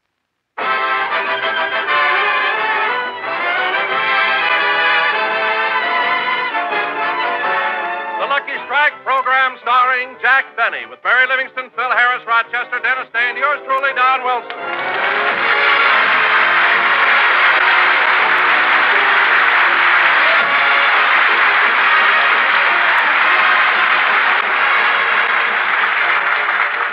And now, ladies and gentlemen, once again we take you to Jack Benny's home in Beverly Hills, where we find Jack and Rochester in the library.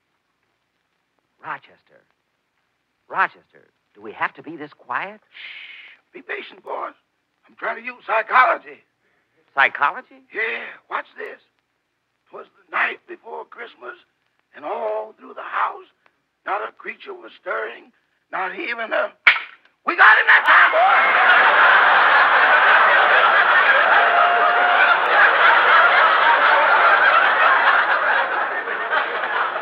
Good. Good. Now, now take the mouse out of the trap. Yes, sir.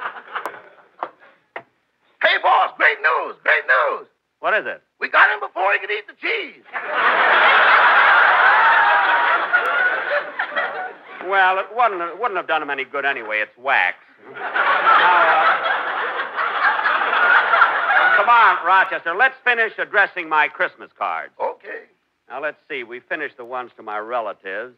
Now, let's address the cards to the movie stars I know, huh? Yes, sir. I got the list right here. Rodney Dangerfield. MGM Studios. Rodney Dangerfield. Cyril Forsyth, Universal International Studios. Cyril Forsyth. Marcella Underwood, Warner Brothers Studios. Marcella Underwood. Anthony Fisk, Paramount Studios. Anthony Fisk. Yeah. Well, that takes care of the pickers. Let's get to the stars. These are stars, every one of them. Now, let's see. Oh, yes, Ilka Thistledown, MGM Studios. Ilka Thistledown. Gee, how she ever missed getting the Academy Award last year, I'll never know. She was wonderful in Andy Hardy Blows His Nose. Uh, Bertram Holmquist, 20th Century Fox Studio. Bertram Holmquist. Gary Cooper, Paramount Studio. Gary Cooper. Who's he? Big, tall fella. He's a pretty big star. Of course, he's not a Rodney Dangerfield, but he's coming along. Now, let's see. Who else? Oh, yes. Uh, Geraldine. Just a minute, boss. I think I hear another mouse. What? Quiet. Twas the night before Christmas, and all through the house, not a creature was stirring, not even a. We got him, too! Good, good. Is he a big one? Uh oh. What's the matter? There's nothing in the trap but a note. A note? Yeah, it says, you can recite Gunga Din, you ain't gonna catch me.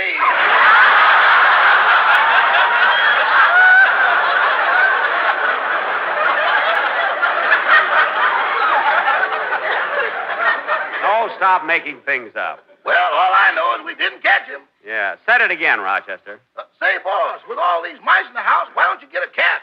Mousetraps don't drink milk. That's why. Well, we're through with the Christmas cards, and I think I got the presents all set. Oh, I meant to do this before. I got to get Don Wilson's house on the phone. Da da bum bum ba dee da dum. Da da dee dum da dum ba bum. I got the sun in the morning and the smog at night. bum bum beam bum ba doo doo doo. Da dee dum boo bum. Hello? Oh, hello, Mrs. Wilson. This is Jack Benny. I was just singing to myself. Yeah, yeah yes. I, uh, yeah, I know Don is at the studio. That's why I picked this time to call. Now, Mrs. Wilson, I'm giving Don a beautiful pair of shoelaces for Christmas. yes, yes, with metal tips. Oh, no. Of all the things he should have. Are you sure, are you sure he already has metal tips? Oh, gosh, well, I'll just have to exchange him again. well, anyway, Mrs. Wilson, don't tell Don what I'm giving him. What? You wouldn't dare? Thank you. The same to you. Goodbye. Wouldn't you know it, Rochester? All the trouble I went through at that department store last week. I could have taken plastic tips, but no. I had to take metal ones. Uh, by the way, boss, this is Saturday. You're not forgetting your rehearsal, are you? Oh, no, no. Miss Livingstone's sister, Babe, is going to pick me up and drive me to the studio. Miss Livingstone's sister? Yes, Mary has a cold, and Babe came out from Plainfield to spend the holidays with her. Now, Rochester, bring me that package with the shoelaces. I'm going to stop by the store and exchange them. Yes, sir. And say, boss, Yeah? if you see a mousetrap that recites the night before Christmas, buy it. I'm getting hoarse. I'll look around.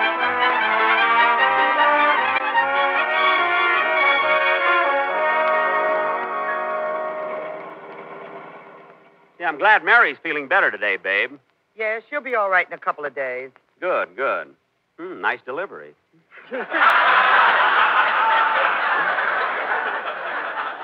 No, you can talk loud. We're riding in a car. You know?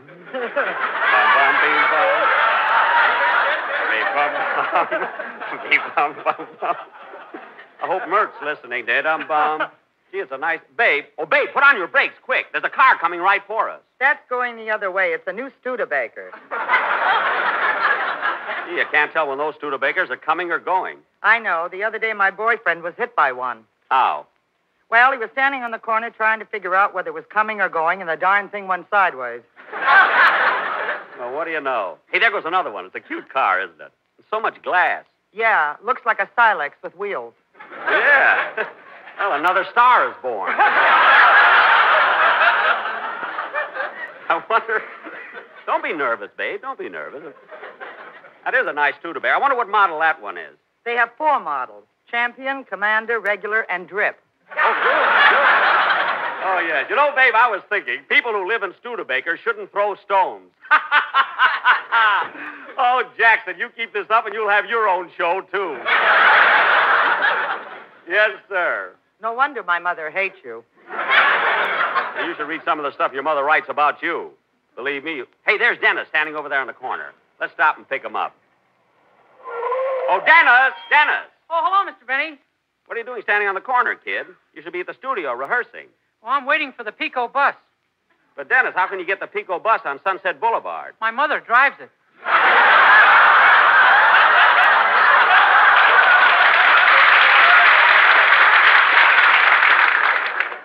Oh, And it doesn't cost me anything to ride either. it doesn't? No, Mother pulls the bus up to the curb and shouts, No charge for babies in arms! Then she gets out and carries me in. Dennis, stop that nonsense and get in the car. Okay. Uh, Dennis, this is Mary's sister, Miss Livingstone. Hello, Miss Livingstone. You can call me babe. You can call me Toots. Dennis. Dennis, that's her name, Babe. Oh. Let's go, Babe. Come on. Say, Babe, after we stop at the studio, I want to go down to the department store and exchange the gift I bought for Don Wilson. The shoelaces? Yeah, how'd you know? Uh, Mary told me all the trouble she went through with you last week. Yeah, well, I can't help it. I got to get back and get those shoelaces with plastic tips. I want Don to be happy. Plastic tips, metal tips. With his stomach, he'll never see them anyway. Hey, that's pretty good. Pretty good. That's right.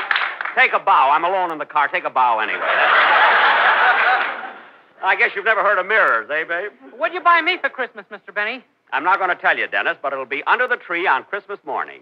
Gee, another pine cone. Oh, no, it isn't. Say, babe. Every year I get a pine cone. Say, babe. The first year I didn't know it was a pine cone. What? I thought it was an artichoke and I ate it. Oh, Dennis, stop. Imagine eating a pine cone. Say, babe. The doctor pumped out my stomach and built a fire. A fire. Yeah, I was empty on the inside and burning on the outside. Oh, quiet. Now, babe, when we get to the studio, we'll only stay a little while so I can go to the store. Phil is probably rehearsing Dennis's number. Oh, I rehearsed my song all morning. Would you like to hear it? Well, if you got to open your mouth, I'd rather have you sing. Go ahead. But we're riding in a car. I know. Babe, put the top down. Some people may want to show their appreciation. you know?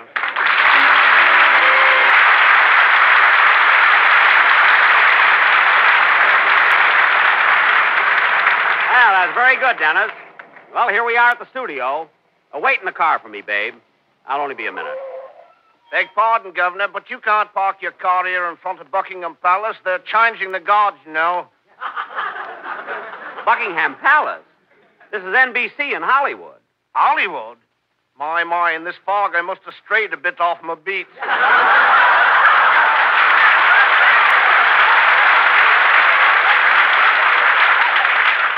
You certainly must have.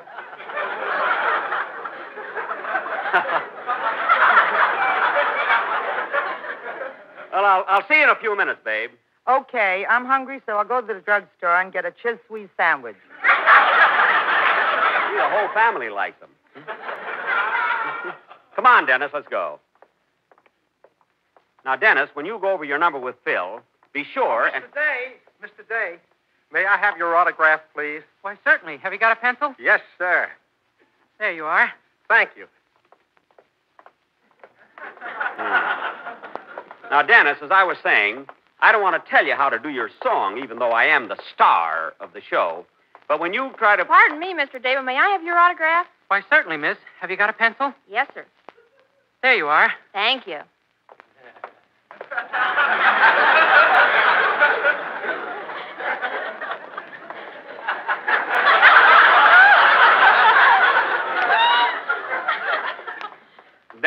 Huh? I'm afraid you'll have to give up your own show. now, as I was saying. But, Mr. Benny, people like me. Two of them just asked. I know what they did. You've only had your show now 13 weeks. You're going around signing autographs. You don't have to be so hammy, you know. But they asked You didn't me. have to encourage them. You know, kid, when you've been in radio as long as I have, you take those things in your stride. You don't make such a big thing out of it. Mr. Benny. Why, certainly. Have you got a pencil?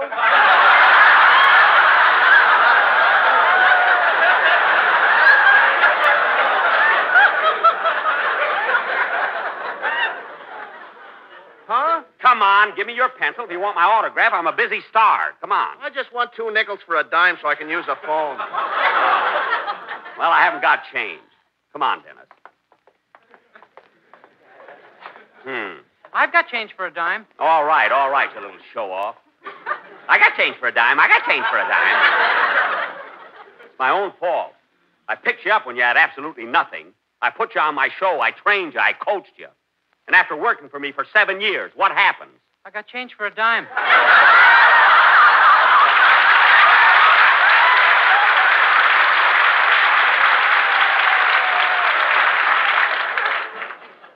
All right. I'll go to the studio to see how Phil is doing. I'll see you later, kid. All right, now look, fellas, we've been rehearsing this thing for two hours. Now let's see if we can get it right this time. Will you? Come on. One, two. Hold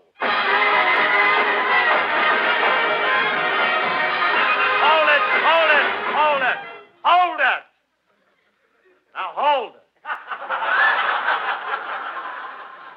No, no, fellas, that's not it either. I can't hear no brass. Oh, oh, Phil. Just a minute, Buster. Now look. We're going to try this thing once more, fellas. I want you to give it to me now. Take it from me. One, two. No, no, no, no, no. What's the matter with you guys anyway? You're not giving me nothing. Phil, Phil, what are you rehearsing? White Christmas.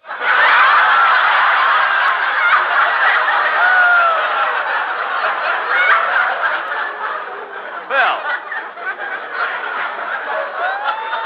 Phil, are you crazy? White Christmas is a beautiful song. It should be played softly with feeling. Can't your band play pianissimo? They're having enough trouble with White Christmas. Phil, pianissimo is not a song. It's a musical term meaning softly. Look, Jackson, why don't you just take care of the jokes and leave the music to me? I won't leave the music to you. This is my program. I want the music to be good. What are you talking about? I'm rehearsing this for my own show. Your own show? Certainly. Why else would Alice be back there playing the trombone? Oh, now cut that out. You got a lot of nerve rehearsing the music for your show on my time. 18 men at $6 a man. That's $108. You expect me to pay for that? Why not? You've been doing it all season. How do you like that? I got a good mind to take those boys and throw them right off the program. In fact, I think I will right after the first of the year. You're only bluffing. I am not. Then why wait till after the first of the year? Why don't you fire 'em right now? Because their green complexions and their bloodshot eyes make a nice color scheme for Christmas.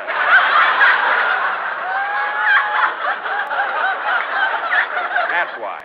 I haven't got time to argue with you. I got to go down to the department.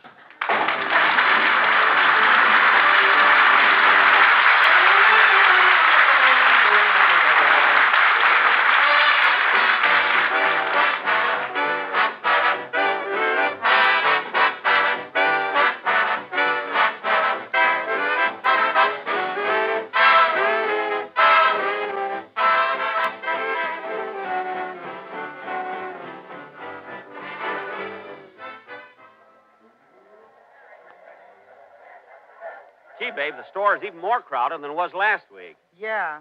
Did you have to come back here just to exchange those shoelaces? I think it's ridiculous. Well, babe, I might as well get what I want. After all, I'm not. Jack, Jack, Huh? watch out for that fellow in back of you. Why, what? He looks like a pickpocket. Oh, yeah. Don't worry, babe. Watch this. 'Twas the night before Christmas, and all through the house, not a creature was stirring, not even. Uh... Out! I got him, babe. I got him.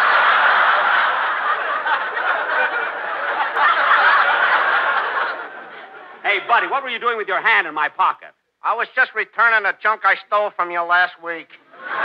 Junk? When I turned that stuff in, I was almost thrown out of the Pickpockets Guild. I ought to have you thrown in jail. Come on, Mary. Come on, babe. Let's exchange these shoelaces and get out of here. Okay. Well, Babe Livingstone of all people. Well, Sarah Sauerbraten. Sarah Sauerbraten? What are you doing in town, babe? Oh, I just came out here to get a little California sunshine. Oh, you'll be out here a long time. you know, babe, I always thought you'd marry Steve Ferguson, the fellow who works at the gas station. Oh, we broke up, Sarah. I haven't seen Steve in years. Well, you should have hung on to him. He's got his own gas station now with three grease pins. He had those grease pits when I went with him. That's why we broke up. Really? Yes. Every time I sat on his lap, I slipped through. Come on, babe, let's go. Say, uh, who's this gentleman with the mousetrap? Anything serious? Babe, come on, will you? I got a lot of shopping to do. Well, so long, babe. I've got to get back to the music counter. I demonstrate songs here. Okay, goodbye, Sarah. Goodbye. I'll tell Steve I've seen you. Let's go, babe. I want to. Meg, I, come on, babe. I want to change these shoelaces. Well, well, if it isn't Jack Benny or Mr. Benny, hello! Who's that, Lily Pons? I don't know. Oh, Mr. Benny, may I have your autograph, please? I gave you my autograph last week. Yes, I know, but on my way home I lost it. I'm so careless. Yes, indeed, so very careless! There you are. Thank you, Mr. Benny. Thank you very much. You're welcome. Goodbye. Goodbye. What a character. oh, babe, there's the notions department right beside the music counter there. Come on. Oh, look, babe, your girlfriend is going to sing. Give me five minutes more, only five minutes more. Let me stay, let me stay in your arms. It's a thrilling, and I'm so weak and willing. Here am I. Only five minutes more, only five minutes more of your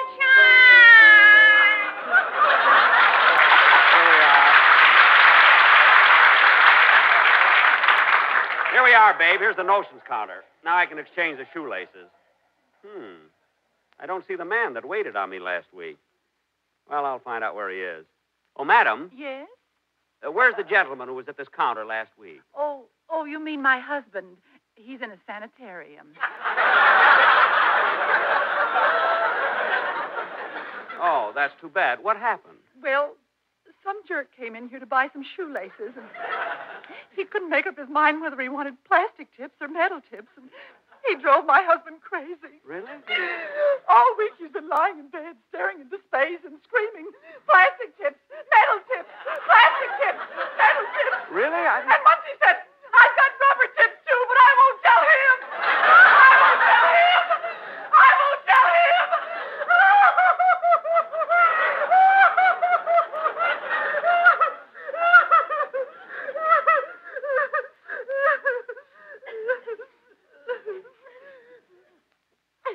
I'm so sorry. I, I do hope you'll forgive me. Uh, that's all right. Now, now, what can I do for you?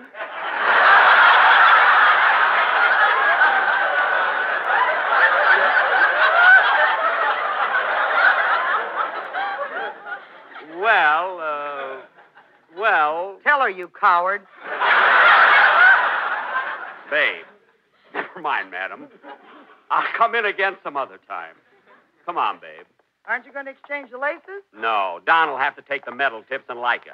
He's not going to drive people crazy with those lousy shoelaces. Come on, let's go home.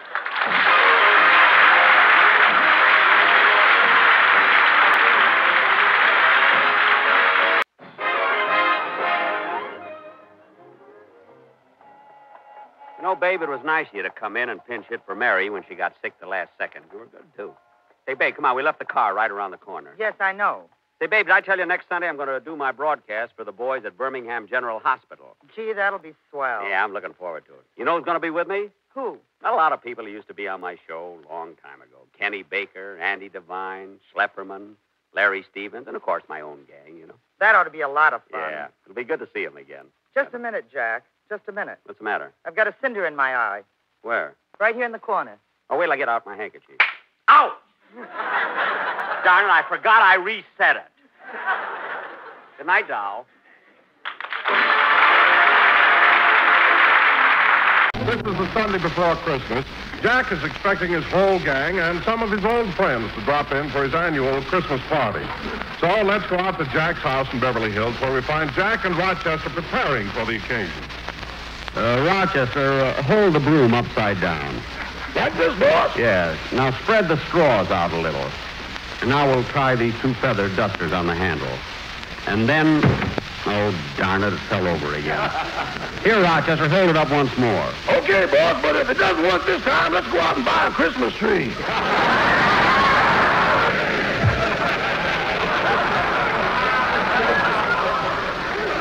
Uh, maybe you're right. Uh, what are they selling for now? A dollar a foot. Uh, a dollar a foot, huh? Shall I hold the broom up again, boss?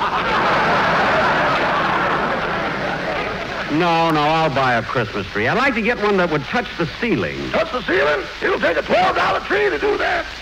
Well, not if we put the tree on a box. That'll save you $2. Oh, then we'll put the box on a chair. Uh, that'll save you $4. Then we can put the chair on the table. That's $6. Then we'll put the table on the piano. That'll save me $10. what are you laughing at? If we can get the piano on the mantelpiece, we can touch the ceiling without a tree. Say, we could have. You know, Rochester, you've got. No, no, we ought to sandwich a tree in there someplace. I, I wonder if. Oh, somebody's at the door. I'll get it. No, no, Rochester, I'll get it. You pick up the broom and make believe you're sweeping. I think that I shall never see a broom as lovely as a tree. Da da da da da dee. Hello, Jack. Merry Christmas. Well, Mary, same to you.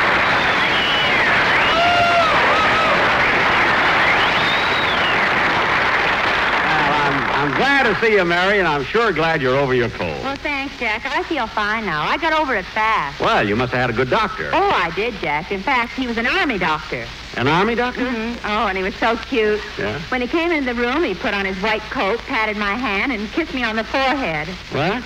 And then he said, Oh, pardon me. I thought I was at the Birmingham hospital. Mary. Mary, you mean at Birmingham Hospital the doctor kisses the patients on the forehead? They have to do something. Now the war is over, they're dispensing with polluting. Oh, I see. Well, Eddie was dispensing, yeah. know, I Sound like a comedian there, huh? Ah, Well, anyway, Mary, you've got over your cold, and that's all that matters. Yeah, but Jack, you should seen the pills he made me take. Green ones, red ones, orange ones, yellow ones, pink ones, blue ones. What were they for? He said as long as he had to take an x-ray, he might as well see how I looked in Technicolor. Hmm, a fine x-ray. I'd like to see it. You can. It's opening at the Chinese Theater next Tuesday. Oh, stop. Stop being silly and come on in. Oh, wait a minute, Jack. I have something on the porch for you. For me? Gee, it's awfully nice of you to... Mary, why'd you bring me a Christmas tree? Because my vacuum cleaner is broken and I want my broom back. Oh. Oh, well, come on, Mary. I'll help you carry it in. Oh, Rochester! Rochester, look who's here. Well, well, Miss Livingstone, glad to see you up and around again. And Merry Christmas. Well, thank you, and the same to you, Rochester. Say, Mary, this is a beautiful tree. It's a silver tip. As long as it isn't a plastic tip or a metal tip, I'm happy. Yeah. Rochester, what are you doing? I'm nailing the tree to the floor. Good, good. Then it won't fall over. Here, Mary, you start with this box of ornaments and decorate the lower branches. Oh, wait a minute, Jack. These ornaments are pretty, but the red ones are too small. Why'd you buy them? We didn't buy them. Mr. Benny took a dozen more balls and dipped them into ketchup.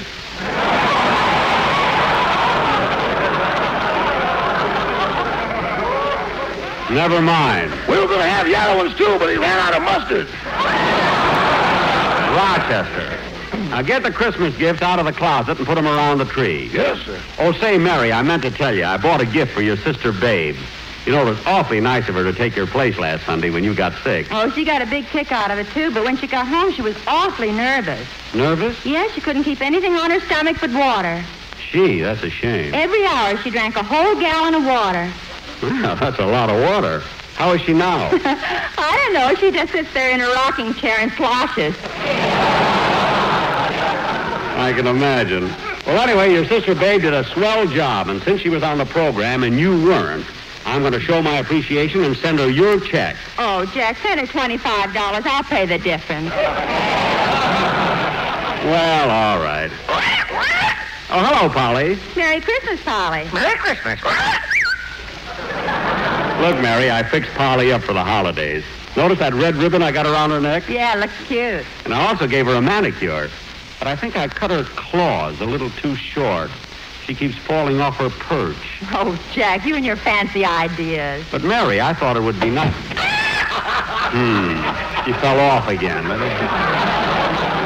Well, I'm all finished decorating the tree, boss, except putting the star on the top. I'll do that, Rochester. You go in the kitchen and make the eggnog. Yes, sir.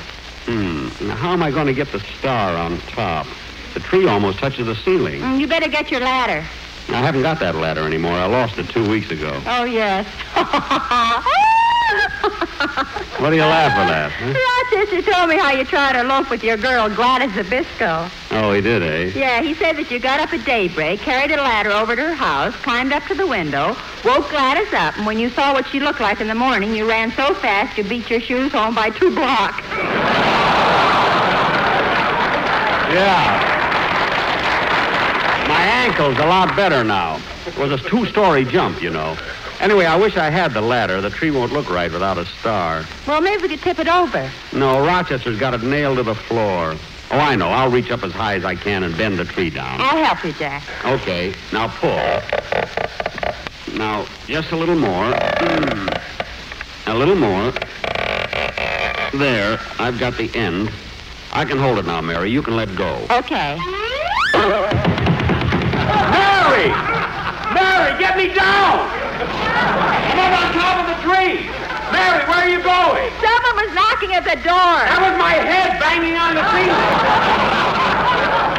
Oh. Mary, I can't stay up here. Think of something. What'll I do? Put your toupee on your chest and you'll look like Tarzan. Now, don't be funny. Get me down from here. Okay, wait a minute. I'll bend the tree again. A little more. I'm getting it, Jack. Now, just a little. Oh, darn it, there's the door, bud. I'll get it. Mary! Oh, my head! I'll be right back. Hello, Merry Christmas, everybody. Merry Christmas. Merry Christmas. Merry Christmas.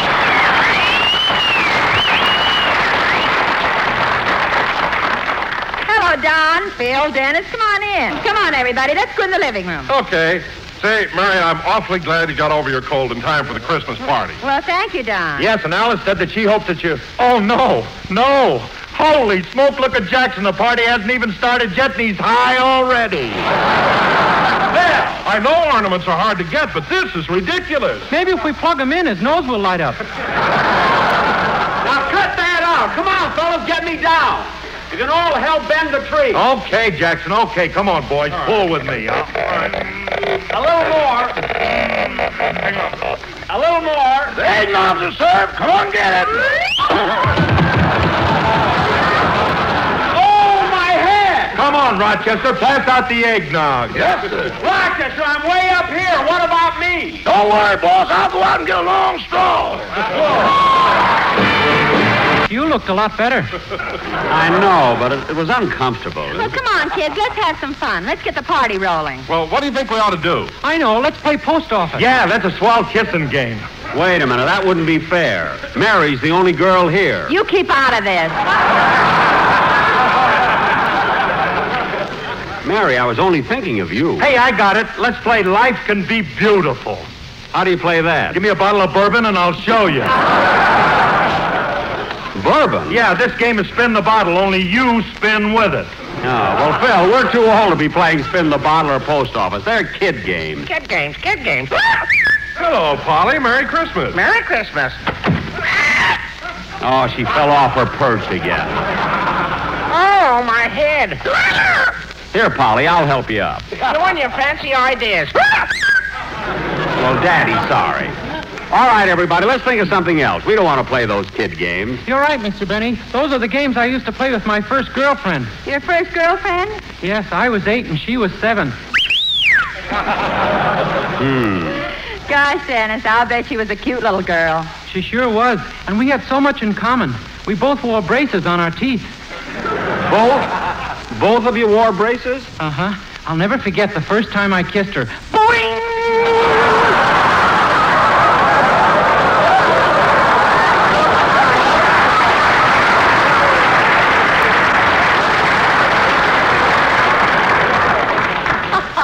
A plumber three hours to separate us. All right, Dennis, that's enough reminiscing. Anyway, uh, why don't we hold off the games until everybody gets here? You know, I've invited some of my old gang who used to be with me on the program. Larry Stevens, Kenny Baker, Schlepperman. Gee, it'll be good to see them all again. Yeah. Meanwhile, let's do something that we'll all enjoy. Say, boss, why don't you play the violin? Say, that's a good idea. I think I will. Oh, no, Jackson, no. No. No, Jackson, no. Make me a male nurse here at Birmingham, but not that. Phil, please. It's all your fault, Roch. What did you ask him to play the violin for anyway? Well- You never hear me ask him to play, do you? When I get two shows, I won't ask him either. Now, now, quiet, everybody, quiet. I'm going to play. Quiet.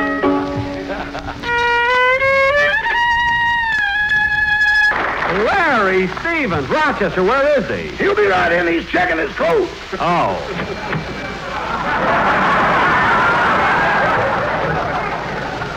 Well, Larry, how are you? How do you feel? 25 cents lighter. Good, good. Say, say, Larry, what's that you got under your arm? A Christmas present for you, Mr. Benny. A present? For me?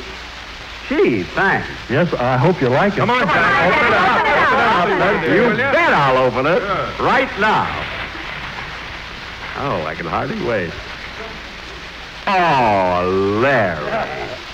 Isn't that wonderful? And it's gold.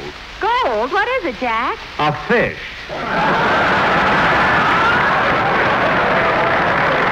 Gee, this is, this is swell. I always did hate to be alone in the bathtub, you know? Thanks very much, Larry. You would like it. Larry, how could you give Mr. Benny a fish for a Christmas present? Well, he didn't give me such a nice present last year. He promised me a wristwatch, and he only gave me a sweater. What? You said you were going to give me a Bulova. I said pull over, pull over. That's a sweater. Oh. Oh. Well, anyway, it feels good to see the whole gang once more. And you too, Polly. Aren't you going to say hello, Polly? Come on, Polly, say something. She heard Dennis say that before. Come on, Polly, say hello to Larry. Hello, Red. Gee, I always thought she was colorblind. Gee, she's clever. She picks up things so quickly. hey, if you think that's clever, listen to this. Come on, Polly. Recite the poem I taught you. Everybody be quiet. Shh. Come on, Polly. Recite the poem. Come on. was the night before Christmas, and all through the house, not a creature was stirring. Not even uh, a. I got him out! What do you mean a mouse? She got two mice. Two mice? How come? Ha ha ha. I baited the trap with mistletoe.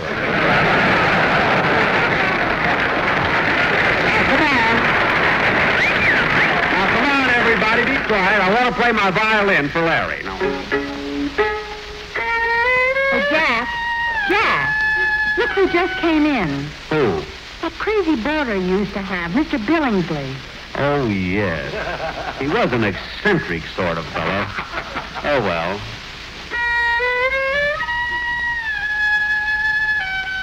Hello, Mr. Benny. Still playing the piano, I see. Hello, Mr. Billingsley.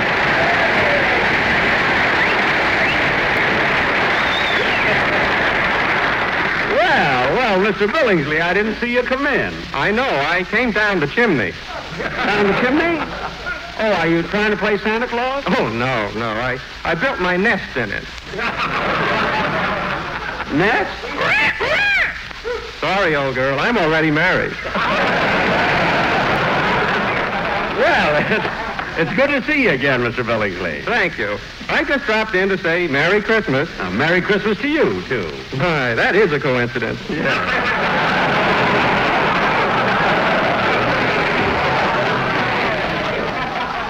well, I'll be running along now. Oh, uh, Rochester, will you bring me my hat, please? Yes, sir. Which hat is yours? The uh, one with the head in it.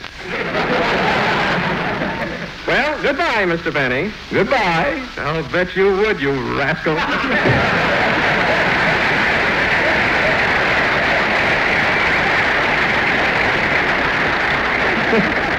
What happened to as long as it's spelled backwards? It's good. Gee, he's such a strange fellow, then. Ladies and gentlemen, Mr. Kenny Baker. Kenny! Hello,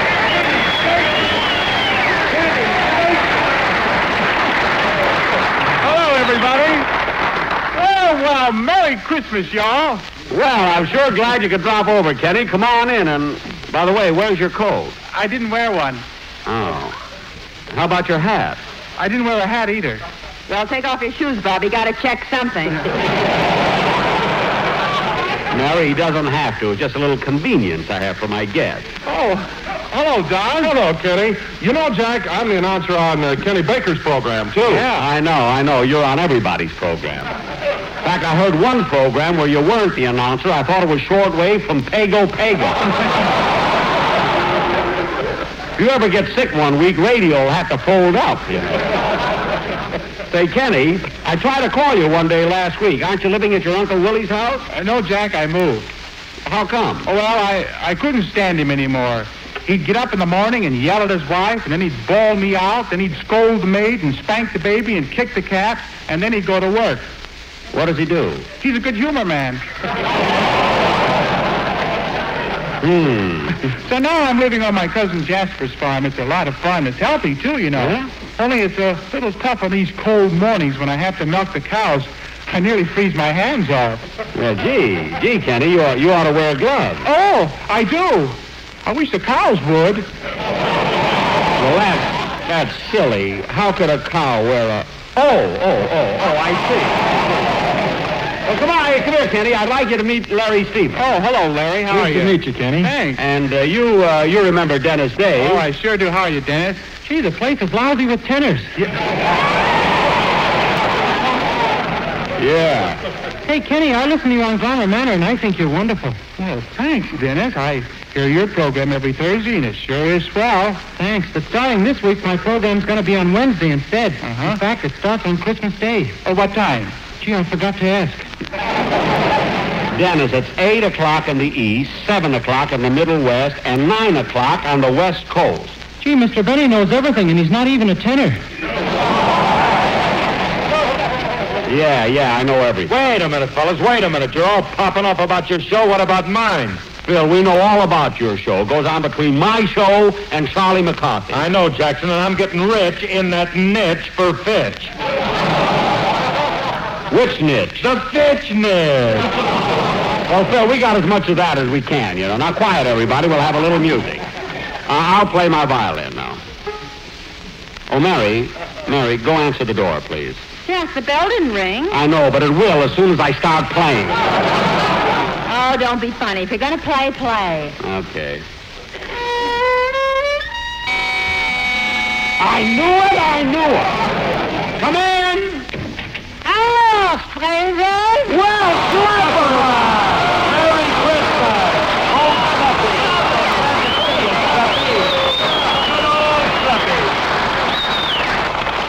Well, Schlep, it's, it's sure good to see you. the feeling is likewise. Well, tell me, Schlep, how do you feel? What are you doing now? well, I'm in the radio on Kenny Bagel's program. Uh-huh. And I'm also connected with the Gesundheit Insurance Company. The Gesundheit Insurance Company? Yeah, if you get a cold, we pay through the nose. Oh. On Jimmy Durante, we lose money. Well, Schlep, I've been thinking of taking out some more insurance myself. Maybe you and I can do business. Yeah, it's possible. How old are you? 37. How old? 37. That's what I like about you, Jackie. What? You look like C. Aubrey Smith and you talk like Errol Flynn. the same old Schlep. Well, sit down. Make yourself comfortable. We'll have some fun. Excuse me a minute, Jack. I want to call home on the telephone. You know, my wife is expecting. Well, congratulations. What for? She's expecting me for dinner. Oh, oh, I see. Yeah. There's a buzzer again. Who can that be? Hello, everybody. Merry Christmas. Hey, that must be Santa Claus. No, it's my sister, Babe. Oh, yes. Hello, babe. Hello, babe. Merry Christmas.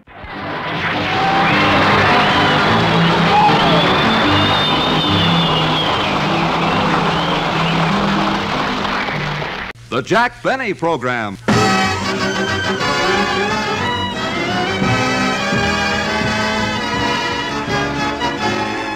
The Lucky Strike program starring Jack Benny with Mary Livingstone, Phil Harris, Rochester, Dennis Day, and yours truly, Don Wilson.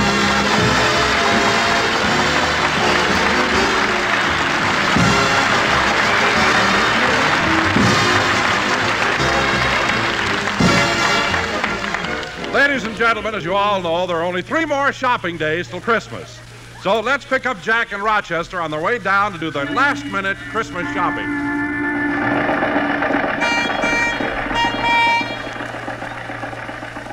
Rochester, how far is it from my house to downtown? Uh, about seven miles, boss. Oh, fine. We ought to be there about noon. Yeah, it's a good thing we started last night. Yeah. Gee, there sure is a lot of traffic this time of year, and I have so much to do. I better check over this list.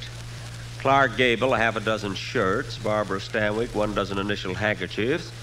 Gary Cooper, two pair of silk pajamas. Claudette Colbert, a lace negligee. Rochester, I hope we can deliver these things by tomorrow. Yeah, you promised them they'd have their laundry back before Christmas.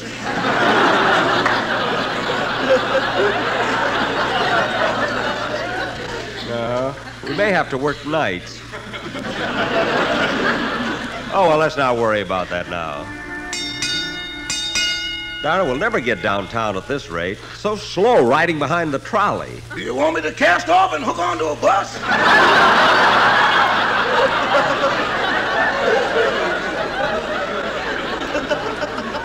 No, I can't stand those fumes. You know, Rochester, Christmas is a lot different now than it was years ago. I remember one Christmas Eve when I was a kid.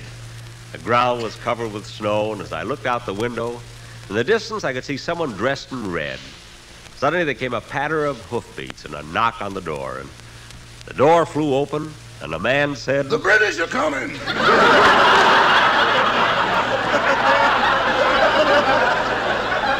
He did not. He said Merry Christmas.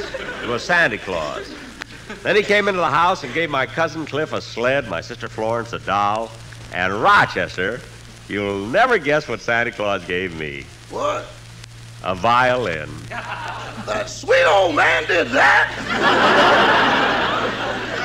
Rochester, don't be so. Oh, there's the store. We better start looking for a place to park. Here's a place. Slow down while I see what it says on the sign. This parking lot reserved for the patrons of the Paddock Swimming Pool Company. One hour free parking with each $6,000 purchase. Gee, it's a shame we've already have a swimming pool. Oh, look, here's another free parking lot. Let me see. This lot reserved for the patrons of Dr. Whiteside, the friendly dentist. One hour free parking with each tooth pulled.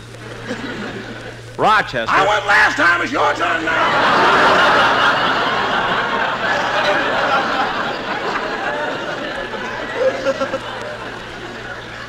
Well, never mind. Let me out and you find a place to park the car. I got to meet Miss Livingstone. Okay. Gee, there's certainly a lot of people downtown today. Jack, oh, Jack. Oh, hello, Mary. Jack, I've been waiting for 15 minutes. Oh, I'm sorry. We got held up in traffic. Let's go in the store. Mary, you have my Christmas list, haven't you? Yes, here it is.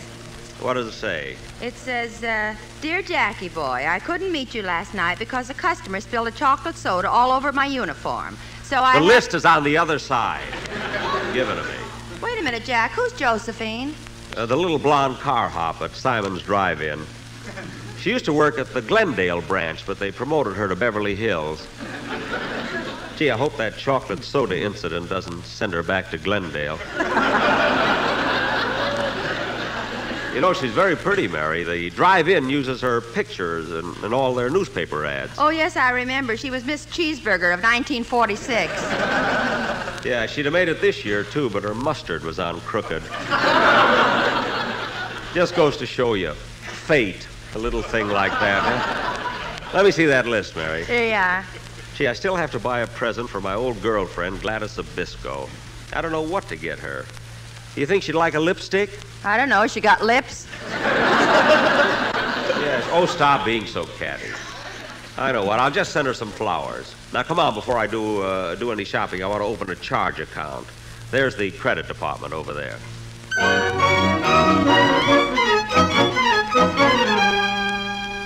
Now, uh, Mr. Benny, I think we have all the personal information we need. Now, would you tell us something about your financial qualifications? What are your assets? Well, I own my own home, my own car. I have three paid up insurance policies. I have a radio program, and I own some stocks and bonds. I see. Now, what are your liabilities? My liabilities? The horn blows at midnight.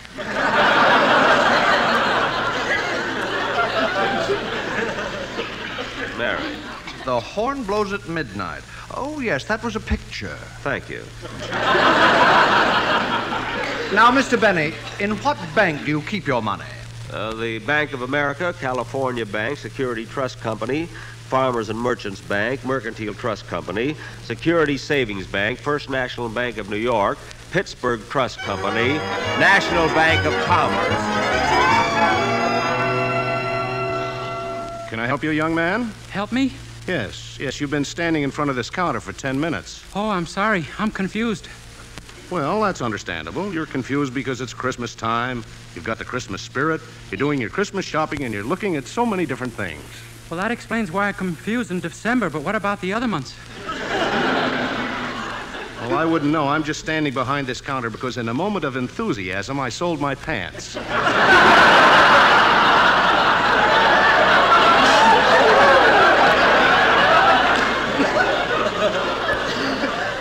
Oh, well, I'd like to get something for my parents. Oh, your mother and father, eh? Yeah, how did you know? Oh, I just figured it out. Gee whiz, I don't know what to get for my mother. You know, young man, looking at you, I can just picture your mother. You can? Yes, small, petite, gentle, a kindly smile for everyone, and spends most of the time sitting in a rocking chair knitting. That's my father. Now try and guess my mother. oh, boy, she sure makes him toe the mark. You mean your father's afraid of your mother? Oh, everybody's afraid of my mother. When I was born, the stork left me a block away from the house. What? It's a good thing I knew the address.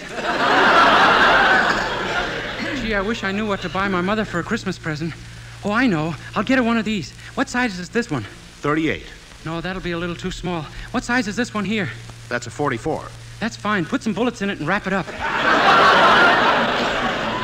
Yes, sir. Send it to Mrs. Patricia Day and put a card in it saying, with all my love, Dennis. Yes, sir, I'll do that immediately.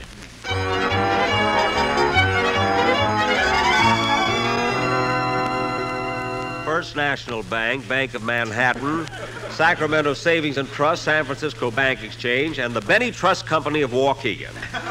Well, well, you certainly keep your money in a lot of different places. Yes. He's also got a St. Bernard with a coin slot in the brandy barrel. That's in case I get lost, is it? Well, Mr. Benny, as far as your credit is concerned, that's all the information we need. Thank you. Now, come on, Mary. Let's get my shopping started. Let me see that list again. There's Don, Rochester. I know what to get Dennis. He told me what he wants. And it's such a silly thing What does he want? a bulletproof vest. Say, Mary, what would be a good thing for a nine year old boy? I want to get something for little Stevie Kent. Stevie Kent. Isn't he the little boy who tackled you in the football game and sprained your ankle? Uh huh. And you're buying him a present? Mary, it was an accident. He didn't mean to do it. Then why are you suing him? I'm not suing. I dropped the case after he paid the doctor bill. Now, come on, let's try to. Mr. Jack Benny, please report to the credit department. Oh, darn it, what do they want now? Uh, pardon me, miss. Would you mind waiting on me, please? Why, yes, sir. What can I do for you all? Well, honey, child. you the same little gal waiting on me last year. You from Alabama, ain't you? I sure I am. Are you all from the South? Am I all from the South? Honey, when I was born, the doctor held me up on my feet and slapped me with a candied yam. Well, corn my povil and mint my julep if it ain't little old Phil Harris. That's me, baby. They purchased Louisiana because I was in it. I don't doubt it for a minute. Now, what would you like to buy? Well, uh, I don't know. How would y'all like to see something nice in lingerie?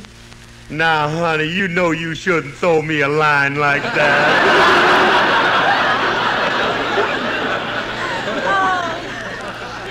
oh. Gee, Mr. Harris, you're so cute. Yeah, everybody notices it. You know, Mr. Harris, you're so much different than I pictured you to be. On the radio, you're such a braggart. You sound so conceited. That ain't nothing. Wait till I go on television. Are you all going to go on television? Honey, when a man is as good looking as I am, television ain't a luxury, it's a necessity. now, let me see. Uh... me see. I'm wondering, honey, what I can get for my wife. Um, oh, I'll tell you what. Hey, give me one of them negligees there. Why, yes, sir. Shall I wrap it as a gift? Yeah, and fix the package up so she can't peek into it. Seal it over with some of that scotch and soda tape. I'll have it wrapped up for you in two shakes of a possum's tail. Wait right here, Mr. Harris.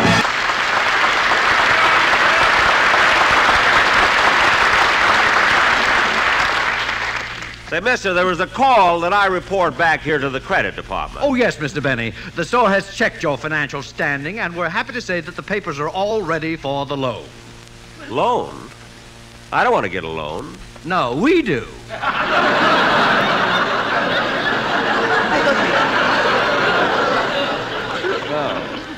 Well, how much would Jack, come on. You came here to do your Christmas shopping. Oh, yes, yes. You better call me at home, mister. Uh, come on, Mary. I might as well buy the flowers for Gladys Zybisco first. Okay. Hiya, Jack. Huh? Oh, hello. Long time no see. That's right. Come on, Mary. Jack, who was that? Oh, he's that racetrack tout who used to hang around Santa Anita. What a guy. Come on, let's get away from him. Huh? Oh, wait a minute, Jack. I want to stop the lingerie counter. I like this shade, miss. I'll take this pair of two thread hose. You're wrong, lady. This hose is three thread. Oh, no, it's two thread. I beg your pardon, but it's three thread. Listen, sister, don't argue with me. Not so long ago, I was standing right where you are. Let's tell her, Mary. I don't know why I'm so fresh. She's making more money than I am. Only during the holiday season. Anyway, Mary, you don't have to buy stockings. I was going to give you a pair for Christmas. I'll buy my own. I wore the stockings you gave me last year, and everybody thought I was a nurse.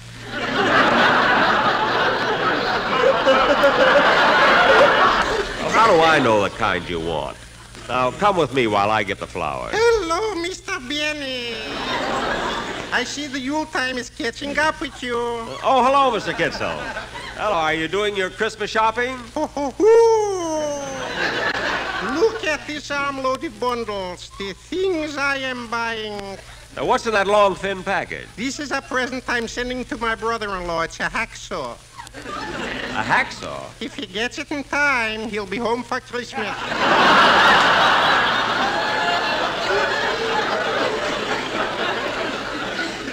Mr. Kitzel, your brother-in-law is a prisoner? No, he's the warden. Well, if he's the warden, why does he want a hacksaw? He was playing truth or consequences with the prisoners, and he lost. Oh. Say, Mr. Kitzel, what are you getting your wife for Christmas? I got it already here in this box. It's a beautiful fur coat. Well, uh, that's nice. What is it, a fox or sable? On the label, it's sable. In the box, it's fox.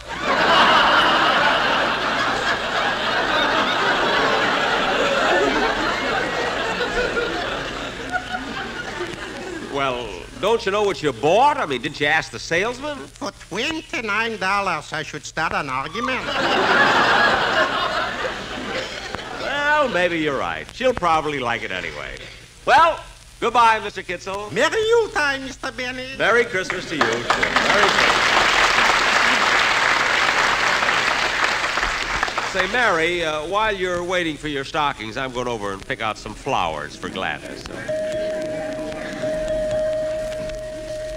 Gee, all these flowers are so beautiful. But I think I'll get these roses. Yeah, they're the nicest. Hey, Jack. Jack, Uh-huh. what you doing? I'm buying flowers. What kind?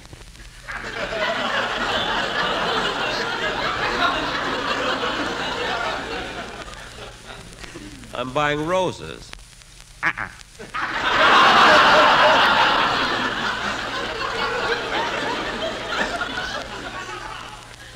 Uh, what? Take the carnations. But look, I, I don't want carnations. I want roses. Come here a minute. Huh? Don't be a jake. The roses are a buck a piece. That's even money. I know. The same dough on carnations will get you six to one.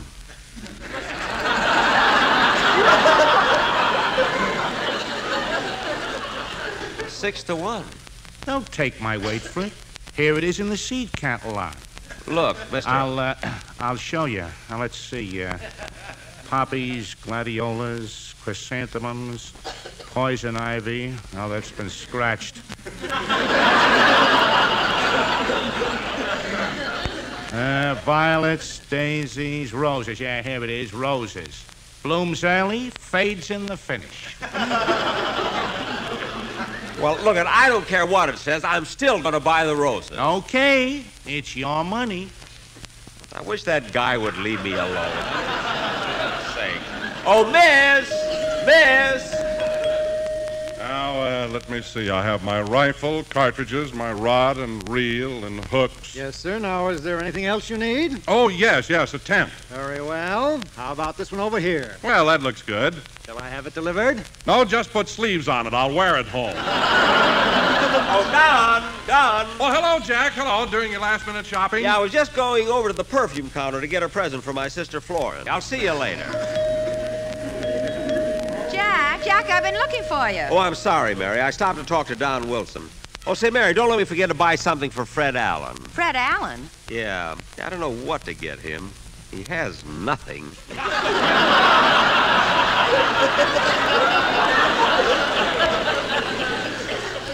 Oh, I'll buy something for my sister first. Uh, here's the perfume counter. Uh, pardon me, sir. I'd like to buy some perfume. Okay, mister, what kind of perfume would you like?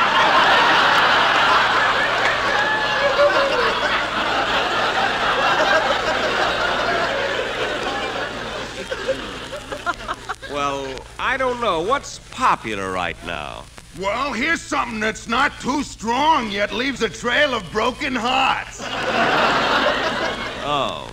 It's called Avec Très Je t'aime beaucoup, my chérie très bien. What does that mean? I don't know. I didn't take French when I was at Harvard.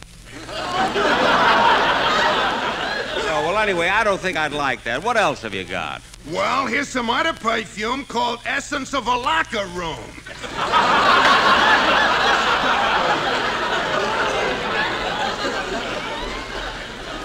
No, no, no, I don't want. Say, here's a perfume that looks nice. How much is that? 68 cents a gallon. 68 cents a gallon? What do you think, Mary? The same as you. The price is right. I didn't mean that. If you want something cheaper, here's some perfume for only 25 cents. 25 cents. What kind of a bottle does that come in? That don't come in no bottle. We keep it on tap. On tap. When I draw it fast, you ought to see the head on it. Well, never mind. I'll get something else. By the way, mister, how come they put a fella like you behind the perfume counter? Oh, my regular job is in a delicatessen department slicing Limburger cheese. Limburger cheese? Yeah, once a month they send me here to neutralize me.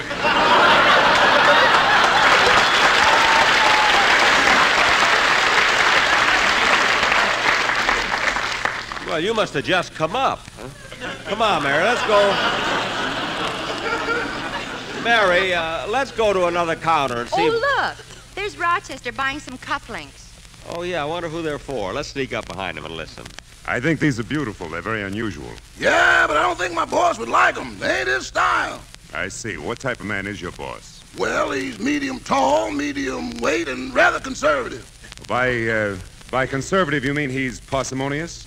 Parsimonious? What's that? Frugal, What's frugal? thrifty. You're headed in the right direction, but you've got a long way to go.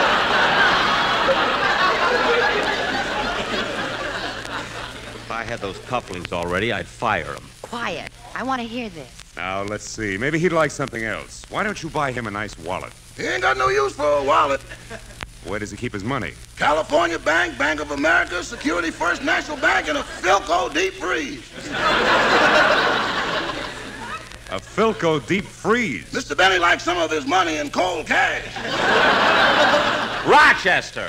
Oh, hello, boss. I didn't see you. I know you didn't, but if you're going to buy me a Christmas present, buy it. Don't discuss my personal affairs. Yes, sir. Now, come on, Mary, let's go. Oh, say, Mary, there's one thing I still have to get. What's that? A present for Don Wilson. I can get it right over here at this counter. Oh, clerk. Yes, sir? I was uh, thinking of getting. Say, your face looks familiar. Didn't I wait on you last year? Yes, yes, I believe you did. I was thinking of getting. Now I remember. You bought a pair of shoelaces, didn't you?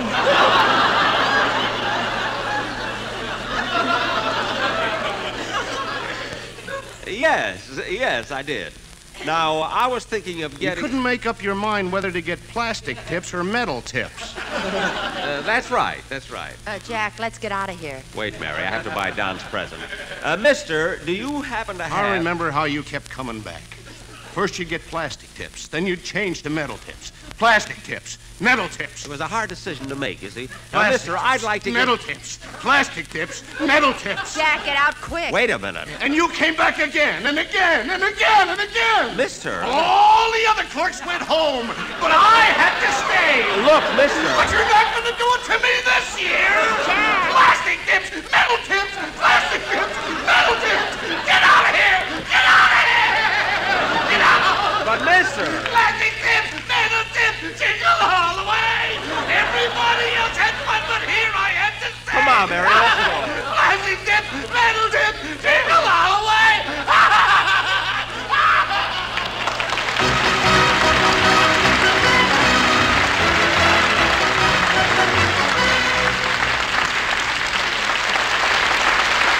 This is NBC. The Jack Benny Program.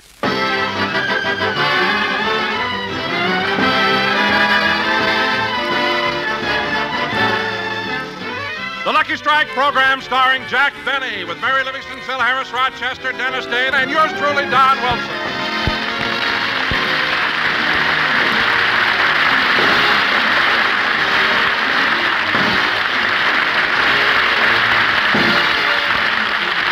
Ladies and gentlemen, there are only five more days till Christmas. So let's go down to the local department store where Jack and Mary have gone to do their last minute Christmas shopping. Mary, Mary, read my Christmas list, will you please? Uh, gold cufflinks, platinum cigarette lighter, silk pajamas, a star sapphire ring, a Cadillac, a diamond stick pin. No, no, Mary. Those are the things I'm asking Santa Claus to give me. my shopping list is on the other side. Oh. Uh, oh, here it is. A package of lifesavers, razor blades, toothbrush, shoelaces. Jack Benny, you ought to be ashamed. Mary, I gave you the wrong one. Here's my Christmas list. See? Don Wilson, wallet. Well, let's go. The leather goods counter's over there. Gee, the Yes, store is crowded. Can, uh, can I help you, please? Oh, yes. I'd like to see some of your wallets. Well, we have a large variety. All these wallets you see here are $1.98. A dollar ninety-eight? Yes, sir. Uh, uh, Jack, here's some better wallets over here. Oh, yes. I think Don would like this one. It's uh, genuine cowhide. Cowhide? Uh, how much is that? Forty dollars.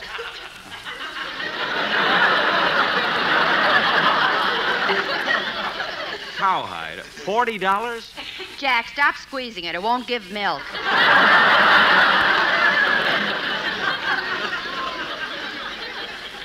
But Mary. Look, Jack, Don has been with you 15 years. It's about time you got him something nice. But Mary, forty dollars. Oh, Jack, for heaven's sake, for once in your life, show Don you appreciate his loyalty. You know, Mary, you're right. I'm going to get Don this wallet. He deserves it. Mister, I'll take that forty-dollar wallet. Yes, sir. Does that uh, does that include the engraving? Oh, yes. Uh, what would you like to put on it? The price.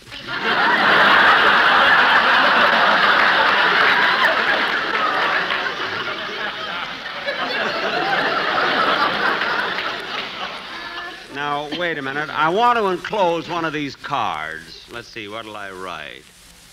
To Don. A very Merry Christmas from Jack Benny. Here it is, mister. Make a nice gift package and see that Mr. Wilson gets it before Christmas. Yes, sir. Come on, Mary. I want to go to the sporting goods department and get something for Phil. Well, here we are. Gee, they sure have a nice assortment of guns and hunting equipment, Jack. Yeah, I think I should be able to get something for Phil here.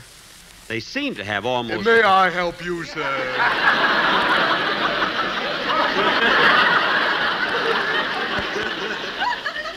Yes, uh, yes, clerk. I'd like to get something for a friend who is quite a sportsman. Well, we've got all kinds of camping equipment. Uh, does he sleep outdoors much? Yes, sometimes right in front of the house.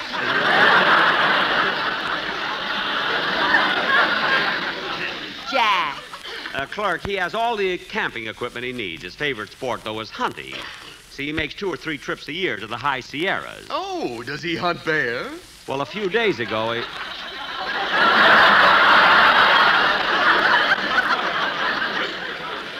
Uh oh. hey, mister. Mister, ask me that again, will you? Does he hunt bear? No, Petrillo makes him wear his union suit.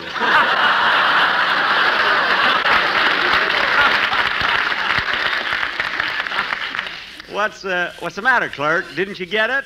Yes, and if you'll lend me your handkerchief, I'll wipe it off.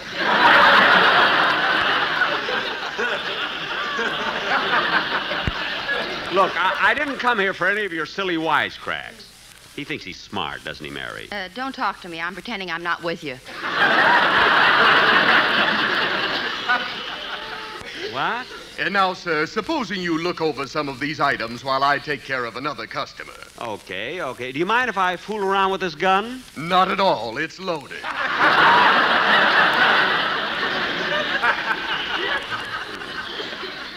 Say, Mary, Mary, I wonder if Phil. Hello, Mr. Benny. Oh,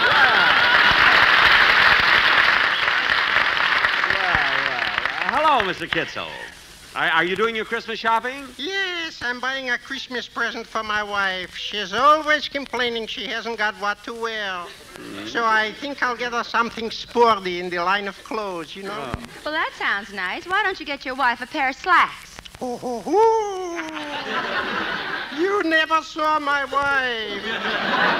She's not the type to wear slacks. Why? Well, she should be slack. She's lumpy.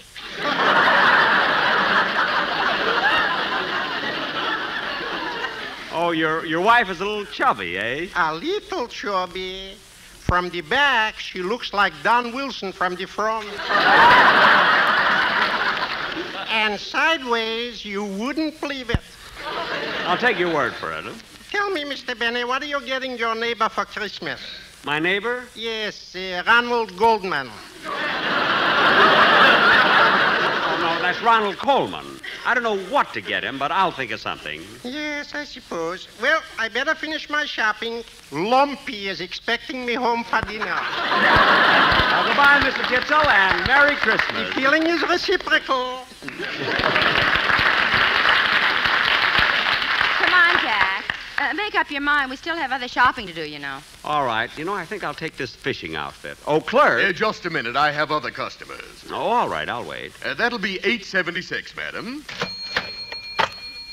Hmm. Uh, have you decided on that, sir? Good. That'll be 1275. Gee.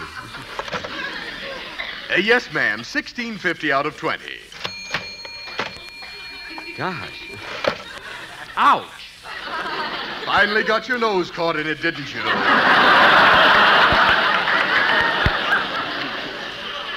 Never mind. Just give me that fishing rod. Now wrap it up and I'll call for it later. Come on, Mary. Gee, my nose hurts. Well, it's your own fault. Now let's finish our shopping. Hey, hey, wait a minute, Mary. What's the matter?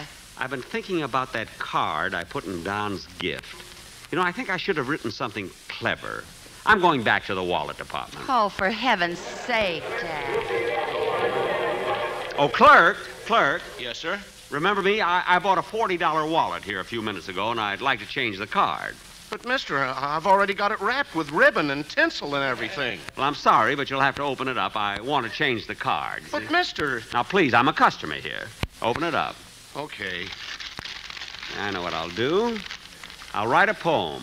Oh, fine. Henry Wadsworth Tightfellow. Uh, let's see. Uh, oh, oh, I've got one.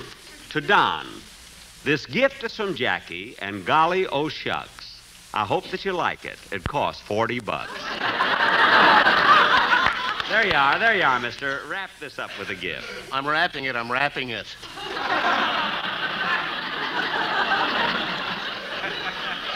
Come on, Mary. You know, Mary, I'm glad I'm giving down that $40 wallet. Yeah, it'd be kind of tough to get a rhyme for $1.98. Yeah. Now, Mary, let's go up to the mezzanine and. Oh, hello, Phil. Hiya, Jackson. Hello, Livy, you little fugitive from the doll counter. Hello, Phil. My, you're certainly loaded down with packages. yeah, I've been shopping all day. Got presents for everybody. How about you two? Well, I'm nearly finished with my shopping. Your five bucks is almost gone, huh? Phil, for your information, I just spent $40 on Don Wilson. What'd you do? Take him to lunch? No, I. Uh, look out, Phil. One of your packages is slipping. Yeah, there it goes. Oh, darn it. Now I'll have to get Remley another present. Let's move away. I'm getting dizzy. Uh, Phil, did you get gifts for the rest of your band? Yeah, I bought every guy in my orchestra a pair of bedroom slippers. Bedroom slippers for your musicians? Uh huh. I thought if I could get them started with those, maybe we could get shoes on them later. Oh, that would be wonderful. Anyway, I got all my boys taken care of. The only one I ain't got a gift for yet is Alice. Uh, maybe she'd like Tabu. Could be. She thought he was great in Elephant Boy. Phil, that's Taboo. He's a picture star. I wouldn't know. I'm a radio man myself.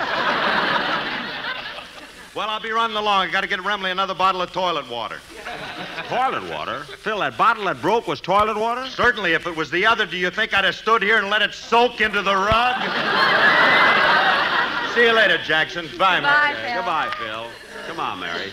You know, I'm going to be on Phil's show, but he doesn't know it, you know. Hey, let's go up to the mezzanine. They always have nice things up there. Okay, here's the elevator. Yeah. Uh, look, Jack, we're back on the main floor. Well, how do you like that? I asked him to say it's just as well. You know, I've been thinking about that card for Don's wallet. Jack. I don't think it's an appropriate card for a $40 gift. I'm going back and change it. Well, I haven't got nerve enough to face that clerk. I'm going to buy something for my sister Babe. Babe, what are you going to get her? Well, she asked me to send her a telescope. What does Babe want with a telescope? Uh, she lives across the street from the YMCA. Oh. Well, I'll meet you here later. I'm going to change that card. Oh, clerk. Clerk. Yes, sir. What can I... Oh, it's you again. Yes, yes. I, I want to change the card in that gift. Oh, no. No, no. First you buy the gift, then you write the card. Then I wrap the gift. Then you change the card. But look, Then I unwrap the gift. Mister, And then you rewrite the card. And then I wrap the gift. And now you want to write another card. Look, uh, never mind that. Just unwrap the gift, will you? I've already sent it down to the delivery department. Well, look, it. You'll you'll just have to go down there and get it. All right, I'll go. I'll go. I haven't run into anyone like you in 20 years. Oh, why did the governor have to give me that pardon? Look, look. Just bring me my package, will you? All right, all right, I'll get it, I'll get it. I'll get it.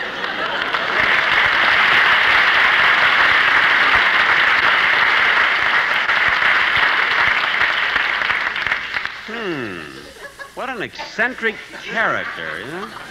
Something like it.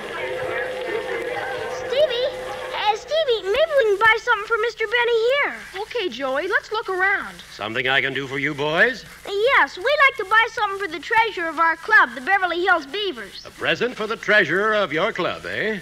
How old is he? About the same age as you, 39. Well, boys, it's none of my business, but how come you picked a 39 year old man to be the treasurer of your beaver club? Because he's such a good businessman. He puts all of our dues in the treasury, and then he lends it out at 10%. Oh, I see. Who does he lend it to? Us?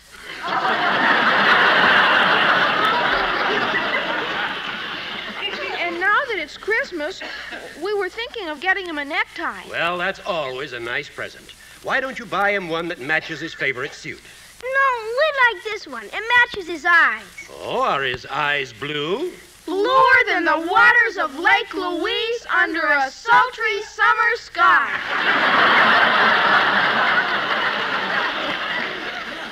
My, where did you boys learn that? Every beaver has to memorize it before I can borrow money.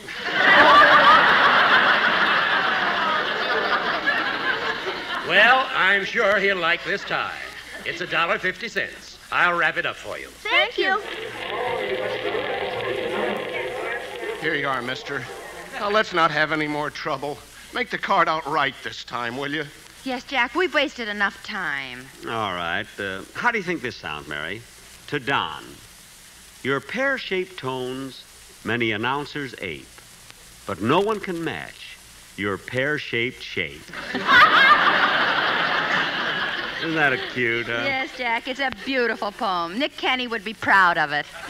Yeah. Oh, hello, Mr. Benny. Hello, Mary. Hello, Dennis. Uh, Dennis, I didn't expect to run into you here. Oh, I brought my mother's lunch. She's the Santa Claus.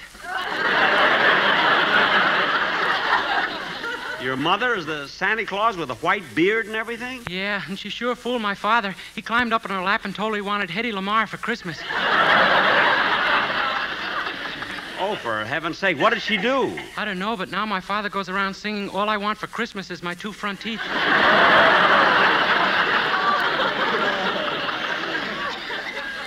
Oh, say, say, Dennis, Dennis, listen. Come here, come here a minute, will you? Huh? Dennis, you've, you've been a nice kid, and you've been with me so long. Here it is Christmas, and well, here's a fifty dollar bonus. Oh, that's just a trick to get me to buy something for you. It is not. I don't care if you don't get me anything. Oh, yeah? Last year when I forgot to buy you a present, you picked me up and threw me in your Bendix. What? And then you charged me 40 cents for washing my shirt. Look, kid, if you don't want. Oh, my goodness. What's the matter, Jack? Just a minute. Oh, clerk. Now what? Now what? That that card I wrote to Mr. Wilson, I left it right here on the counter, and I, I can't find it. Oh, don't worry about it. I found it and I put it in the package, wrapped it up, and sent it down to the delivery room. Well, I uh, I forgot to sign the card.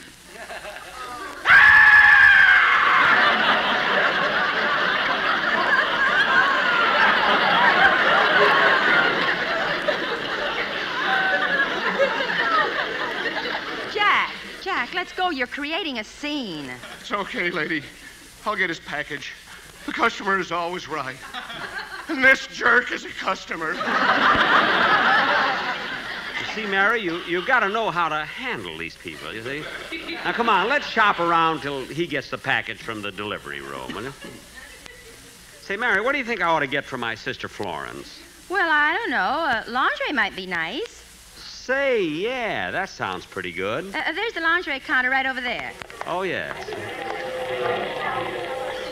Uh, pardon me, but would you mind waiting on us? Uh, why not?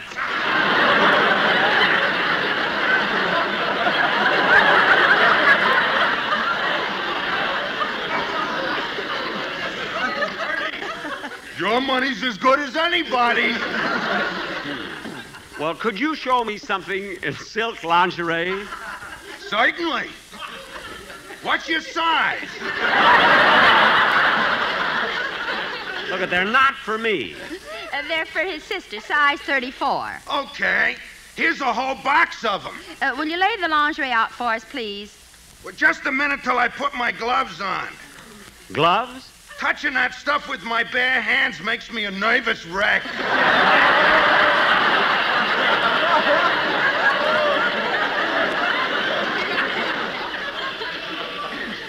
What? Especially the black ones.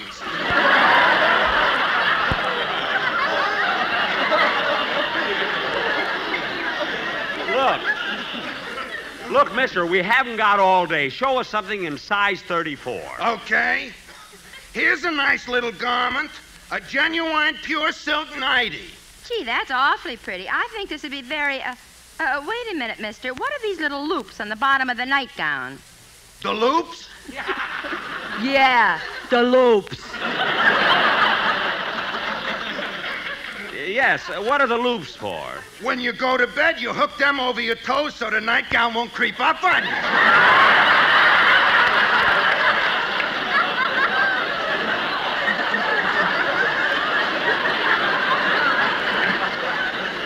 Well, that's swell, really. Wrap it up and send it to my sister, Mrs. Florence Fenchel. Here's the address. Yes, sir.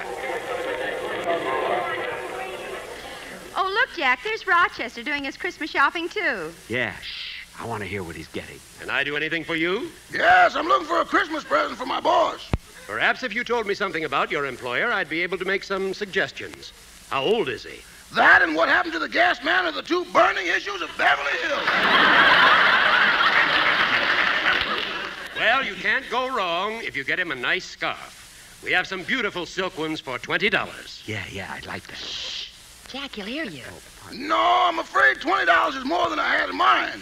We also have some lovely ones for $15. That's still too much.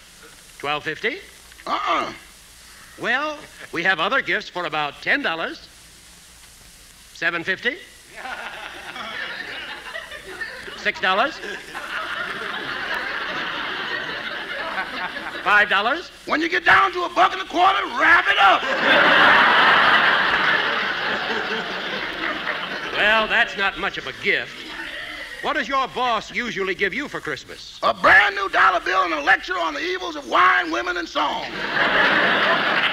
Oh. Well, look, if he's that kind of a man, why do you keep working for him? Well, it's kind of hard to explain. But he's good, thoughtful, kind, considerate, and he gives me his old toupees to cover my bicycle seat. Oh. Well, here's a nice red scarf, which is really an excellent buy. Hmm, I'd rather take this one here. The color will match his eyes. Are his eyes blue? Bluer than the waters of Lake Louise under a sultry summer sky. Oh, are you a beaver? No, but I work like one.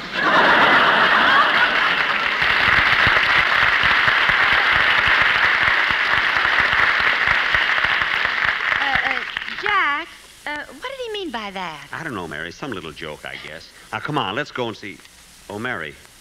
Mary, I just thought of something. Not again. Come on with me. It'll only take a minute. Oh, clerk. Clerk. Here's the package. I got it up from the delivery room. Now go on and sign the card. No, no, no. That's not important now. I want to change the wallet. What? Instead of the $40 one, I'll take the one that costs $1.98.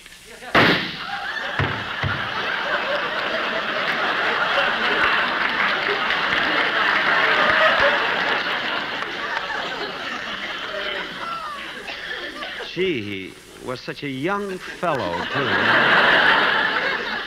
Well, I'll take the $1.98 wallet and put the money in his hand. Come on, Mary, let's go. I wonder if we have to. Oh, look who's here. Hey, Don! Don! Oh, hi, Jack. Hello, Mary. Gee, what trouble I'm having in this store. Wish I didn't have such a big stomach. Why? Well, it seems there's a piano missing, and they searched me three times. Oh, oh. Don, have you bought your wife's present yet? Oh, yes, I did that yesterday, but today I bought a gift for our gardener. Your gardener? Well, what'd you buy him? A $40 wallet. A $40 wallet? For your gardener? Jack, the only other ones they had were $1.98, and I wouldn't give that to a dog. Well, you can start barking, brother, and Merry Christmas. Yeah, yeah. Merry Christmas, Don. See you later. Come on, Mary. Let's go home.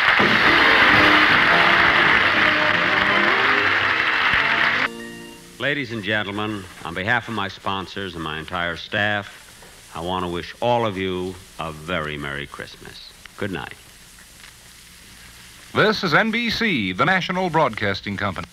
The Jack Benny Program.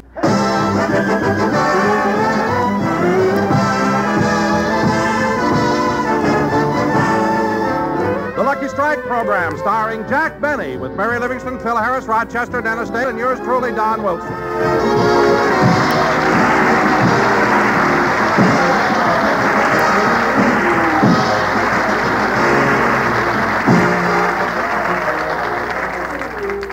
Ladies and gentlemen, let's go out to Beverly Hills. It's morning, and hundreds of people, brimming with the Christmas spirit, are waiting for the local department store to open its doors. Oh, Mary. Mary, where are you? Here I am, Jack, right behind you. Oh, yes. Say, Mary, how'd you like the way I wiggled myself through this crowd, right up to the front of the line? Yeah, those rhumba lessons you took from Arthur Murray really helped. I'll say. When we started, we were way at the end, and now there's only one man ahead of me. Hello, Jack. Hello, Mr. Murray.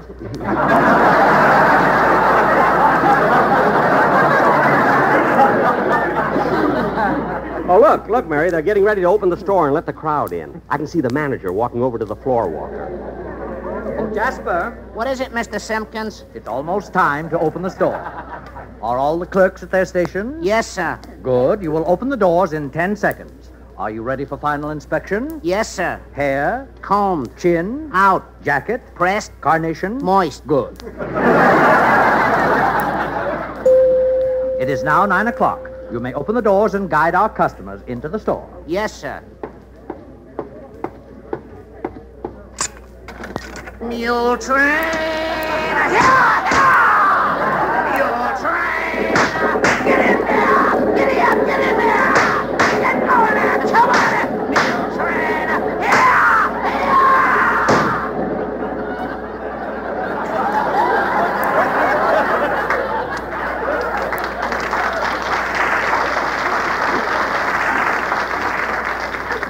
Mule train? Jasper. Jasper, how could you do a thing like that to our customers? When I saw those faces, I couldn't control myself. Wait here, Mary. I'll be right back. Jack, don't get into it. Never mind. Say, mister, are you the manager? Uh, yes, I am. Well, as one of your steady customers, I resent being ushered into the store like a mule. I apologize, sir. I've never been I so... said, I apologize. Put your ears down.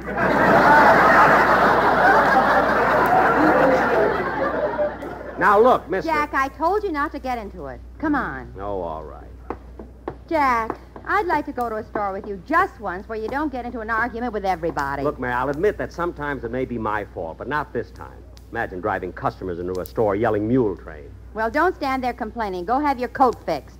My coat? His whip tore your sleeve off. Oh, yeah. Well, I'll just pin it and then fix it when I get home. Come on. Mary, what do you think I ought to get for my sister Florence in Chicago? Oh, I don't know. It ought to be something nice. You know, Mary, I have no brothers and no other sister. Florence is my only close relative. I ought to get her something really nice. Uh, what'd you get her last year? A pencil sharpener. Oh, how sweet, Jack. But then she is your only sister. Yeah. After all, you know. Jack, let's go outside and come in the store again. Why? I want that guy with the whip to get another crack at you. Nothing doing. He had his chance.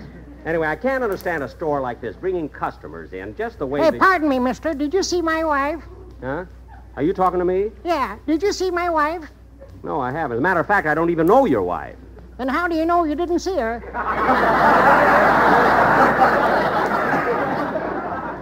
Now, mister, how would I Now, know... I can't stand here jabbering. I better go look for her. Chloe!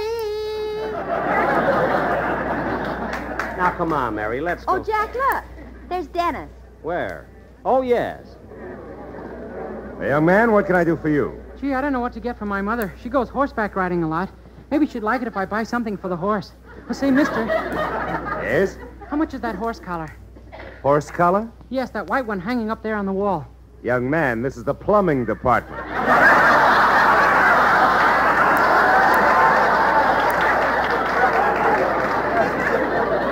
Just what is it you're looking for? Oh, I don't know, but I'd like to get something for my mother. Well, I can call the ladies' department and save you some time. Did you have anything in mind? Oh, yes, sir. I think a dress would be nice. Oh, that's an excellent idea. What size dress does your mother wear? 36. 36? Uh huh. I think I ought to get her a nightgown, too. Size 58. Now, wait a minute, son. If your mother wears a 36 dress, why would she wear a 58 nightgown? She doesn't sleep in her girdle.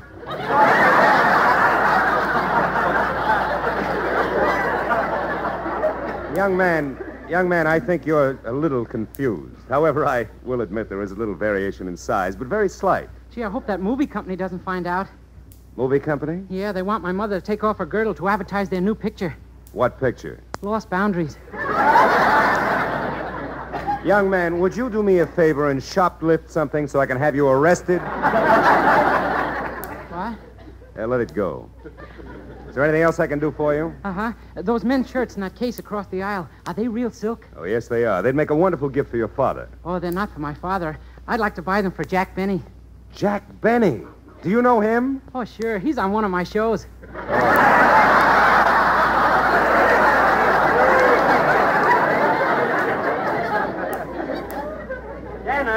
Dennis! Oh, hello, Mr. Benny. Hello, Mary. Hello, Dennis. Doing your Christmas shopping? Yeah. Gee, I was just going to decide on Mr. Benny's gift, and he had to walk up and spoil the whole thing.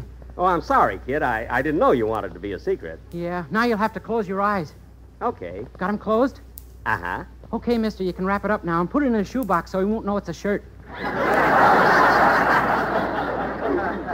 Can I open my eyes now? Yeah. Gee, that was a close one. Yeah, yeah. Well, say, Mr. Benny, while my packages are being gift wrapped, would you like to step over to the music counter and hear a record I just made? Oh, sure, kid. Come on. Oh, miss, Yes? do you have the latest record made by Dennis Day? You mean I must have done something wonderful? Yeah, that's the one. Uh, would you play it, miss? I'm sorry, but our record player is broken. Broken? Yeah, all day yesterday, every five minutes, some curly headed jerk kept requesting, That's what I like about the South. I think I know who you mean. Uh, why didn't you tell him that you refused to play it? And get hit with a ham hock? Oh, yes, he's never without one. Gee, and I wanted you to hear my record. Well, if it'll make you feel better, Dennis, you sing and I'll spin you around. eh? Okay. Okay, come on.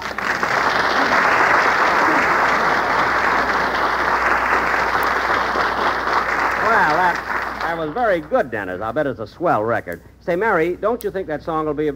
Mary? Now, where did Mary go? Oh, she's way over there at the end of the counter. Oh, yes. May I uh, wait on you, miss? Yes, uh, I'd like to get something for a gentleman. A gentleman, your uh, husband? Uh, no, my boss. He's been nice to me, and I'd like to show my appreciation. Oh, here's something nice a gold tie clasp. A gold tie clasp? No, How about a gold keychain? no. How about gold cufflinks? Look, mister, I don't want to get him anything he can melt down.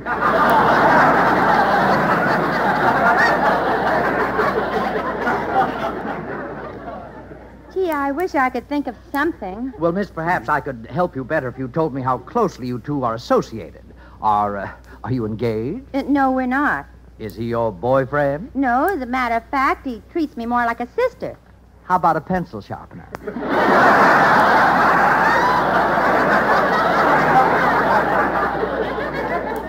A pencil sharpener? Yes, we ship one to Chicago every year. it goes to a girl named Flossie. Uh, you mean Florence? Well, I feel like I know her. Hey, hey, Mary. Mary, let's not keep losing each other. See, I spend more... Oh, hello, Mr. Benny. Oh, hello, hello. It's uh, on the way to Chicago. So, wait a minute. This year I was going to get my sister something different.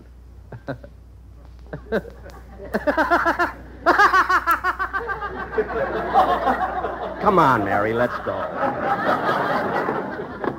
You know, it's amazing how everybody knows I'm a comedian. Mary, I'm going to get something else for my sister. Now, is there anything else, sir? Well, I don't know, baby. Uh, let's see what I bought so far. Well, there's one black negligee. Yeah.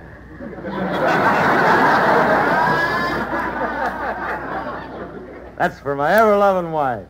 Oh, you're you're married? Am I married? Why, I'm married to Alice Faye, the sweetest little gal who ever... Oh, come on now, baby. Stop crying. There ain't enough of me for everybody.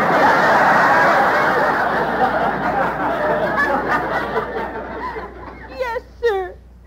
Happens every time. Now, let's see, honey. I've got everybody's present except one for Jackson. Oh, I know. I'll, I'll get him a pair of socks. What size? Uh, 11 and a half. These? Yeah. Now I'll just take off my shoes, put the new ones on, and then I'll be all Mr. Harris, I thought you were going to give socks to Mr. Benny. I am. Here are my old ones. Gift wrap them. Don't Don't you want me to sew up the holes first? No, no, no. Just throw in a needle and thread. And give the old man something to do when he gets home from his rumba lesson. yeah, put plenty of ribbon on the box so the kids can oh, play around. it. Hey, Phil. Well, dear hearts and gentle people. Yeah, funny running into you, Phil. Yeah, how's Alice? Now stop it. Well, what's the matter with her? Usual thing. She's upset because she found out I'm married. Oh, now that's ridiculous. You cried a little too, Dad.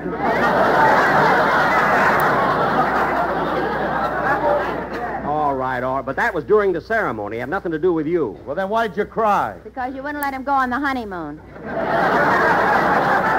stop. I've seen Now, Niagara Jackson, Falls. I gotta finish my shopping, kids. Look, I've got to get some uh, California pennants. California pennants? Yeah, you see, I'm going to the Rose Bowl game, and I want to cheer for California, but all they got in this store are pennants from Syracuse. Pennants from Syracuse? Sure, there's a big box of them right up there on the counter. See what it says? Syracuse pennants. That circus peanut.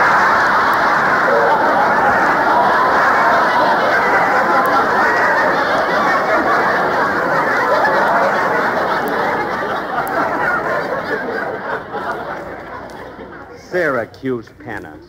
Phil, how can you be... She disappeared in the crowd. Good, good.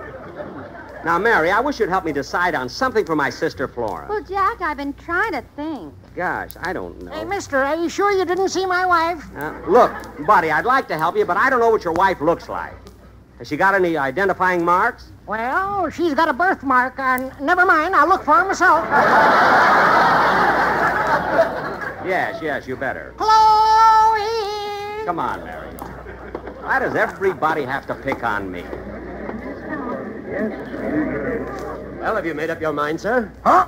Oh, oh, I was just looking around. I sure would like to give my girl a ring like that. Well, I don't blame you. That's a beautiful diamond ring. Uh, how much is it? Four thousand dollars. That doesn't sound so bad. Uh, wait till I look at my bank book. Hmm. Well, Uh, wait till I turn the page. Hmm. Well, Uh, till I turn another page. Hmm. well, Uh, just a minute, I'm on the last page. well, what's on the last page? Put something in the pot, boy.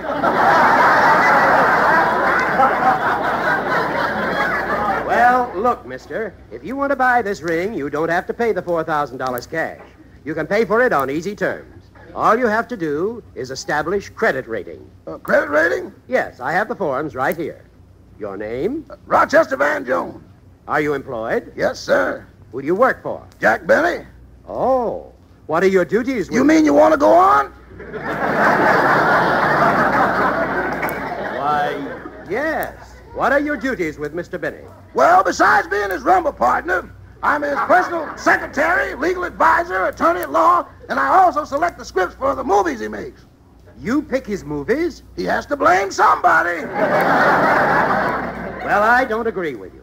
I think that Mr. Benny is a great entertainer, whether it's stage, screen, or radio. And as far as I'm concerned, his last picture was one of the funniest I've ever seen. You keep talking like that, and you'll be in line for a pencil sharpener.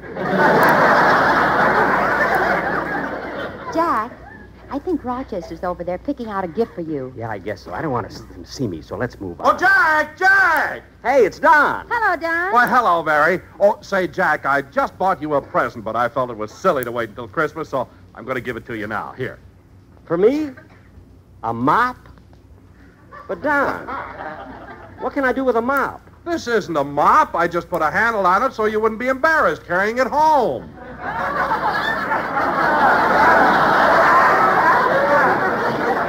Oh, I see. I thought the widow's peak was so you could get into the corners. Don, Don, what have you got in that little bag? Oh, Mary, I'm glad you asked me. Here, here, I'll show it to you. It's the cutest thing you ever saw. what is it, Don? Well, see, it's a little toy merry-go-round. Well, what do you want that for? Well, now, here, let me show you. First, you wind it up, and then you release the lever, and it spins around and plays music. Really? Let's see how it works, Don. Okay. Don, that's the cutest toy I ever saw. Yeah, it's a shame it broke. Oh, that's all right. I'll get another one. Well, I've got to run along now. See you kids later. Bye, Don. So long, Don. Now, Mary, I don't want to be here all day. I'm going to get that other present for my sister. Let's go over to the perfume counter. Well, Jack, I've got some other shopping to do, so I'll meet you there later. All right, Mary. Don't be too long. Yeah, I wonder what kind of perfume I ought to get. Oh, there you are. What? Where is she? Oh. oh, for heaven's sake. Why do you keep asking me about your wife? I told you I don't know what she looks like. Well, here. I'll show you a picture of her. See? This? This is your wife? Yep. Seems silly of me to keep looking for her, don't it? I don't know. Anyway, miss, she must be in the store someplace, so just keep looking and you'll probably find her. I hope not. Come on, Rube. Rube? Come in. Oh. I'd like to get out of here so I can stop running into such silly. Oh, here's the perfume counter. Must be something nice here for my sister. Oh, clerk! Clerk! Uh, what can I do for you, Hmm.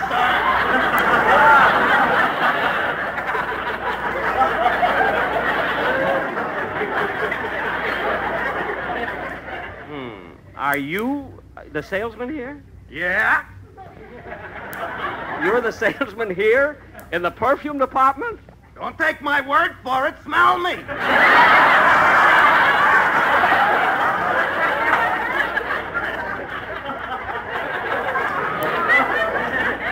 I'll I'll take your word for it. Thank you. Yeah. Now, what kind of perfume would you like to buy? Well, what kind have you got? I've got Tabu, temptation, shocking, white shoulders, surrender, and you should excuse the expression, my sin.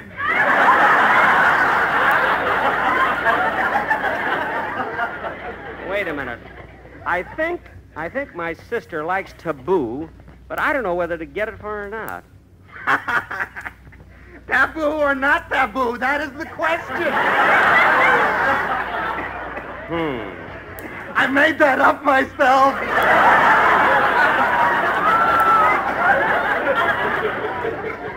I know, I know. Yeah. Everybody says I'm another Milton Berle.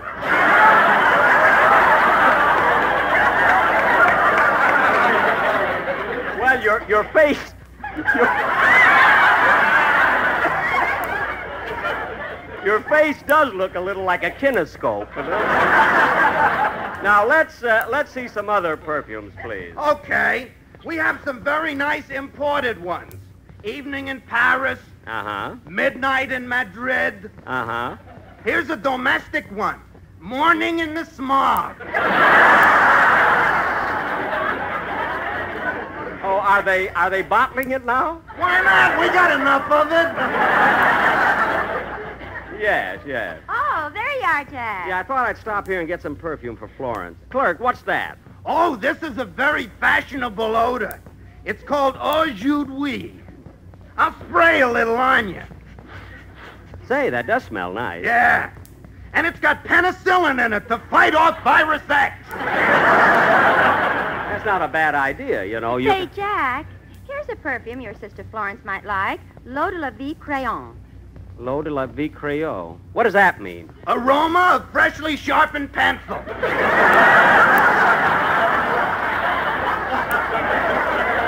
Oh, you're no help. Imagine putting a clerk like you behind a perfume counter. Oh, this ain't my regular job. I just sell perfume during the Christmas rush. I thought so. What is your regular job? I'm a goose girl at Hollywood Park.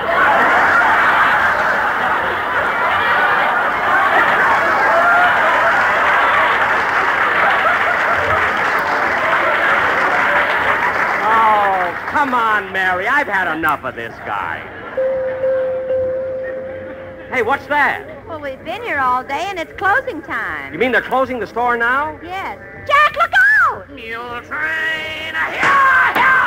Everybody out! Get out of here! Get out of here! Out, everybody out! Out! Oh, darn it, there goes my other sleeve. Come on.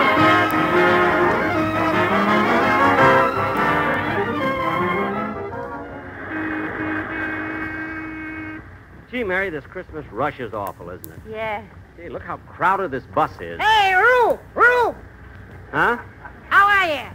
Oh, it's you. I'm fine, fine. Did you ever find your wife?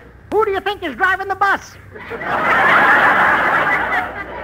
Oh, well, tell Chloe to let me off at the next corner.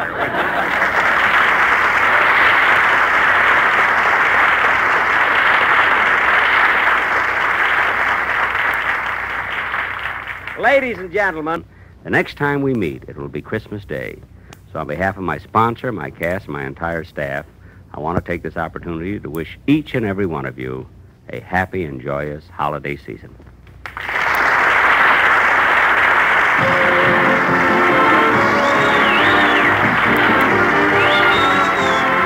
The Jack Benny Program.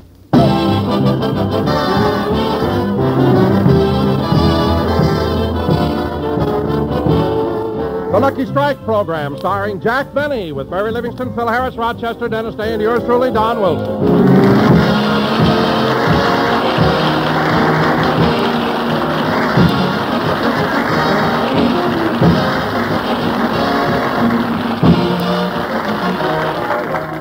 Ladies and gentlemen, if you go out to Beverly Hills and look in the windows of Jack Benny's house, you will see a very pretty Christmas tree, a picture of peace and serenity. But if you could have been there yesterday, well, why not?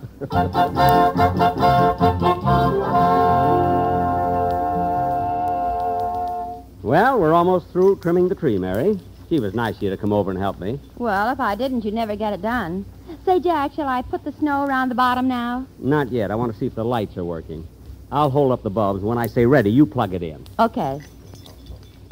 Ready? Ready. Pull it out! Pull it out! Pull it out!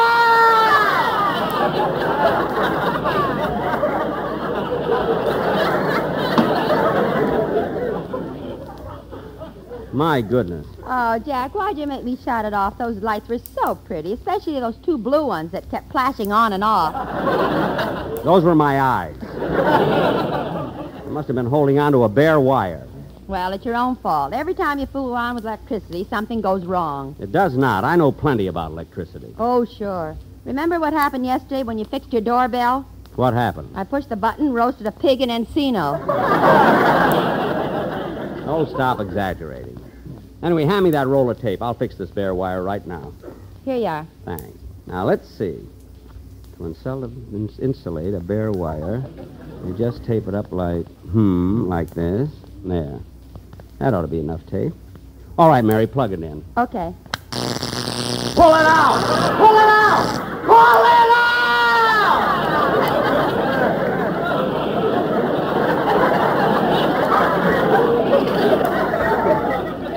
Uh, Jack, what happened? I taped my finger to the wire. That's what happened. Oh, gee, and that time was even prettier than before. What do you mean? Your nose lit up, too. It did not. What are you laughing at? Benny, the red-nosed reindeer. All right, all right. Now, let's get this tree finished before the gang gets here. But, Jack, what about the light? Uh, We'll have to let that go until later. Now, hand me one of those candy canes so I can... Oh, Mr. Benny, What is it, Rochester? I baked that cake like you told me to. Good, good. You have enough whipped cream to spell out Merry Christmas? Yeah. Uh, say, boss, how many R's in Merry? Two. Uh-oh. Well, you better add one. Add one, I better cross one out. I got three. Well, leave it. It's better than ruining the cake. okay. Uh, oh, Rochester, will you please take these Christmas tree lights and fix them? Fix them? Yes. I ain't fooling around with electricity. Uh, what are you afraid of? I don't want to get hit by nothing I can't hit back. Oh, Rochester, imagine being afraid of electricity. Suppose Robert Fulton was afraid. He never would have invented the electric light, would he? Jack, What? you're thinking of Thomas Edison. Edison? Well, then what did Robert Fulton do? He wrote Mule Train. Oh, yes. Now, Rochester, please fix these lights. Okay, okay. Now let me see. In electricity, there's the electrons and the electrodes, and then there's the positive and the negative. But I ain't positive which one is negative. Hmm. Then there's the atoms. Now, the atoms are supposed to go from the positive to the negative, or maybe they go from the electrons to the electrodes. Then again, maybe they go from Amos to Andy. Rochester. Now, as long as these atoms keep passing each other, everything is all right. But when they meet halfway and start fighting, they're going to turn on anybody who tries to butt in. Rochester, I'm not interested in the scientific details. I just want you to fix those lights. And I promise you, while you're holding the wires, no one in this room will turn on the switch. Uh, I know, boss. While I'm holding the wire, you ain't going to turn on the switch. And Miss Livingstone ain't going to turn on the switch. Of course not. But way up there at Boulder Dam, there's a little man sitting in a room with thousands of wires all around him. So what? How do I know he ain't going to do something just to break the monotony? Oh, all right. I'll fix it myself. Come on, Mary. Help me finish the tree. Okay, Jack. Hand me that candy cane, will you? Here you are. Da da dum dum, dee da da dum. I'll put the cane right next to the drum. Santa Claus is coming to town. Let's see, where's that star? Deedly dum, deedle dum dee. I'll put the star on top of the tree. Santa Claus is coming to town. Gee, that looks swell. He sees you when you're sleeping. He knows when you're away. He knows when you've been bad or good, so be good for goodness sake. So you better watch out. You better not cry. Mary, you're cute, and so am I. Santa Claus is coming to town. Well, Mary, we got all the packages under the tree. It looks nice, doesn't it? Yeah, but you better pick those lights up off the floor before somebody steps on them. Oh, yes. Now, where can I put them? I'll put them here on this chair. Now, Mary, some of the gifts I had sent direct from the store, but there's Phil Harris's present. Put it under the tree. Boy, will he be surprised. But, Jack, how'll he be surprised? You've got toilet water written all over the box. Well, you gotta do that with Phil. When he opens a package and finds a bottle, he never stops to read the label.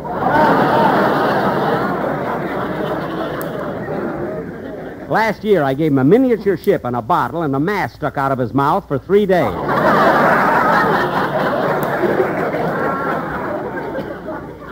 Every time I asked him something, he had to answer me through the crow's nest.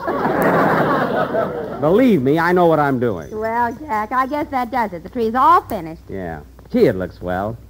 I'm kind of tired. I think I'll sit down for a minute and smoke a lucky. Mary, have you got a match? No. Oh, say, boss, What is it, Rochester? are your socks dry yet? I think so. Well, people will be here soon. You better take them off the tree. Oh, that's right. You take them off, will you, Rochester? I'm tired. I want to sit here a while. Yes, sir. Say, this tree looks awful nice, but it's kind of dark. Oh, no wonder the lights aren't plugged in. I'll fix that. Pull it out! Pull it out! Pull it out! For heaven's sake. Well, what happened this time? I'm sitting on the wire. Now, as long as you're here, Rochester, give me a match. You don't need it now. Your cigarette is lit. Oh, yes. Thanks, Rochester. Don't thank me. Thank that little man up at Boulder Dam. Never mind. Don't plug that in anymore. I've had enough trouble with it. Come in. Oh, hello, Phil. Hiya, Jackson. Merry Christmas, everybody. Merry Christmas. Yeah. Well, deck the halls with turnip greens if that ain't a lovely Christmas tree. Yes, sir. Hey, Jackson, you ought to see the one I've got. It's all decorated with a lot of ornaments, and I got tinsel on it and everything. And then right up on the top, I got a picture of Alice. Alice? Phil, you're supposed to have a picture of Santa Claus. She's Santa Claus to me, Dad. I know, I know. Hey, but no kidding, Jackson. I think we got the prettiest tree in Encino. Uh, by the way, Phil, what are you having for Christmas dinner? A roast pig. What? I don't know how it happened, but when I went out to feed it this morning, it was cooked standing up.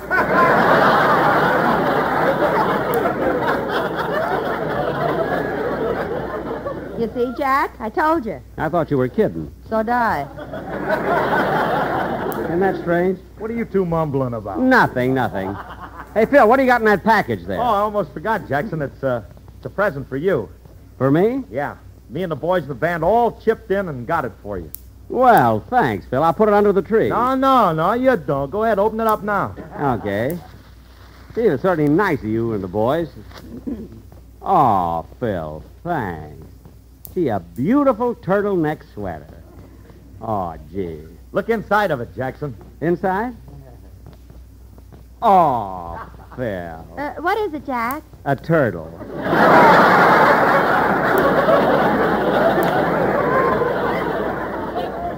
Hmm, a fine present to give me. I'll fix him.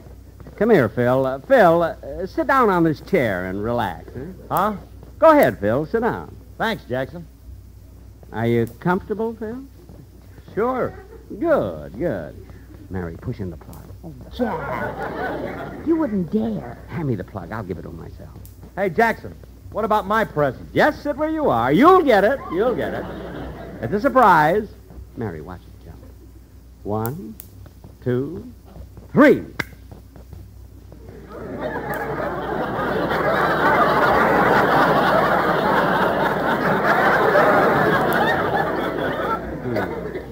Phil, Phil, don't you feel anything? No, why? Hmm. Well, what about the surprise? What's the matter? Uh, we're having a little trouble at Boulder Dam.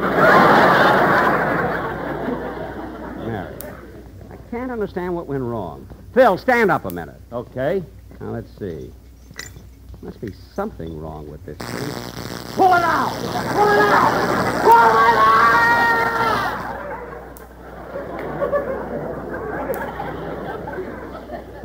Mm, a fine thing to do on a guy on Christmas Eve. well, it's your own fault for trying to play a trick on Phil. Oh, so that's it, eh, Jackson? Trying to give me a high hot foot. Oh, Phil, I was just trying. Pull it out! Pull it! Jack, that's the doorbell. Uh-oh. Come in. Oh, hello, Don. Well, Merry Christmas, everybody. Hey, Merry Christmas. Merry Christmas, Don. Yeah, come on in, fellas. Oh, you brought the Sportsmen with you. Merry Christmas, boys. Mm-hmm. Yeah, I'm sure glad you dropped in. Say, Don, did you get many nice presents this year? I sure did, Mary. And I couldn't wait. I've opened them already. you have? What'd you get, Don? Well, I got some gold cufflinks, a moving picture camera, a television set, a golf ball, and a diamond wristwatch. Well, Thanks for the golf ball, Jack. you're welcome, Don. You do play golf, don't you? No. Oh, oh. Well, you really ought to take it up, Don. It's great exercise for a fellow like you. And there's some beautiful courses around here. Mm, that's fine. You give a guy one golf ball, and right away you want him to join a country club. Well, Why didn't you give him a flea and tell him to go out and buy a dog? buy a dog, buy a dog. Now, look, Mary. Well, Mary, you're going to stay and have dinner with me, aren't you? yes, you invited me. Good. Then after dinner, we'll open all the presents. I'll answer the phone, boss. Never mind, Rochester. I'll get it. It's right here. Hello? Now, look, Joe, I haven't got much time, so listen to me. I'm phoning to warn you that my husband's wise to us, and he's on his way over to your house with a gun. So get out of town, Joe. Get out quick. Remember what happened to Charlie.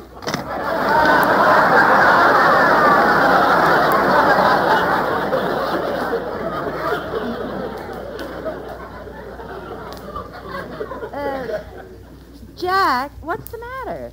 I don't know. Somebody keeps getting my number by mistake. It's the second time it happened.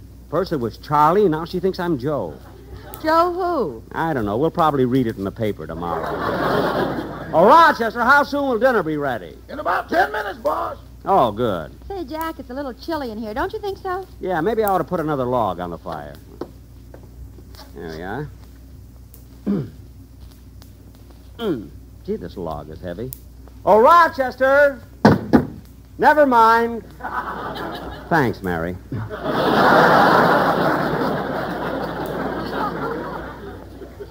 now let's sit down and wait until we get. All right, you can stop showing off. now let's sit down. You know, Mary, sitting here in front of the fireplace, you look like the prettiest girl in the whole world. If I were a painter, I'd take the reflection of the fires dancing in your hair and paint the loveliest. There's somebody at the door. Well, answer, Grandma Moses. You can paint my hair later. Yeah. Coming, coming. Yes, Good evening, sir. I'm selling Christmas cookies to raise funds for the Girl Scouts. Christmas cookies? Well, you see, I. Oh, you're Jack Benny, aren't you? Yes. Well, it would be silly of you to buy any. You bake them for us.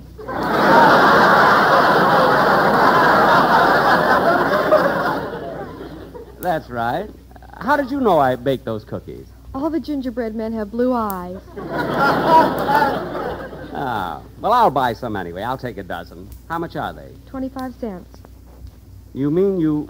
only make a penny profit?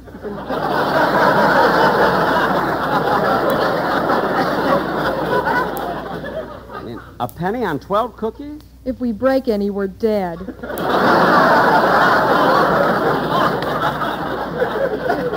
Well, just be careful. By the way, what's your name, young lady? Joan, Oh, that's a nice name. Well, Merry Christmas. Merry Christmas.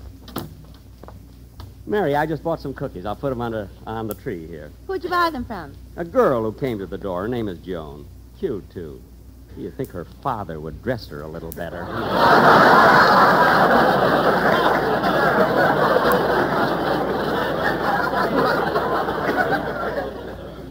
Will you have a cookie, Mary? No, it'll spoil my dinner. Oh, that reminds me. As long as I'm staying here, I better call my maid and tell her I won't be home. Okay.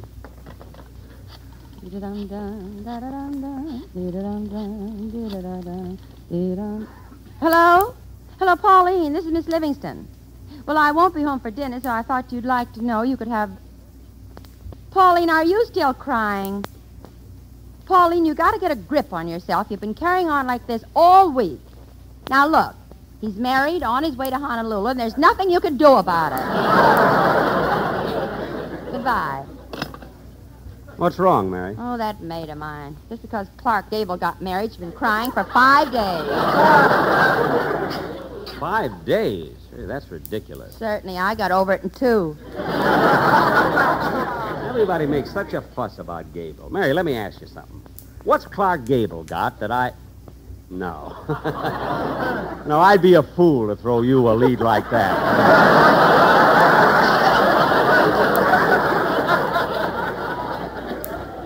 Sure would. Hello, Mary. Hello, Mr. Benny. Merry Christmas. Oh, Dennis. I didn't see you. When'd you get here? I came in with Phil.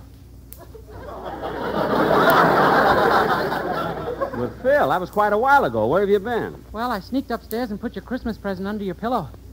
Oh. What took you so long? I fell asleep. Oh. Say, Mr. Benny, I'd like to thank you for the present you sent me, but I'm all confused. Confused? Why? All the packages got mixed up and the tags fell off, and I don't know who sent me what. Oh, all the cards fell off? Yeah. Well, look, kid, uh, did you, uh, uh, did you get a wristwatch? Oh, a beautiful one, solid gold. Well, take my card and put it on that. Now, let's... uh, Wait a minute. Huh? Dennis, I'll tell you what Jack gave you. What else did you get? A portable radio, a candid camera, a silk bathrobe, a golf ball. Bingo. Mary. Dennis, Jack gave you that golf ball. Oh! I thought it was kind of funny about Mr. Benny giving me the wristwatch. Why? On the back is engraved to Dennis from Mother and Dad.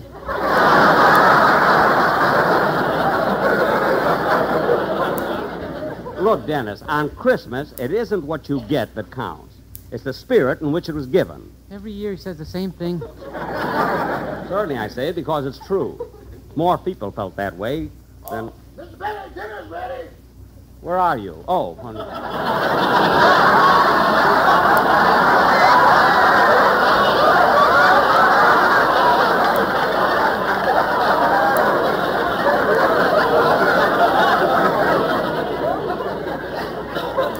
Anything can happen on Christmas Day, you know. Good, good. Come on, Mary, we'll go to dinner. Uh, Dennis, do you want to have dinner with us? Oh, yeah, that'd be swell. And after dinner, we can all sit around the fire and. Ahem, Dennis.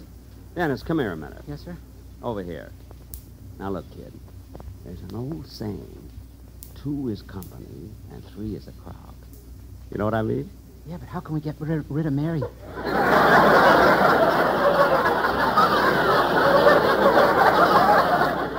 nearly loused that one up. well, all right, Rochester. There'll be the three of us for dinner. Come on, kids. Gee, I'm hungry. Oh, so am I. I hope Rochester has those big raw carrots. I love them. I like the small carrots. I like the big ones. We always argue about that every time. Now, Mary, you sit here. And Dennis, you sit over there. There we are. Now, Rochester, you can get the. Dennis, what happened? I rolled off the chair. I had the golf ball in my back pocket. no. Rochester, we're waiting. Coming, boss, coming.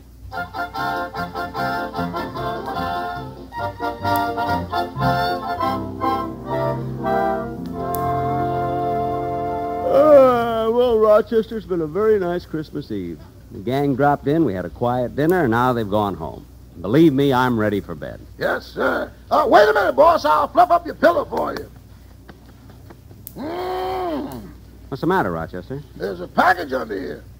Oh, yes, it's from Dennis. It's my Christmas present. Well, open it. Open it. Okay. Oh, well, this is lovely. A beautiful electric alarm clock. And instead of numbers around the face, it has 12 letters that spell out Jackson Benny. Yeah. Sure is nice. Well, I might as well start using it right now. Rochester, you set it to the right time and I'll plug it in. Okay. Uh, it's 11.30 now, so I'll set it to... Pull it out! Pull it out! Pull it out! Oh, I'm sorry, Rochester. I didn't mean. Rochester. Rochester. Oh, my goodness. Rochester, speak to me. what are you laughing at? The lights lit up on the Christmas tree. Oh, good, good. Merry Christmas, Rochester. Merry Christmas, boys.